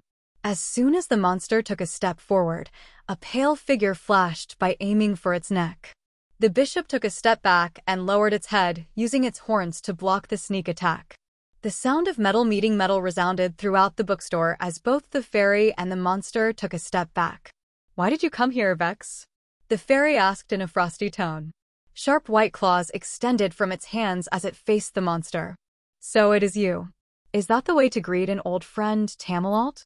Tamalalt raised her claws and replied, I'll only ask you once, why did you come? To see the Lord, of course. Vex opened his hands, his mouth curved upwards into a wide smile as his terrifying aura surged. The Lord's aura is all over the place. I can see you trying to manipulate it against me, but it seems like you are forgetting something. Vex's smile dropped as his figure blurred. He made his move aiming for Tamalalt's head with his horns. The fairy used her claws to block the strike, but the momentum of the attack sent her back a few steps. I was born from tallest. The Lord fed me with his aura. Vex spoke in a loud fanatical tone. He is the only one that can suppress me with his aura alone. A sigh escaped from Tamalalt's lips as she shook her head. You were ordered to stay away, yet here you are. You disobeyed a direct order, and for that, I'll have your head. Humph, you're free to try. The duo turned into a blur, both using their bodies to attack each other, almost as if they were in some sort of agreement. Their clash resounded throughout the darkness, but it was not enough to dispel it. The shockwaves from their battle were nothing but tiny ripples in the endless darkness. The fight raged on as drops of blood fell to the ground, dyeing it red. Both figures stepped back and faced each other. The fairy's butler suit was ruined by a long, nasty gash to her side. The monster bishop was no better. It held the side of its face with one hand in an attempt to stop the bleeding. You know that we can't kill each other, Tamalalt. What's the point?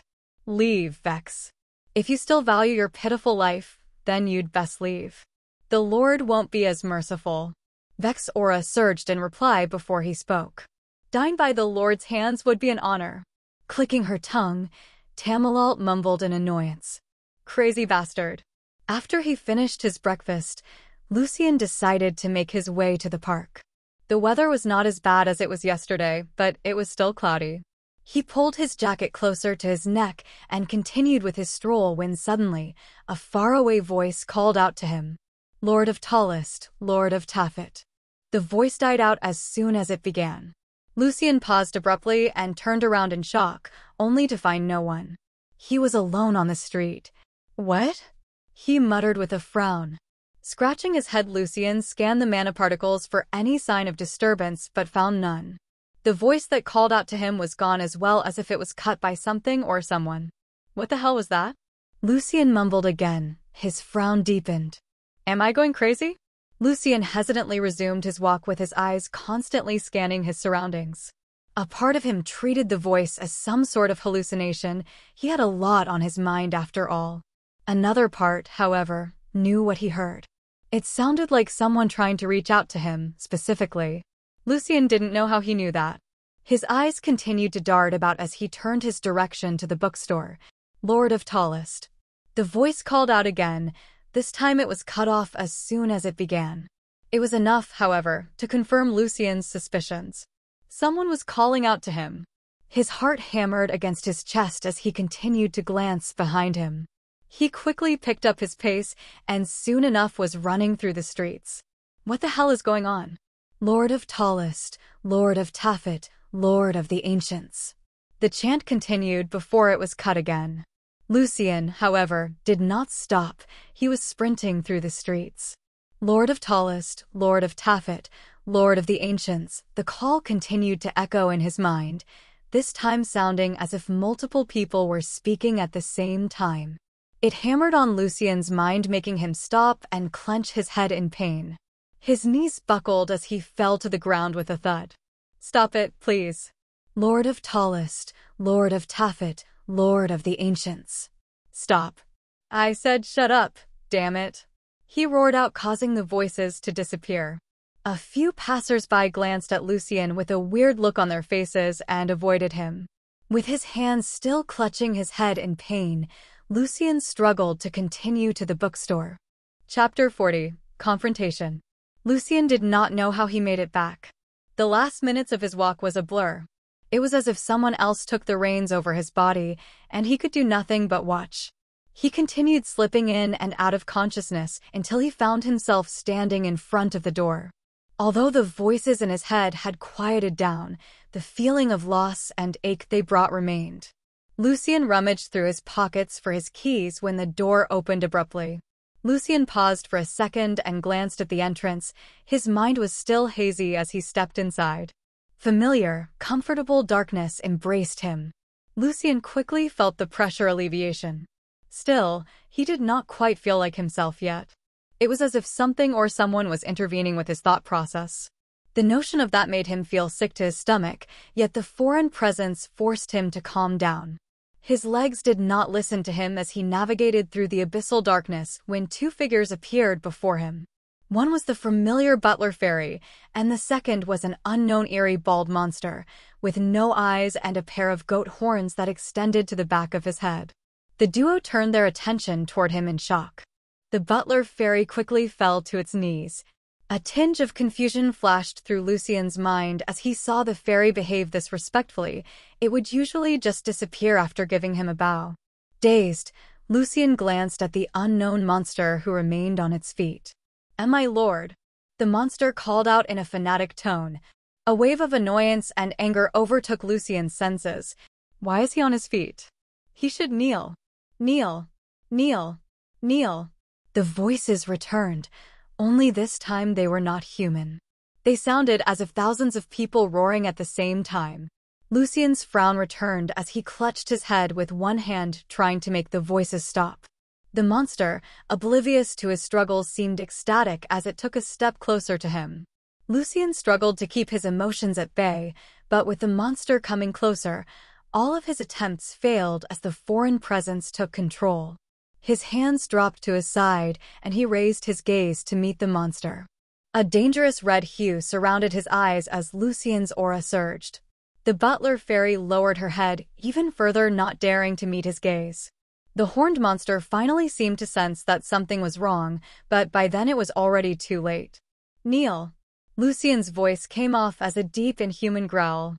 The bishop monster's body froze as a massive pressure downed it to the ground. Its face was planted on the ground with a bang as a whimper escaped his mouth. Lucien, still out of it, walked closer. Each step he took was akin to a massive mountain hammering against the monster's heart. And my lord. Lucien did not let it continue. He used his right foot to stomp its head further into the ground, forming a dent in the darkness. Did I give you permission to speak? The monster whimpered in pain as a shadowy aura seeped out of Lucien's and surrounded it. A faint dark gray mist escaped the monster's body, turning his pale skin dry. You still dare struggle? Lucien growled, his face twisted into a terrifying scowl. The abyssal darkness that surrounded the entire space began to crack under his immense pressure. This caused the fairy to finally raise her gaze, a horrified expression plastered on her face. My lord, please calm your anger, she spoke in her usual calm and soothing tone. The shocked look, however, betrayed her calm demeanor. Hearing that, Lucien turned his head with a frown, his sharp scarlet eyes locked on the fairy, who quickly lowered her head and continued. The space will collapse if you don't rein your aura, my lord. Please ease your anger. Her voice seemed to work somewhat as the frown on Lucien's face relaxed by a little before he asked. Tamalalt, did I give you permission to speak? The fairy lowered her head even further and spoke. You did not. Please punish me as you see fit, my lord, but kindly reconsider the space can hold on no longer. Hmm. Turning his gaze away from Tamalalt, Lucien glanced at the mummified monster by his feet and asked, What gave you the audacity to come here? The monster whimpered, unable to give off a proper reply.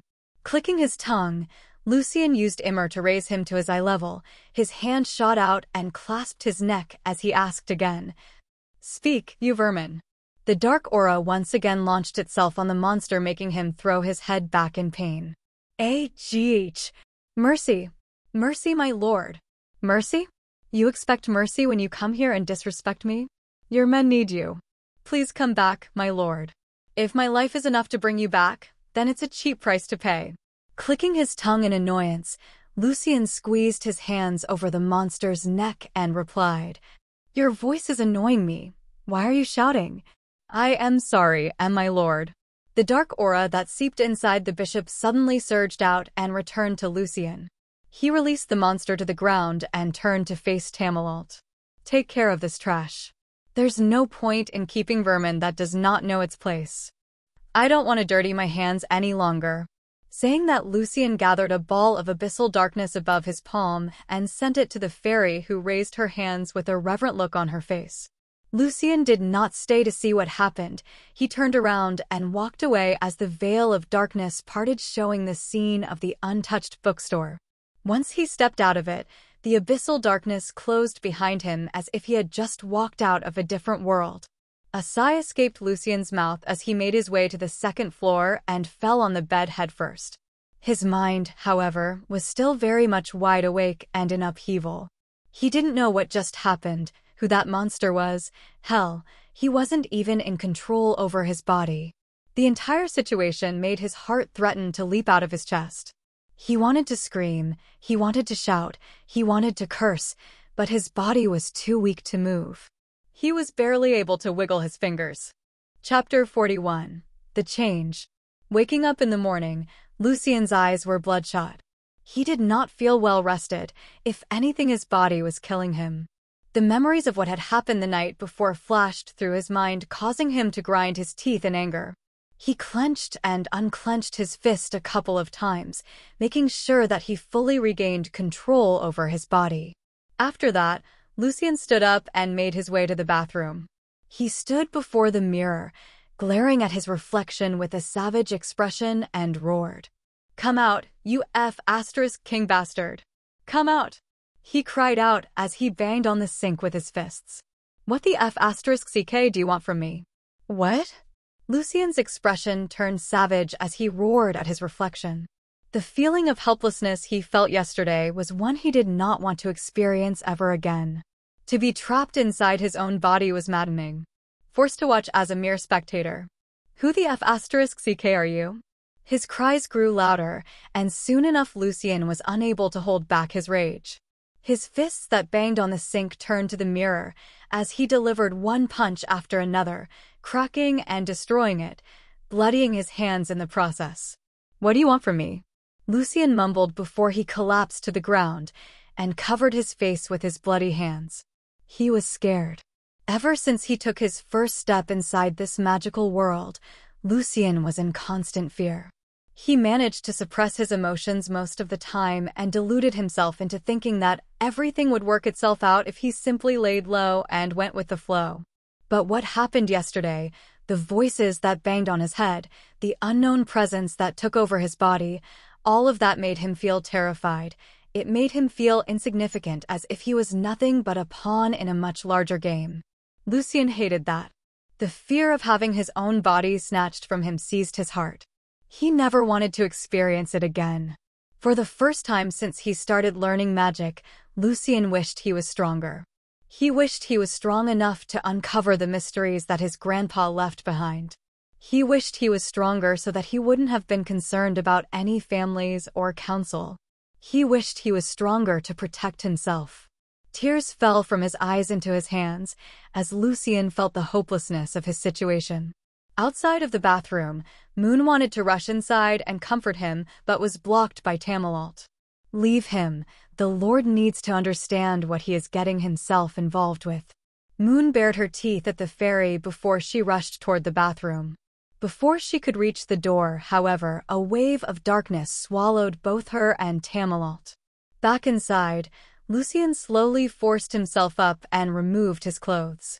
He tried to avoid the glass shards of the broken mirror and stepped inside the shower. The wave of cold water made him shiver as it took him a few seconds to adjust to it. He first cleaned his hands and washed away the tiny invisible shards of glass away before he stood there motionless with his eyes closed. By the time he closed the water and left the shower, the look on Lucien's face was no longer the same. Fix this, he ordered, motioning to the broken mirror. He knew that the fairy was listening. She always was after all. As you command, my lord. And as expected her reply came as soon as he spoke. Lucien didn't bother to reply and instead made his way back to his room. He quickly changed his clothes and used Immer to bring out the magical book his grandpa left him along with the spell that Ian had given him. Taking a deep breath, Lucien sat down by the window and opened the book to resume his search for the spell. Minutes turned into hours as coffee cups began to pile up on the desk. Lucien did not bother to open the bookstore for the day. No, he was determined to first find what he was searching for. He was too complacent before. His false reputation deluded him into thinking that he was safe, but not anymore. Noon quickly passed. A concerned Moon jumped to his lap in an attempt to divert his attention. Lucien, with his cold gaze, however, continued flipping through the pages with one hand, the other he used to scratch Moon's back. He would occasionally stop when he came across an interesting spell and jot down the page number and spell details on his notebook before continuing with his search. By the time the clock pointed to 3 p.m., Tamalalt appeared by his side with a bow and spoke. My lord, please take some rest and eat first. Lucien waved her off and replied, just make me something, please. Understood. Saying that the fairy disappeared along with the empty cups of coffee on the desk, leaving a frustrated Lucien behind. The book was too big, not to mention the unknown language used in it. He was still not proficient in deciphering the contents just yet. This slowed down his search significantly. His quest, however, was not in vain. The number of useful spells he came across was nothing to scoff at. It was safe to say that his harvest was fruitful. Still, Lucien was curious about Ian's spell the most. Something about it seemed to call out to him. A sigh escaped his mouth as he pushed the magical book and his notebook away. He lazily stretched his limbs and was about to stand up when the loud growl of his stomach made him pause. He had been too absorbed in his research that he forgot to eat anything. It was then that Tamalalt appeared next to him with a tray of homemade meals. The fairy gently placed it on the desk before him and bowed. Enjoy, my lord, saying that the fairy stepped back and disappeared into the darkness. Not wanting to waste any time, Lucien used Immer to make the magical book and his notebook float before him as he wolfed down the food all the while keeping up with his search at the same time.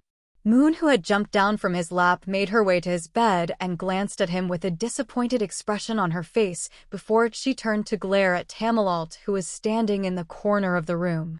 It's necessary. Don't look at me like that. Chapter 42 New Spell and New Place. Next. It's not here. A bloodshot Lucien mumbled to himself as he closed the old magical book. He leaned back in his chair and covered his face with his hands. A long sigh escaped his lips. After taking a deep breath, Lucien grabbed his phone from the counter and glanced at the time. 3 a.m. It's already this late. He released another exhausted sigh. His entire day was spent scouring through the ancient spell book in an attempt at locating Ian's spell. All of his work, however, turned out to be for naught. Lucien managed to find several interesting spells, some of which even looked similar to the one Ian showed him, but in the end, they were not the same. This confused him since he was sure the language was the same, and even the patterns were the same. Perhaps the spell itself was ripped from the book? That was the first thought that crossed his mind. One look at the ancient yellow paper, however, was enough to rebuke such thoughts. The pages of the old book were not of the same material, and although the language was the same, the writing had some slight differences. Lucien did not notice the difference at first, but the longer he read the book, the more familiar he grew with it. This made him think of another explanation. Perhaps his book was not the only one that contained such miraculous spells. That made more sense, after all. An ancient, powerful language. How could he be the only one to monopolize it? A yawn escaped from Lucien's mouth as he contemplated his findings. Tamalalt silently appeared by his side and gave him a deep bow before she spoke. My lord, perhaps it is time for you to get some rest? Lucien glanced at the butler fairy and shook his head. Just bring me another cup of coffee, please.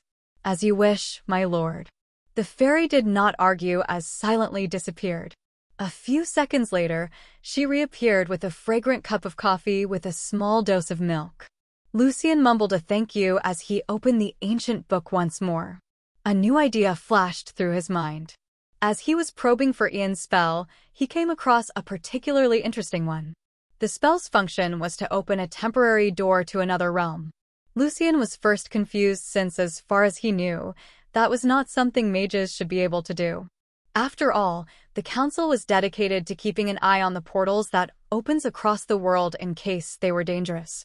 The instructions for the spell were a bit more complicated than usual. He was even required to make a weird offering. Forcing himself to stand up, Lucien glanced at his phone. It was already 4 a.m. A yawn escaped his mouth as he made his way to the bathroom to get ready for bed. Once he was back, he changed into his pajamas and lay on his bed. He used Immer to pull his notebook and the ancient magic book towards him. There was a spell he wanted to try tonight. Target, Lucien mumbled the name of the spell. It allowed him to dive into the dreams of other people. He needed it since it was related to the sacrifice he required. Tamalalt, bring me two candles, please. The butler fairy did not dally. She instantly appeared and placed one candle on his right nightstand and another on his left before she gently lit them on. Have sweet dreams, my lord. Lucien nodded and replied, Thank you, good night saying that he glanced at the spell in his hands and memorized the flow of mana and incantation before he gently placed the book using Immer back on the desk by the window. After he made sure he was ready, Lucien closed his eyes and started to will the mana inside his body to follow the flow instructed in the book. A feeling of drowsiness began to overwhelm him, yet he forced himself to stay awake as he continued guiding the mana. After a couple of minutes when Lucien was no longer able to handle the sleepiness, he finally muttered the incantation and instantly fell asleep. His breathing turned deep as a relaxed expression hung on his face. The butler fairy appeared by his side with a satisfied expression on her face. She glanced at Moon, who was laying by the bed, and spoke. You see, he's already able to do this. It won't be long before the Lord understands everything. Moon, however, ignored her and left the room. Darkness. That was the sight that greeted Lucien when he opened his eyes. He knew that he was dreaming, but his mind was surprisingly clear. Did it work? He muttered to himself. It was then that the sky above lit up with countless brightly colored stars. It illuminated the land below, allowing Lucien to see his surroundings. He was standing on a vast dark sea as if it was solid ground. No signs of any other creature were seen in this strange world. I made it. A wide grin extended across his face as Lucien pumped his fist triumphantly. The spell was supposed to transport him to the land of dreams, which was the domain of the primordial dragons. Or so the book explained. According to what he understood, the land of dreams was connected to the land of the living and the land of the dead. When certain people had dreams of their loved ones that passed away, it was all because of this place. It connected both worlds, and in a sense, both influenced each other. Lucien decided to try the spell for two reasons. The first was to see if he could locate his grandpa's spirit. He still had so many questions to ask him, so many things to tell and share with him, and he missed him. The second was the offering he required for the plane traveling spell. He could only get it from here, the land of dreams. Closing his eyes, Lucien visualized a pair of massive black crow wings on his back. When he opened his eyes again, a strange but familiar feeling made him grin. He glanced at his back to see the pair of dark wings. Lucien attempted to control them, something that came surprisingly easy to him. Perhaps since it was a dream. After a few attempts, Lucien was up in the air and flying through the dream world. The sensation of the wind howling in his ears and the freedom he got from the experience were hard to explain. And although it was not the real world, for Lucien, the experience was as real as it could get.